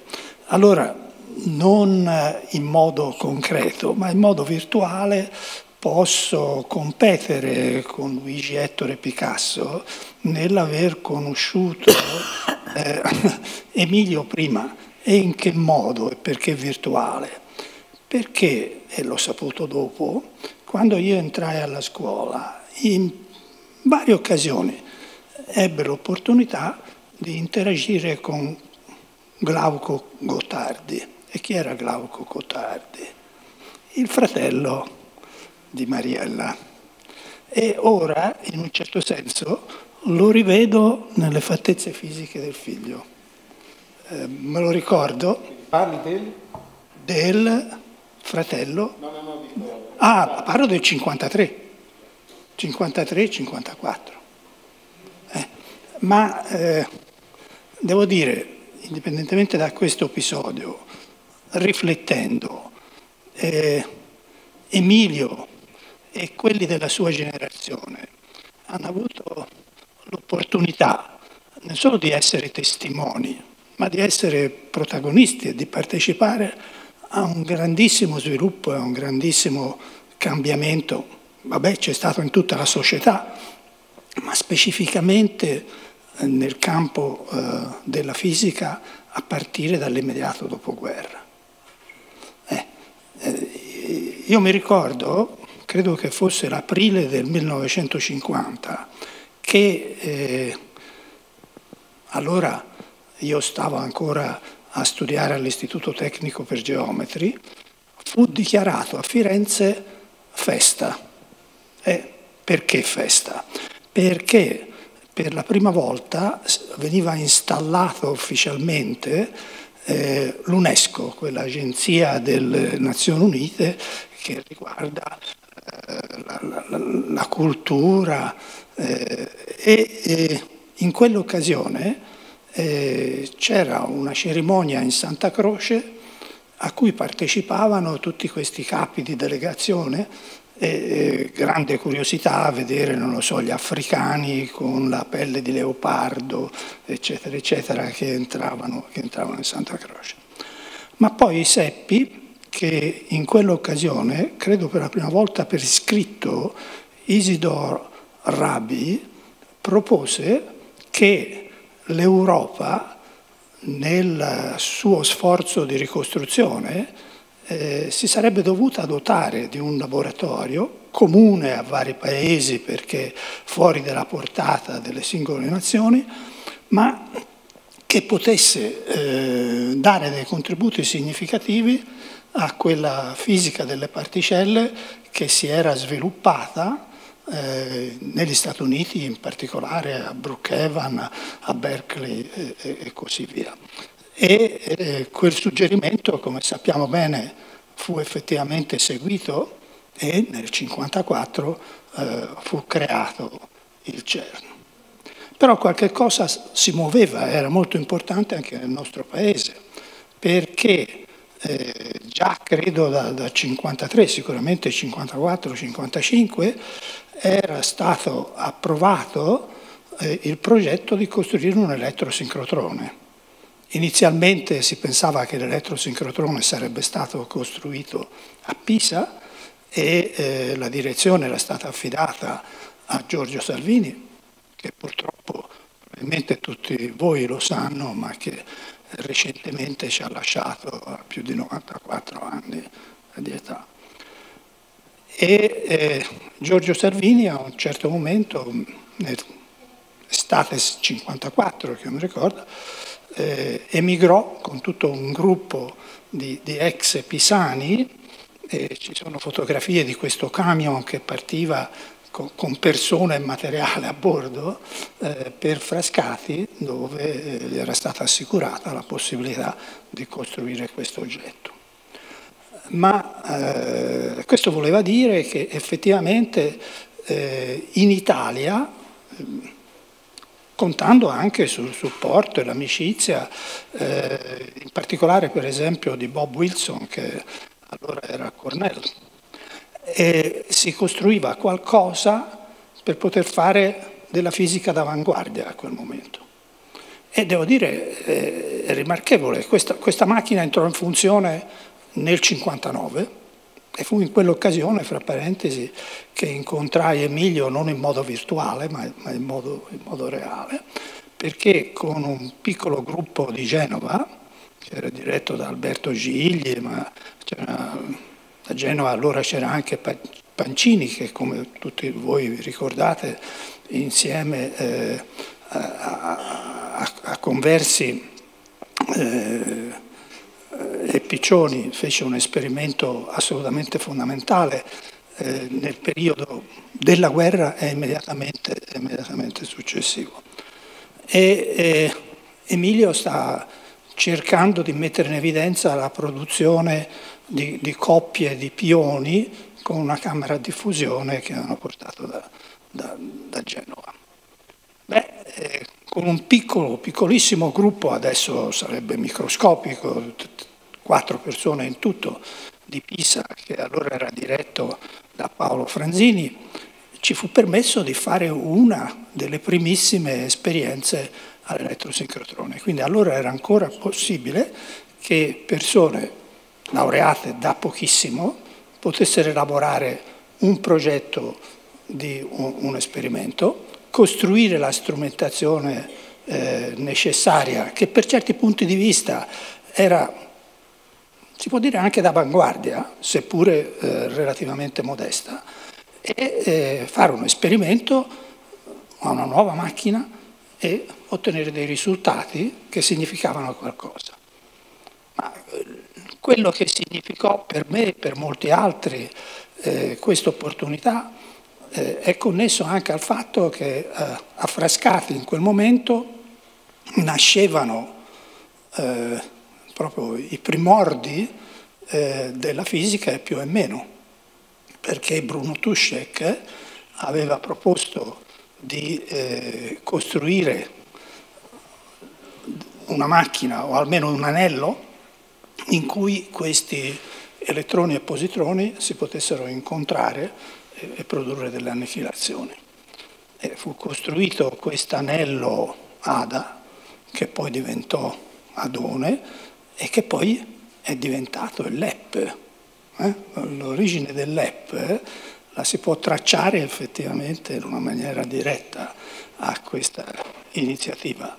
E mi ricordo Bruno Tuschek, che eh, ha studiato naturalmente anche tutti gli aspetti teorici, ci sono effetti specifici negli anelli più o meno che portano il nome di Bruno Tuschek, ma allora passava il suo tempo, eh, nottate intere, a, a, scaldare un prototipo di ciambella eh, per ADA per migliorare il vuoto all'interno di questo oggetto. E la mia emozione nel vedere per la prima volta, voi l'avete mai visto un singolo elettrone, proprio di dire ecco, qui c'è un elettrone, non due, non tre, perché in questo anello di Ada, in cui inizialmente si iniettavano eh, gli elettroni, perché poi per iniettare i positroni bisognava spostare lateralmente l'oggetto che era su un carrello mobile, in modo che il fascio di fotoni entrasse dall'altra parte così che potevano girare nel verso, nel verso opposto. Ma comunque un elettrone in questo anello, se uno guardava longitudinalmente eh, tangenzialmente diciamo, eh, all'anello, eh, vedeva la luce di sincrotrone. Magari era meglio non metterci l'occhio, però con un piccolo fotomoltiplicatore collegato semplicemente a un registratore con il nastro di carta, vedeva il livello della luce in questo fotomoltiplicatore. A un certo momento era un certo livello, toc, e poi saltava. Ah, abbiamo catturato un altro elettrone. Poi saltava ancora e, e poi ne perdevi due insieme. Insomma, uno poteva vedere elettrone, elettrone per elettrone quello che succede in un anello eh, che invece eh, al, all'EP eh, direi 10, 10 alla 13 elettroni eh, una, bella, una, bella, differenza di ordine di grandezza. E eh, tutto questo effettivamente eh, era accompagnato anche da un, uno svilupparsi, un risorgere de, degli studi di fisica. Qui, qui, a Pisa, per esempio, nel 1955 arrivò in quello che era essenzialmente dal punto di vista della fisica teorica senz'altro, ma che comunque anche dal punto di vista della, della, fisica sperimentale consisteva solo in due professori ordinari che dovevano servire anche tutti gli altri studenti del biennio propedeutico, anche di ingegneria, chimica, eccetera, arrivò il professor Radicati. E questo fu un cambiamento quantico nella, nella situazione dell'Università di Pisa allora.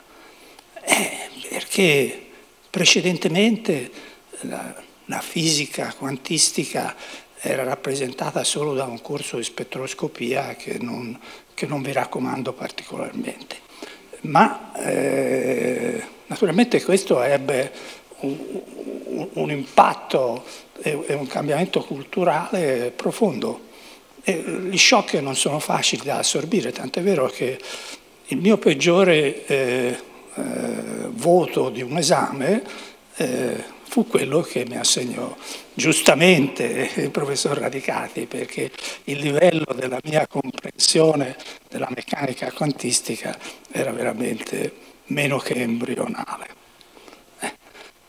Però, eh, diciamo, ritornando, ritornando, a Emilio, eh, lui è stato un, un grande protagonista dello, sviluppo, dello, sviluppo, del CERN e d'aver saputo eh, mantenere e eh, focalizzare tutta la sua energia, tutte le sue capacità nella realizzazione di un progetto come, come quello dell'EP è effettivamente un, un grandissimo merito.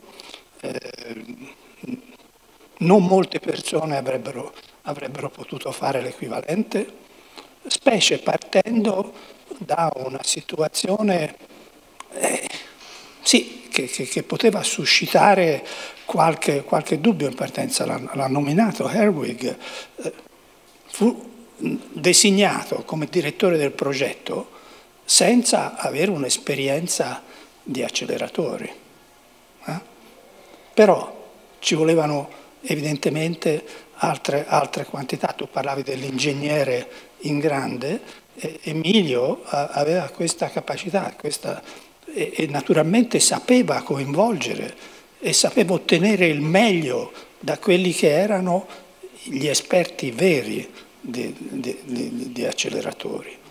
E in questo modo, mantenendo i, i contatti e riuscendo a rendersi amico a, a tutti, ha potuto fare un'impresa che eh, a priori all'inizio era fuori dalle sue competenze, che però è stata utile per un'intera comunità, anche perché senza l'EP non si sarebbe potuto fare l'HC, ovviamente se consideriamo l'HC già come si spera che avrà altri successi, ma un successo l'ha avuto, e questo non, è, non era concepibile se l'EP non fosse esistito, se non fosse stato eh, costruito un tunnel che ha fatto, che ha fatto sudare letteralmente eh, non solo quelli che erano lì a scavare, ma gli esperti che hanno deciso sul,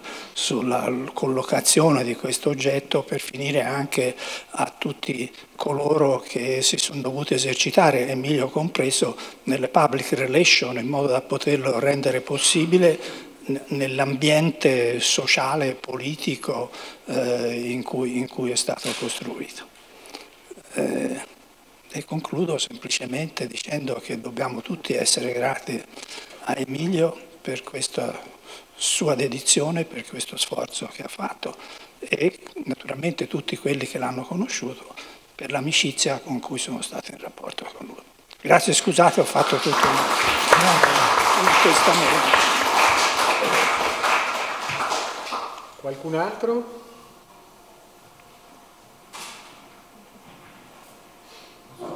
Prego, Pierluigi, avanti.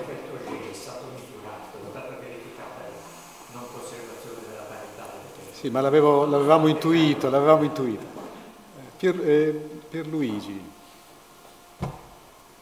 No, eh, Emilio, siamo stati molto amici, ci siamo conosciuti a Frascati eh, anni, io ero ancora laureando, stavo preparando l'esperimento su cui poi si, si è andato avanti eh, e siamo stati amici tutta la vita, diciamo.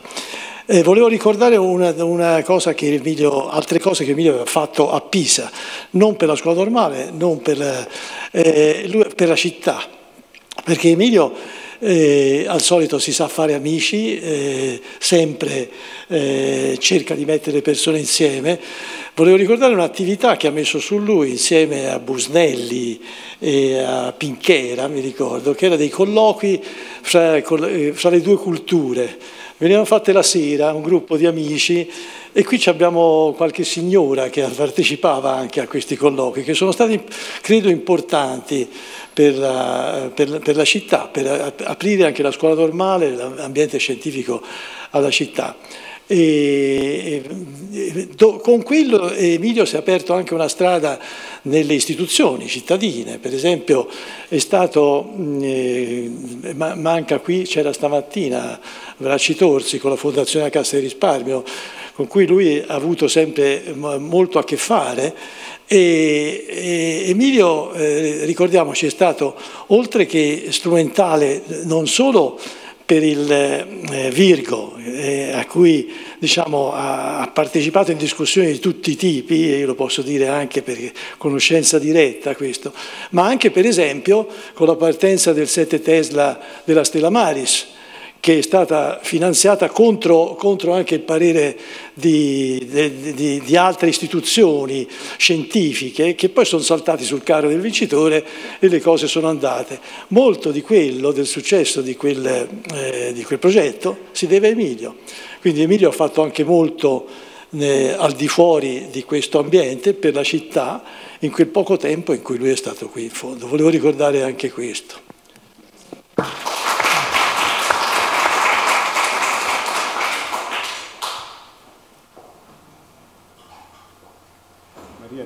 qualcosa tu? Bene, allora eh, se non c'è nessun altro, mm, che dire? Diciamo, quando eh, io, Italo e Gigi eh, naturalmente non abbiamo avuto nessun dubbio sul fatto che fosse molto importante per la scuola di avere eh, una, una, un incontro come questo in onore di Emilio però naturalmente avevamo dei dubbi sul fatto che saremmo stati capaci di organizzarlo opportunamente. Devo dire che a posteriori possiamo essere soddisfatti. Mi sembra che sia stata una giornata utile per, per tutti noi, che diciamo, insomma, ha, chiarito, mi sembra, cose che sappiamo bene. Insomma, il CERN è, eh, è, stata forse l'impresa scientifica più importante e più di successo in Europa, va bene? Ehm, alla quale eh, l'Italia ha contribuito in modo molto molto importante, molto più del rapporto relativo rispetto alle altre nazioni, grazie eh, a, diciamo, allo sforzo di tutti naturalmente, ma anche in particolare a quello di alcune persone, fra cui sicuramente Emilio e molti altri. Quindi se non c'è di nuovo nessun altro che vuole aggiungere niente, io vi ringrazio e ringrazio Mariella e il figlio di Emilio per essere venuti e tutti quanti voi che eh, avete creduto opportuno di ricordarlo in questa giornata.